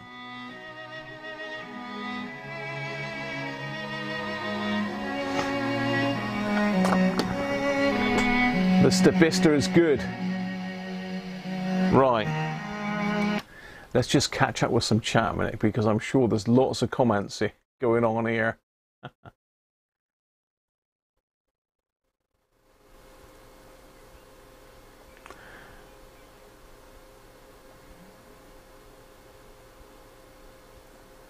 Right, push a button, see the dial-ups. Yeah, we've done that. Positive, negative, yeah, yeah, yeah,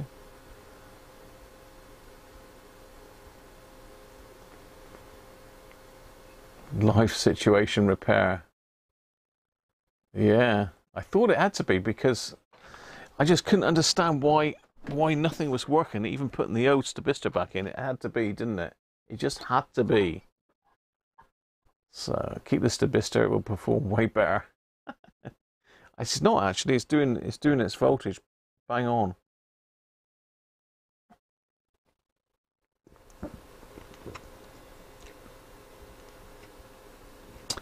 Are you looking three figures possibly, Mike, for one that's been done? Graham's diode tree.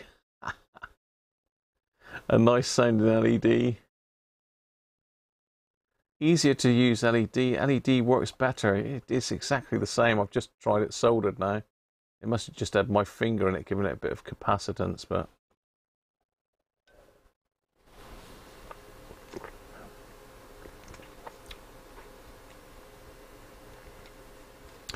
Everyone's for the LED. You're all you're all diode haters, aren't you?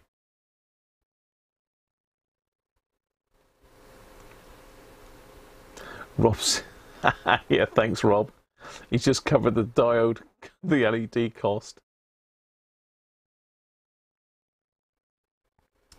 Can you measure the voltage while testing the LED and the diodes? Yeah, we can do that, um, Geir.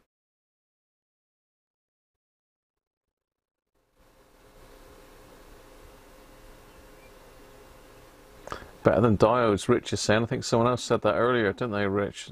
That um, they used. The 10NF might help.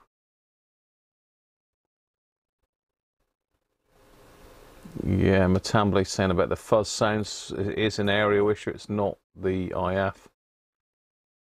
Well, it could be IF. Uh, It's not amplifier. It could be IF still. You see, that's all I was thinking.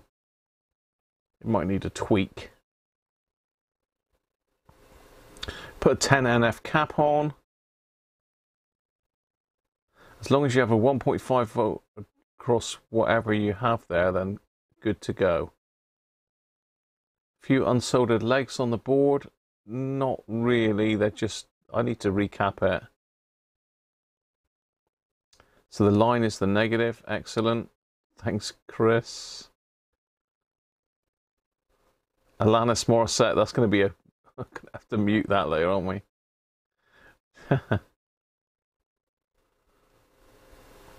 yeah, I will. I will do. Yeah, it's really bad. I mean, we had two dry joints there, didn't we? I'm still. I'm still going. You can't have about ten unsoldered joints unsoldered. No. Transmit a sine wave through an FM transmitter and scope the output. See which one clips the most. You bet the diode.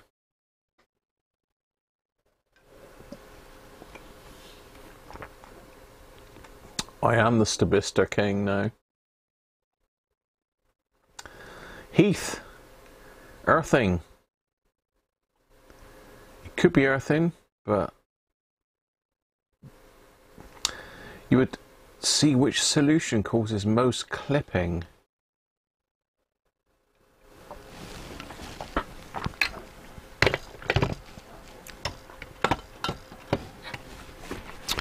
I'm just going to show you the um, voltage that we've got. So uh, if I turn it on again,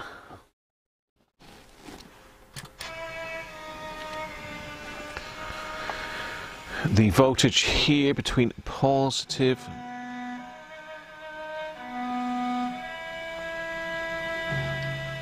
one point five seven look.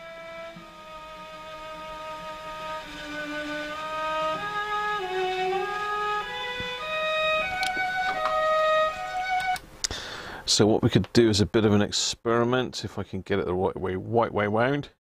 oh dear. Oh I think the beer's taking effect now. The white way round.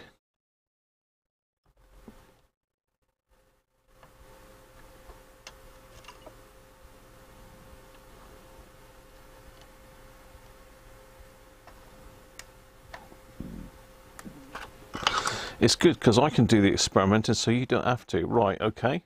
Birmingham Symphony Orchestra. LED. Gardner. It's the third in their set of recordings of all of Schubert's symphonies, but they're being a little So the LED is slightly better, order that they're 1.52, look. In this volume, we get to his symphony number four and number one. Schubert wrote his first symphony when he was 16. Imagine music like this, composed by a teenager.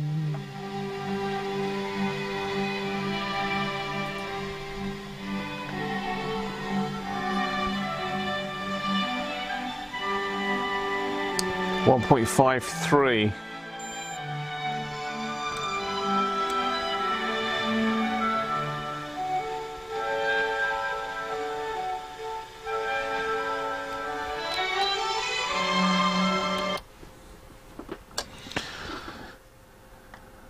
One point five three. I'm sure it was one point five six.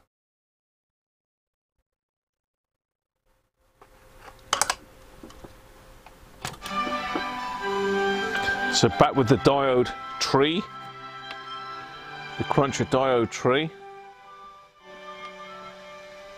Ah, what's going on with this?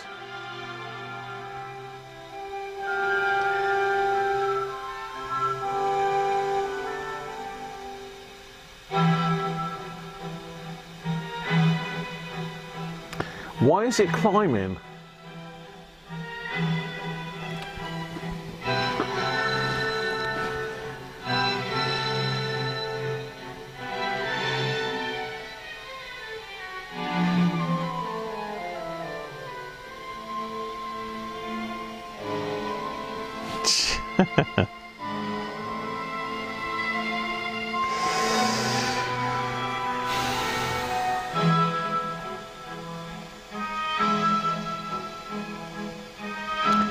seems to be climbing as it's warming up, really. Let's get you in a bit closer on that camera.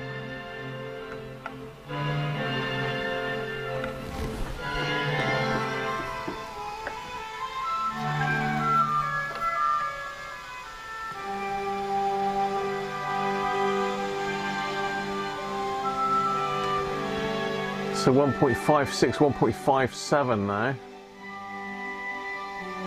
Oh, I see what you're saying. Yeah, you could well be right there, Geir. Let's tune out of that station then.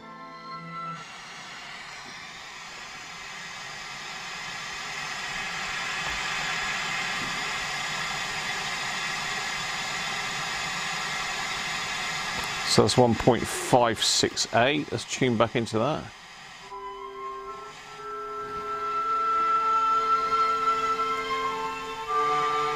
A little bit, not a lot.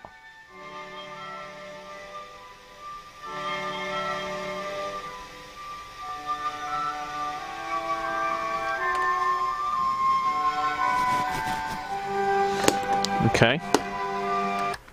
Let's um, do the same with the LED then. Let's just desolder that again.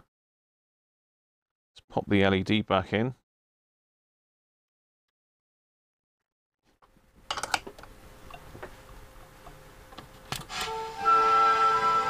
Nice little glow on the LED look. it's not a very big glow to be fair. It's only a little, little glow.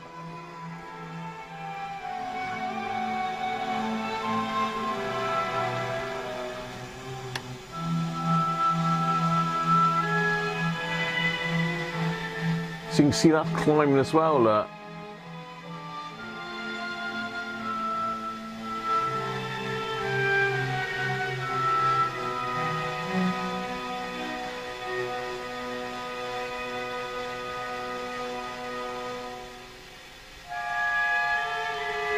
PEMP, what, what is that, Rob?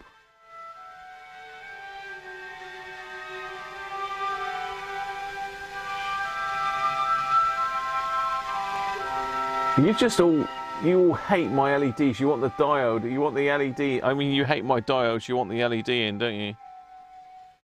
You LED lovers.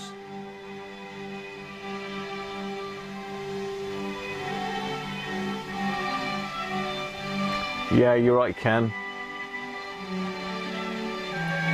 It's climbing gradually, isn't it? Hopefully this is not copyrighted.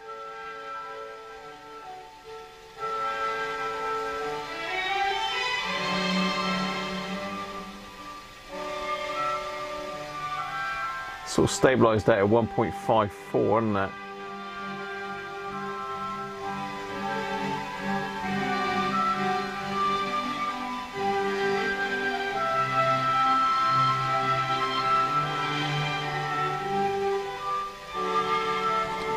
Climbing gradually, but see, I've got a lot of these, a lot of red LEDs here.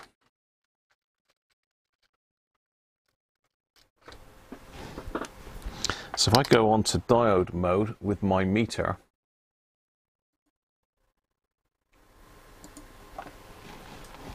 I've just got a handful of different, there's even a smaller one there, look. Just see what differences these are. Because obviously the closer we can get to 1.5, the better, I suppose. Um,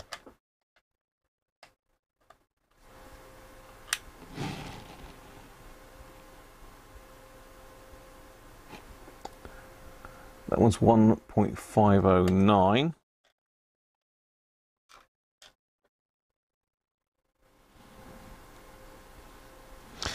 It seems like we may be going the, down the LED route here, isn't it? 1.51, so that one's worse. What about this little baby one, look? Or we totally barking up the wrong tree with a smaller one? Yeah, 1.6. Another big one. 1.53. Let's try some more.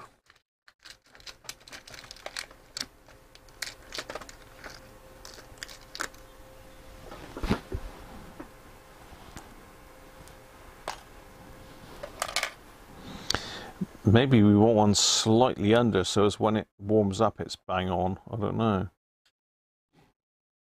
Five two.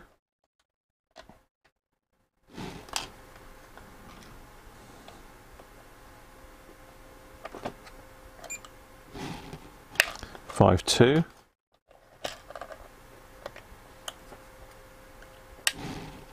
Five three. Surprising how different they are, isn't it? Oh. Four eight nine. 1.489 is under better than over, I wonder.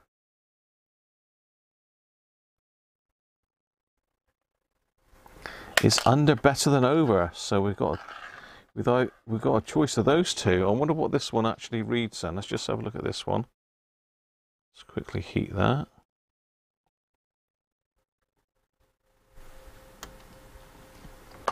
So look at the one that I've got in circuit. 1.52 out of circuit. So I wonder if we put in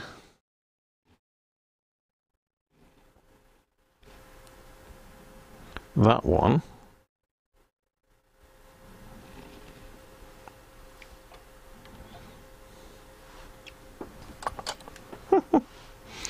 it's never ending, isn't it?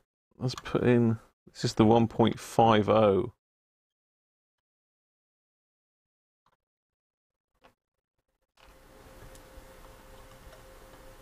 Let's take those other diodes out of the way. Let's get that bridge back in there.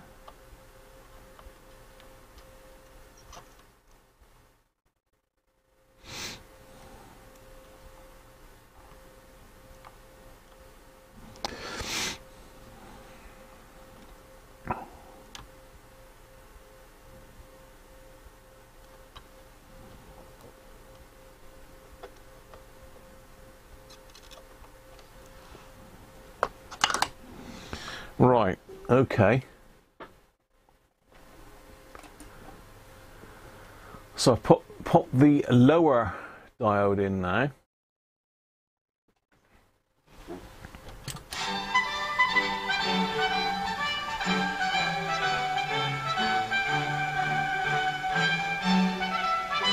Still reading 1.53 that.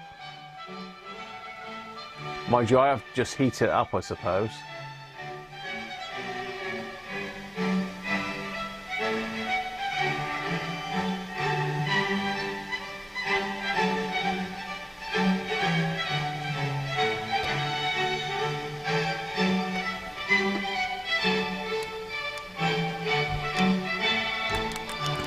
Yeah, the Stabistor's poorly.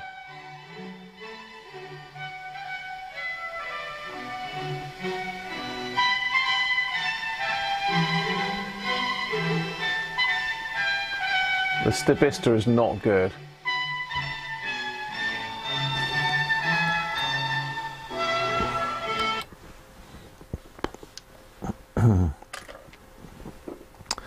Let's just try the lowest value cap we've got in here then.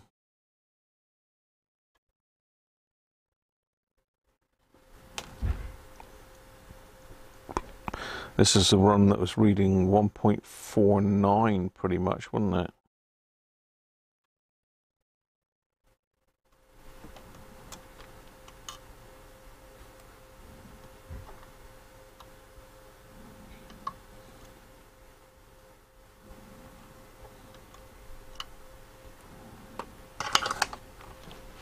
Marsalis and the English Chamber Orchestra were conducted by Anthony Newman.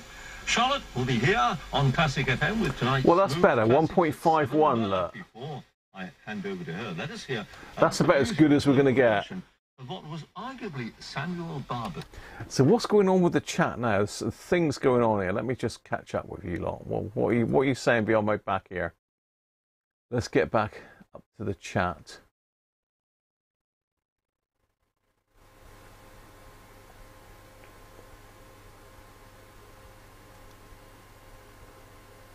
You want the Stabistor? the Stabistor is nasty.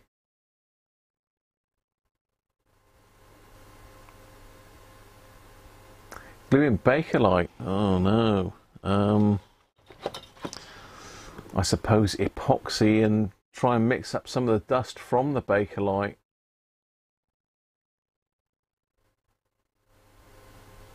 Where's Les gone?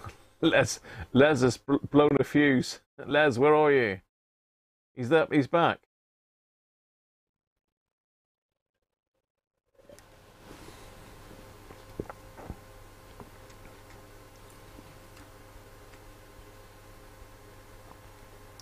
Clean the stabistor and connect a new cap across it.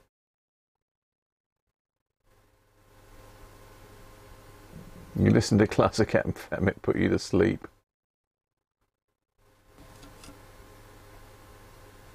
The stabistor is destabistorized. it's, it's, it is, isn't it? Can you do an autopsy on the stabistor? You're still there, that's Good. we haven't lost you. Um, did we check the voltage of the stabistor in circuit? I can't remember if we did, but let's do it anyway. So we know this is this is our favorite our favorite LED at the moment is this one. This is going to be the one that we're going to fit. Being that it seems to be doing exactly the same job as the diodes, but with less heat stability issues, I think that's a good call.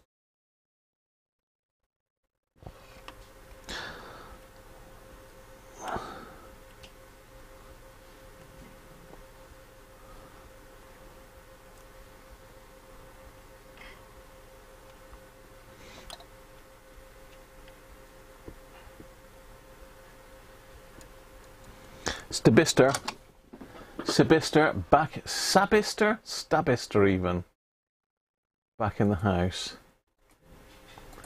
Why won't that go in there now? Why won't you go in there? Let's see what the um, voltage is with Stabistor. With free investment coaching and low fees, get up to £1,000 cashback when you transfer to us at Best Investment. Would help if I wasn't in continuity mode still. Invested. Your capital is at risk. Terms apply. See, that's had it. That's two point. That's two point one volts. Look. More music breakfast with Tim Lihoreau, with regular news and travel updates weekday mornings from six. That is the sound of your group chat talking about The Last of Us on Sky again. It does sound better though. Of a dish or a long contract. Well, say hello to SkyStream, the new simple way to get Sky with no ditch that you can cancel. Why does it sound better at 2.1 volts, people? Let's just confirm this again. Stick our LED back in. Oh God, I don't know which one it was now. Oh dear, oh dear.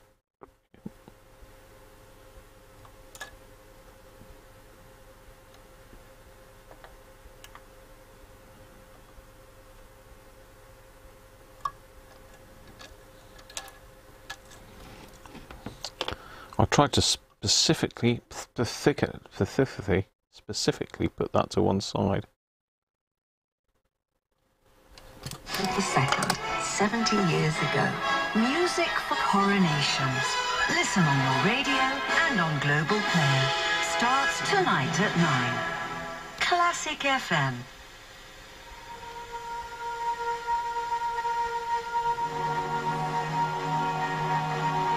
That's the closest one to 1.5. Look at that. It's virtually bang on. A backstabbing stabistor.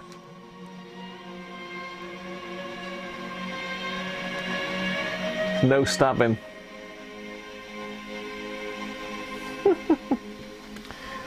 Thanks, Matamble. You know we I got your back.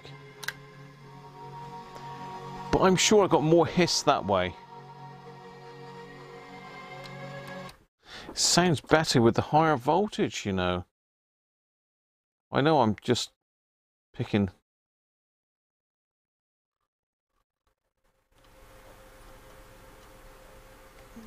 clutching at straws now. Let's just stick the higher voltage one back in.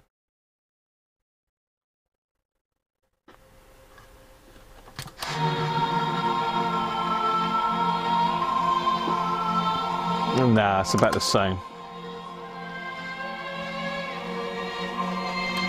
No, it's about the same. Okay, let's um, let's sort some stuff out here now. Then let's get some. Let's get this Stabistor issue wrapped up because I think that's all we're going to be able to do for today now. It's definitely going to be coming out again next week, this one. So if you want part two of the uh, TP41, which is going to be um, checking the alignment really and replacing those amplifier caps. Bearing in mind we're not even we're not even on the um, we're not even on the original speaker at the moment, so it's doing pretty good. Doing pretty good. Can I do an autopsy on this Stabistor? We could try, but I'm going to need to probably get that done uh, through Stabistor. Sounds fizzier. Sounds the same. Finding a good sound, to turn it off. Oh, Martin, I, I apologise. Let's um, let's get this sorted then, because I need to find out why the hell. Why have we got a broken track here? We should not have a broken track.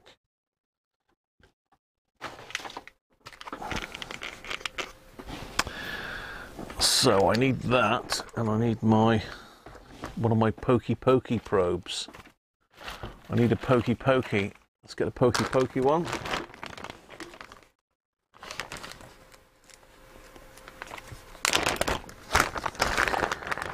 So I think we're going to go with the LED purely because it seems slightly more stable.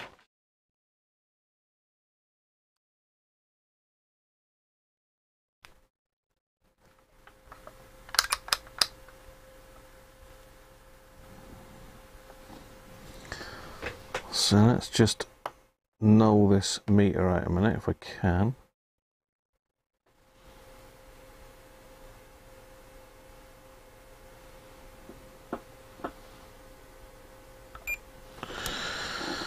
Right. Just going to check resistance on this board. So from here to here, I should have. Got 13k.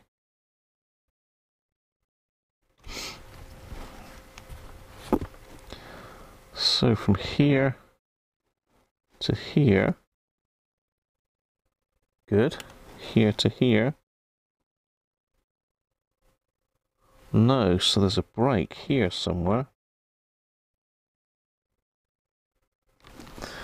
There's a break there, so I need to sort that a minute.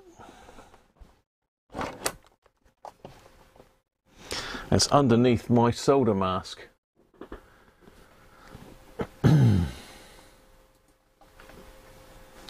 it's underneath my solder mask here somehow. I really don't know how this is um, happening, to be fair, but you know.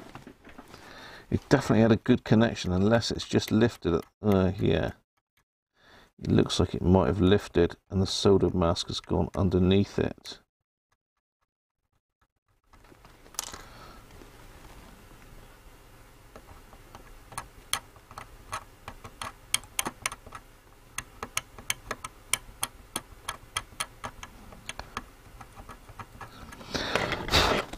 Right we're going to have to pop a little bit of wire across to that because uh, it's going to mess up everything I've just done else. It's going to be a very neat little bit of wire.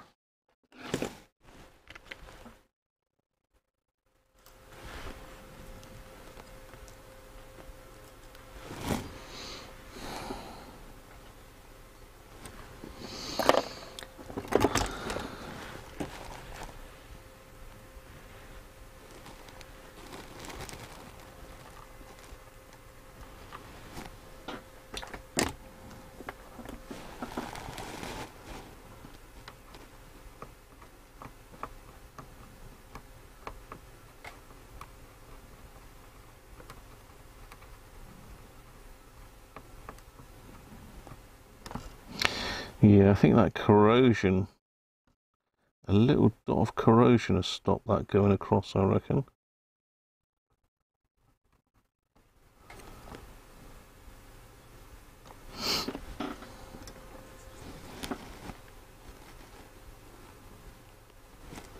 A little bit of flux.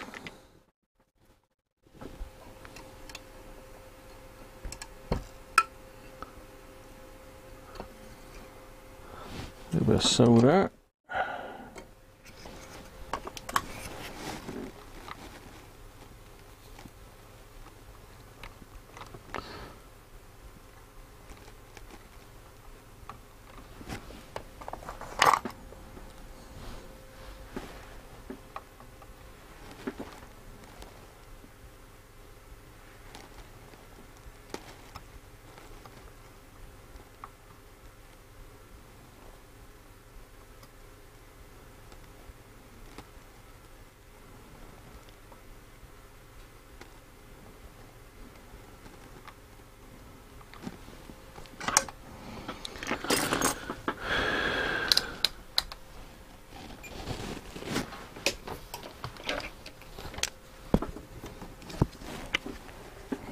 again.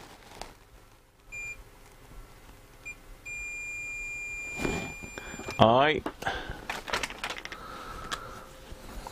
I'll put a little bit more solder on that because I'm not happy it's not really gone right the way. This is where it's going to go go pear shaped, but um, you know. See what I mean? it had to go pear shaped, didn't it? Not to worry.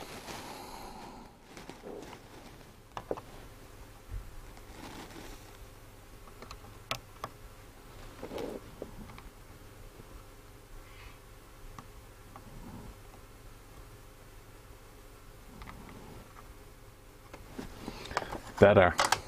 Right, let's just test that once more, one last time. I just want to get a little bit more solder on it, that was all. So from there to there. Yeah, job done. So let's get rid of the flux.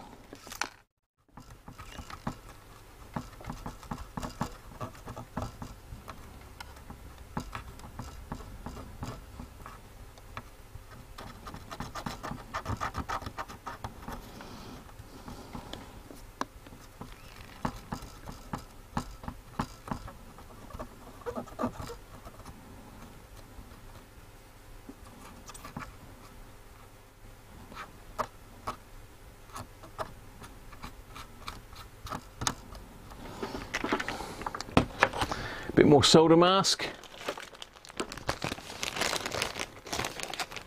Catch you later, Martin. Yeah, I think we're going with the LED, aren't we? All, all those, all those diode haters.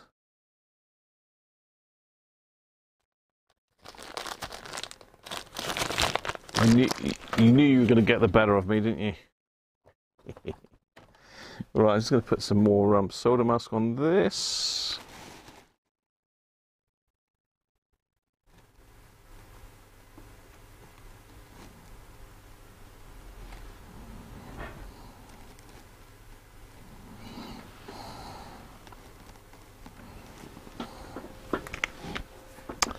UV lamp. UV.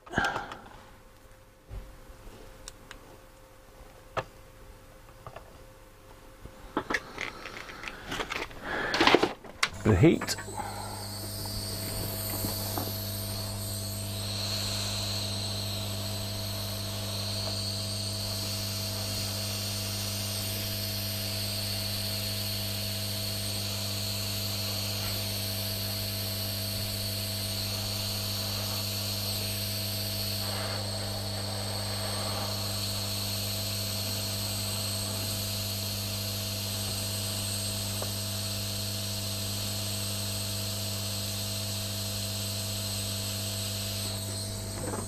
Should do it.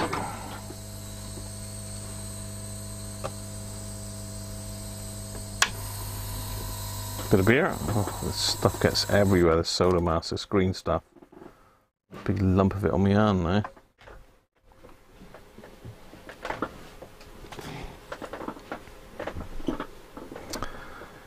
Mm-hmm. Send me a ferret.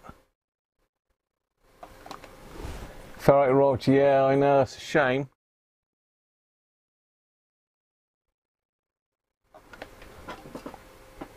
Thanks very much, Geir, for sending this radio anyway. It's a beauty. I used to keep ferrets. I used to keep ferrets.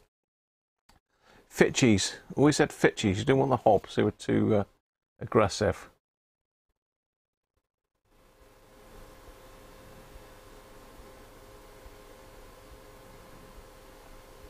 Everyone wants the LED.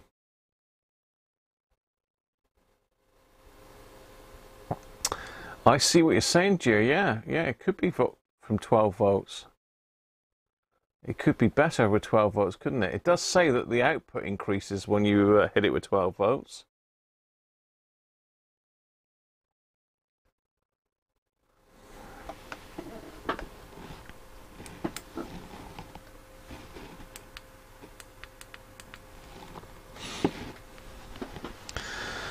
So let's have a look at the ferret. I suspect that's just been damaged in the post here to be fair. There's a, there is a chunk missing out of it, but um, it's a fairly clean break. Yeah, it would be nice to have the right one, I suppose, if that's not too much of a pain.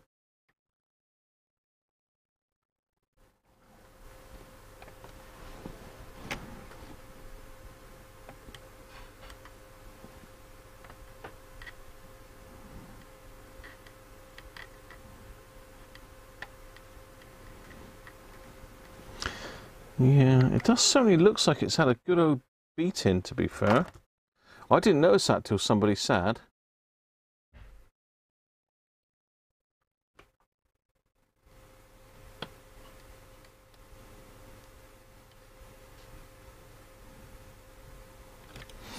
It's pointless trying to do it while you're working on a radio, really. It's best to leave fixing the ferrite rod to the very last minute.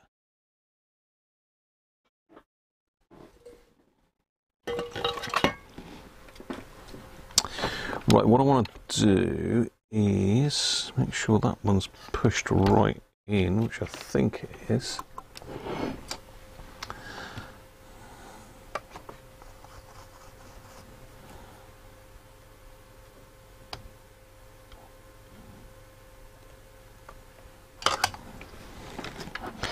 Now we've got to get our ferret of choice across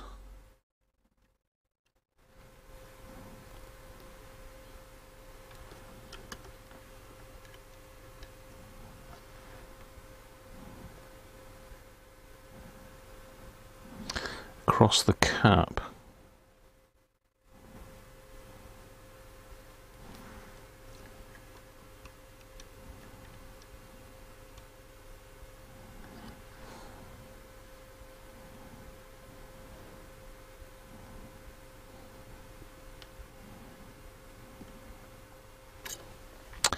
Right.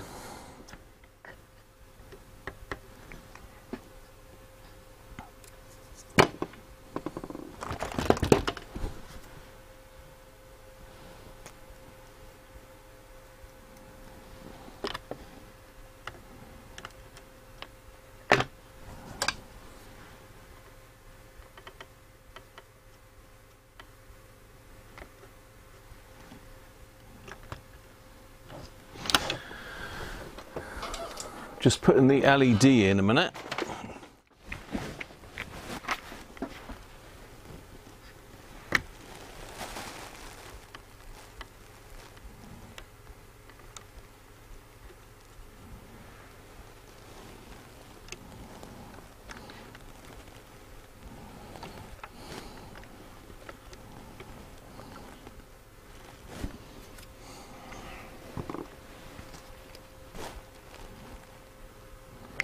I've got plenty of solder on it from the, the diode tree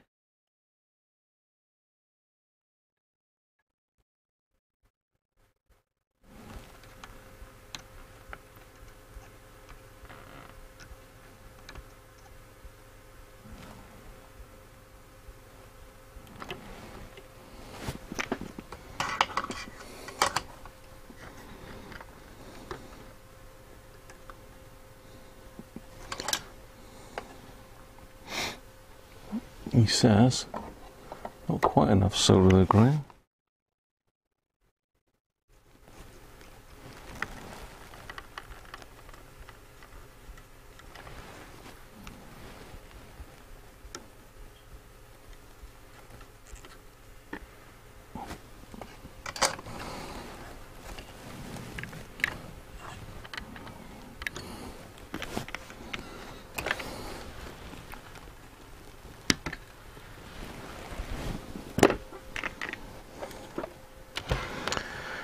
Okay, well.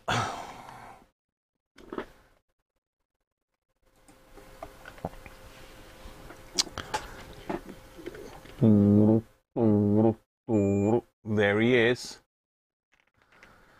One last go.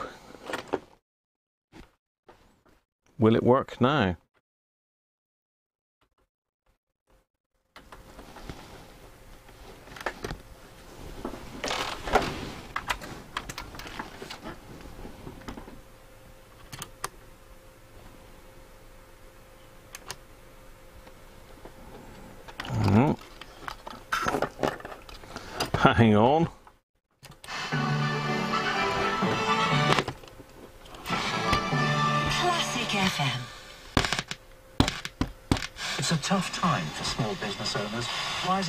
Rising and uncertainty potentially on their mental health.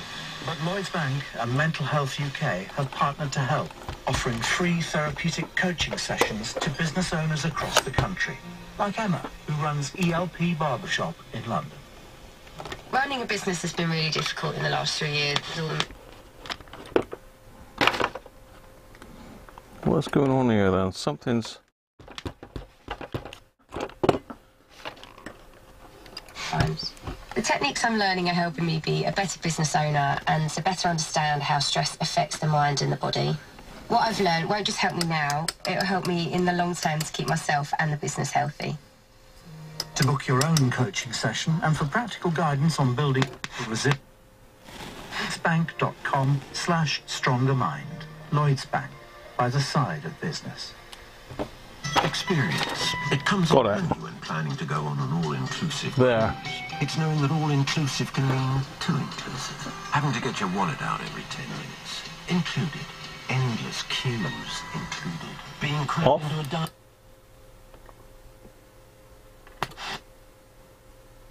Saga Boutique Cruise. Specialty dining. There you go.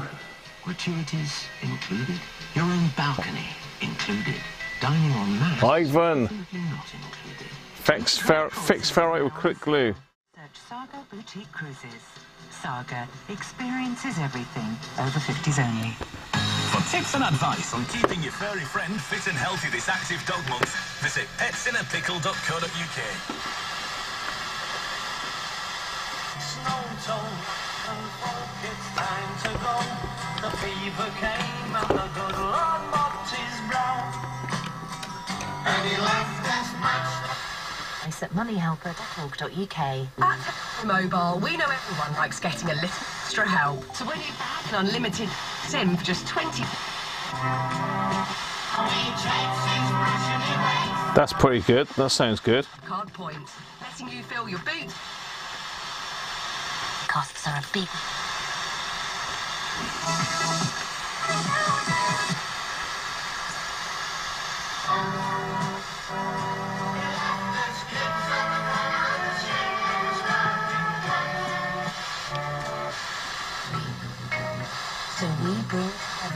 thoughtful design with forward-thinking product innovation and service that's always there to make your space as special as it should be.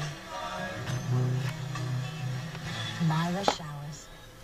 Make your bathroom your.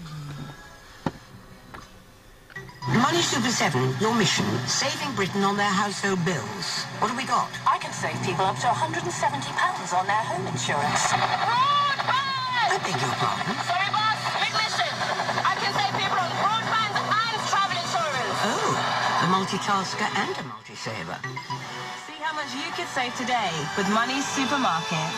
51% of consumers could save up to £170.96. Consumer I think that's January job done, people. UK only. Get the most out of your busy routine with new Skechers hands-free slip-ins. No bending over, no tying laces, just step it.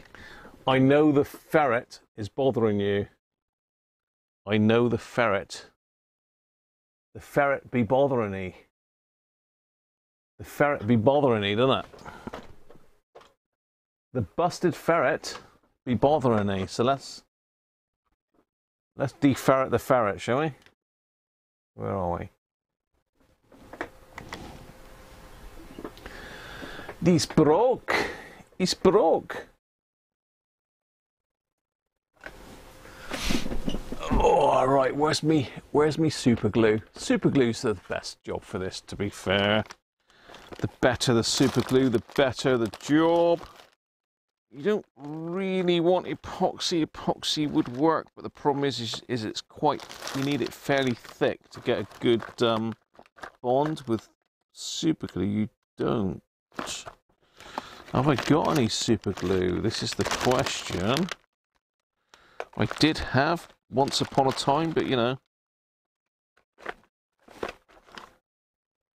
That was in a land far, far away. Oh, there we are. There we go. Here we go. Here we go.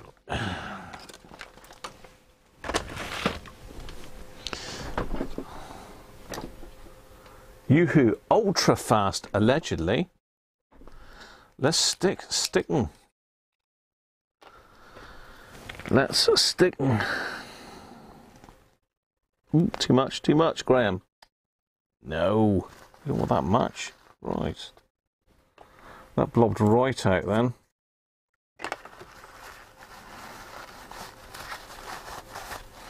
You really don't need a lot. The more you've got, the worse of a joint you're going to get. So I'm just going to just dab that off and stick it back together there.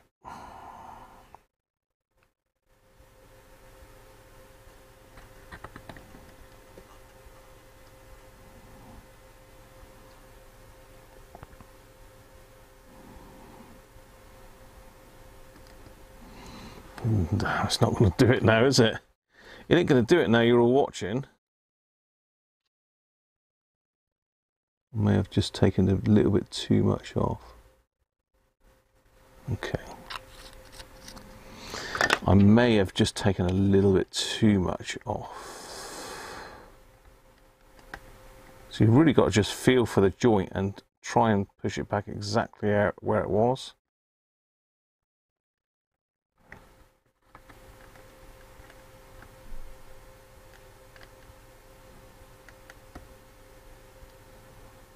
No, I haven't got a good grip on it.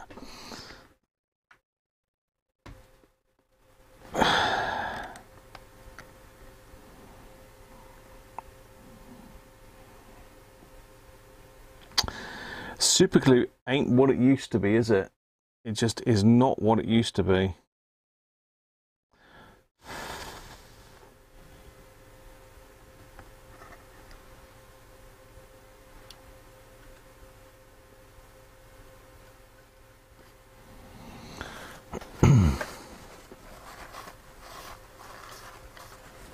No, it's not not bonded properly.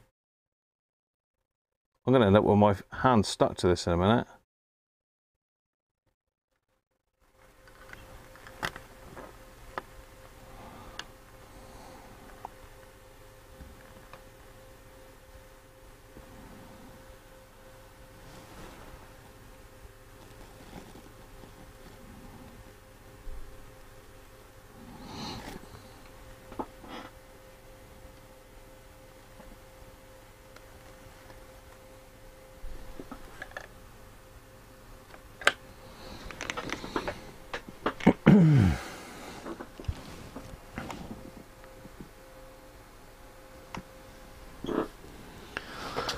Well, that sort of looks like it's gone, but um, we'll see. Super glue used to stick instantly, but it doesn't anymore, does it?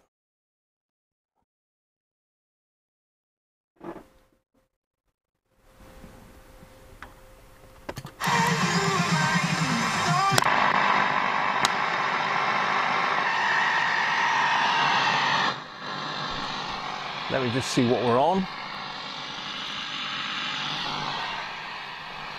So we're on medium wave with a new glued ferret.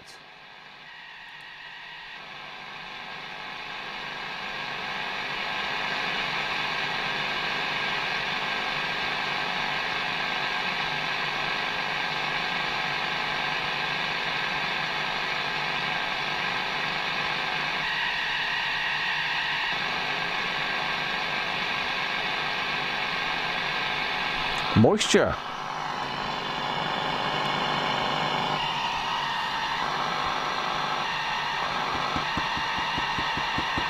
That is,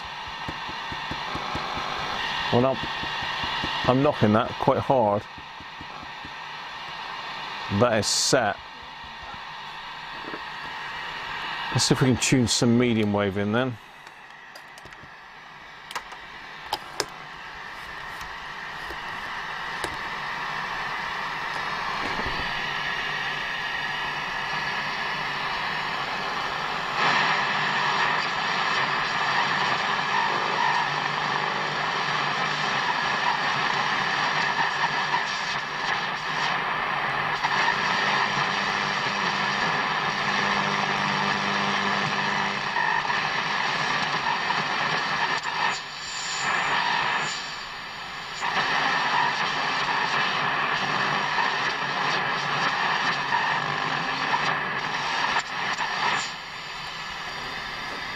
Too much noise. You know what this calls for, don't you? Derek's, ah, Derek's modulator. Modulator time. See you later, modulator. Right, let's get the um, modulator fired up. Let's fire him up. Let me think. What should we What should we connect to today, Graham? What should we? well, Let's connect up to my hi-fi today. So we're connected to the hi-fi. Let's chuck that over there. Let's pop that on.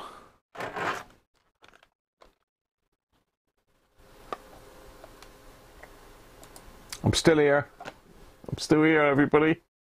I've not run away.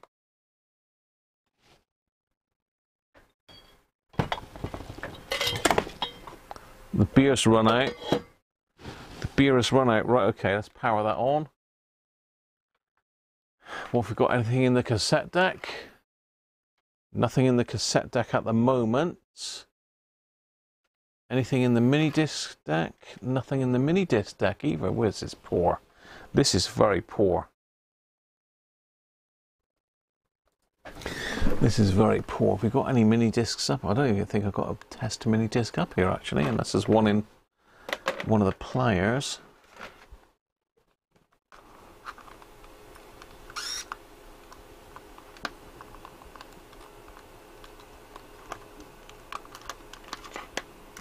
Nope. Um, was playing Heart FM at the moment, which we don't want. We don't want something that we've already got, do we? It's going to have to be a, a cassette in it. Let's find a cassette. What have we got here?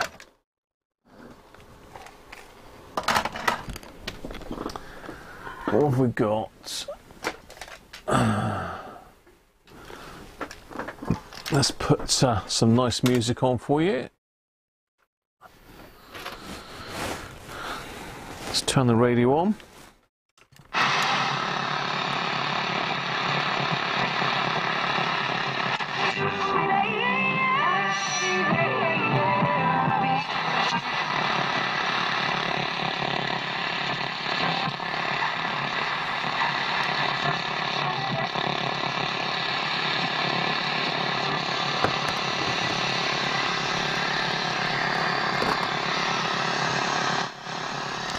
This was set at 400 meters. Let me just find 400 meters on the dial.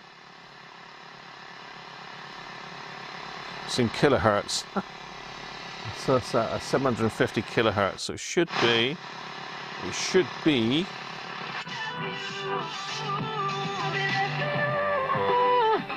Oh, it is, it is. I've got it on radio, I need it on tape.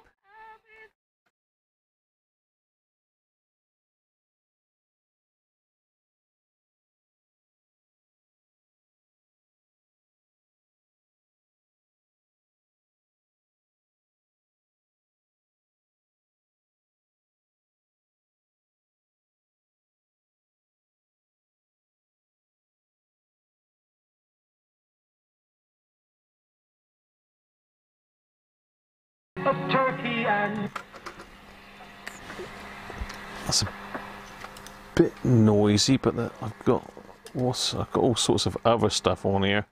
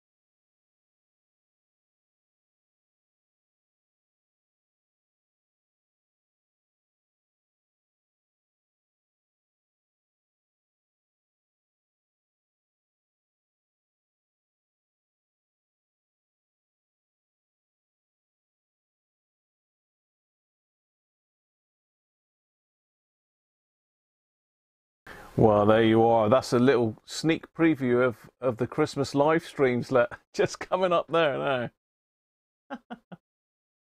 I don't know how many days.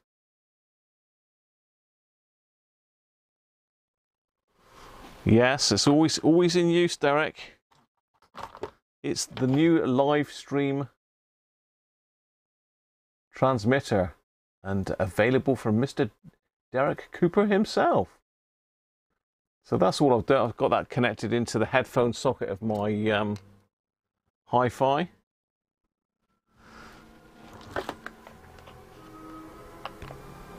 Which is playing a Christmas tape at the moment.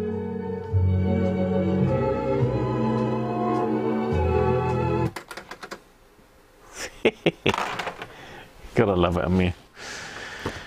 There we are. Well, I think we've definitely proved that um, we've sorted the stabistor. I mean, we could have done it with the diodes, but it seems like the LED may be more stable, less less affected by heat, and maybe a better a better I can't remember what you called it now. Some some thingy thingy jiggy. A, a better waveform, maybe. Right, let's get off of that. Uh, what's going on now? We've got all sorts of stuff coming up. I'm pretty much done, people. I am pretty much done. Let's just catch up with the um, with the chat. I'm going to have to carry on with this next week, and we'll get the caps done next week. It was uh, really interesting messing about with that, though.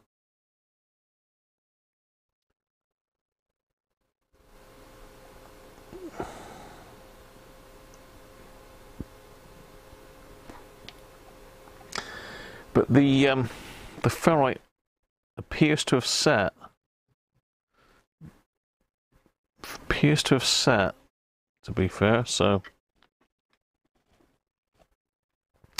I have got some um, some more ferrite rods. So probably I've got one that fits um, here, so I, wouldn't worry about sending me one. We'll see if I've got one. Ooh, so walked over my grave then. Cheers, Luigi.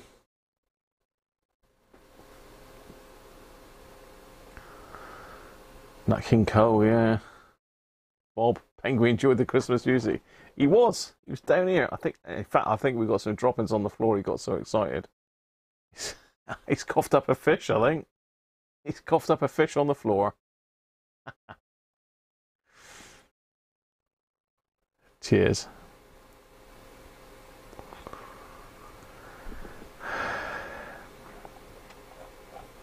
So there we are, people. It's been a bit disjointed today with the messing about with the Stream Deck not working. I need to get to grips with that, find out what's going on. Um, but we've done the Stabistor. We've proved that the old one was knackered, and we've um, repaired the board. We've done all sorts of stuff today. So uh, yeah, been really interesting. And uh, we now know which way around to put everything. So anybody that's doing one of these, it's going to take them a while to fathom this video out, isn't it? It really is. But um, we got there in the end. So cheers everybody. Thanks again for the super chats and the PayPal tips. Much, much appreciated. And thanks to my Patreons. Um, they had a sneak preview of this radio before you lot.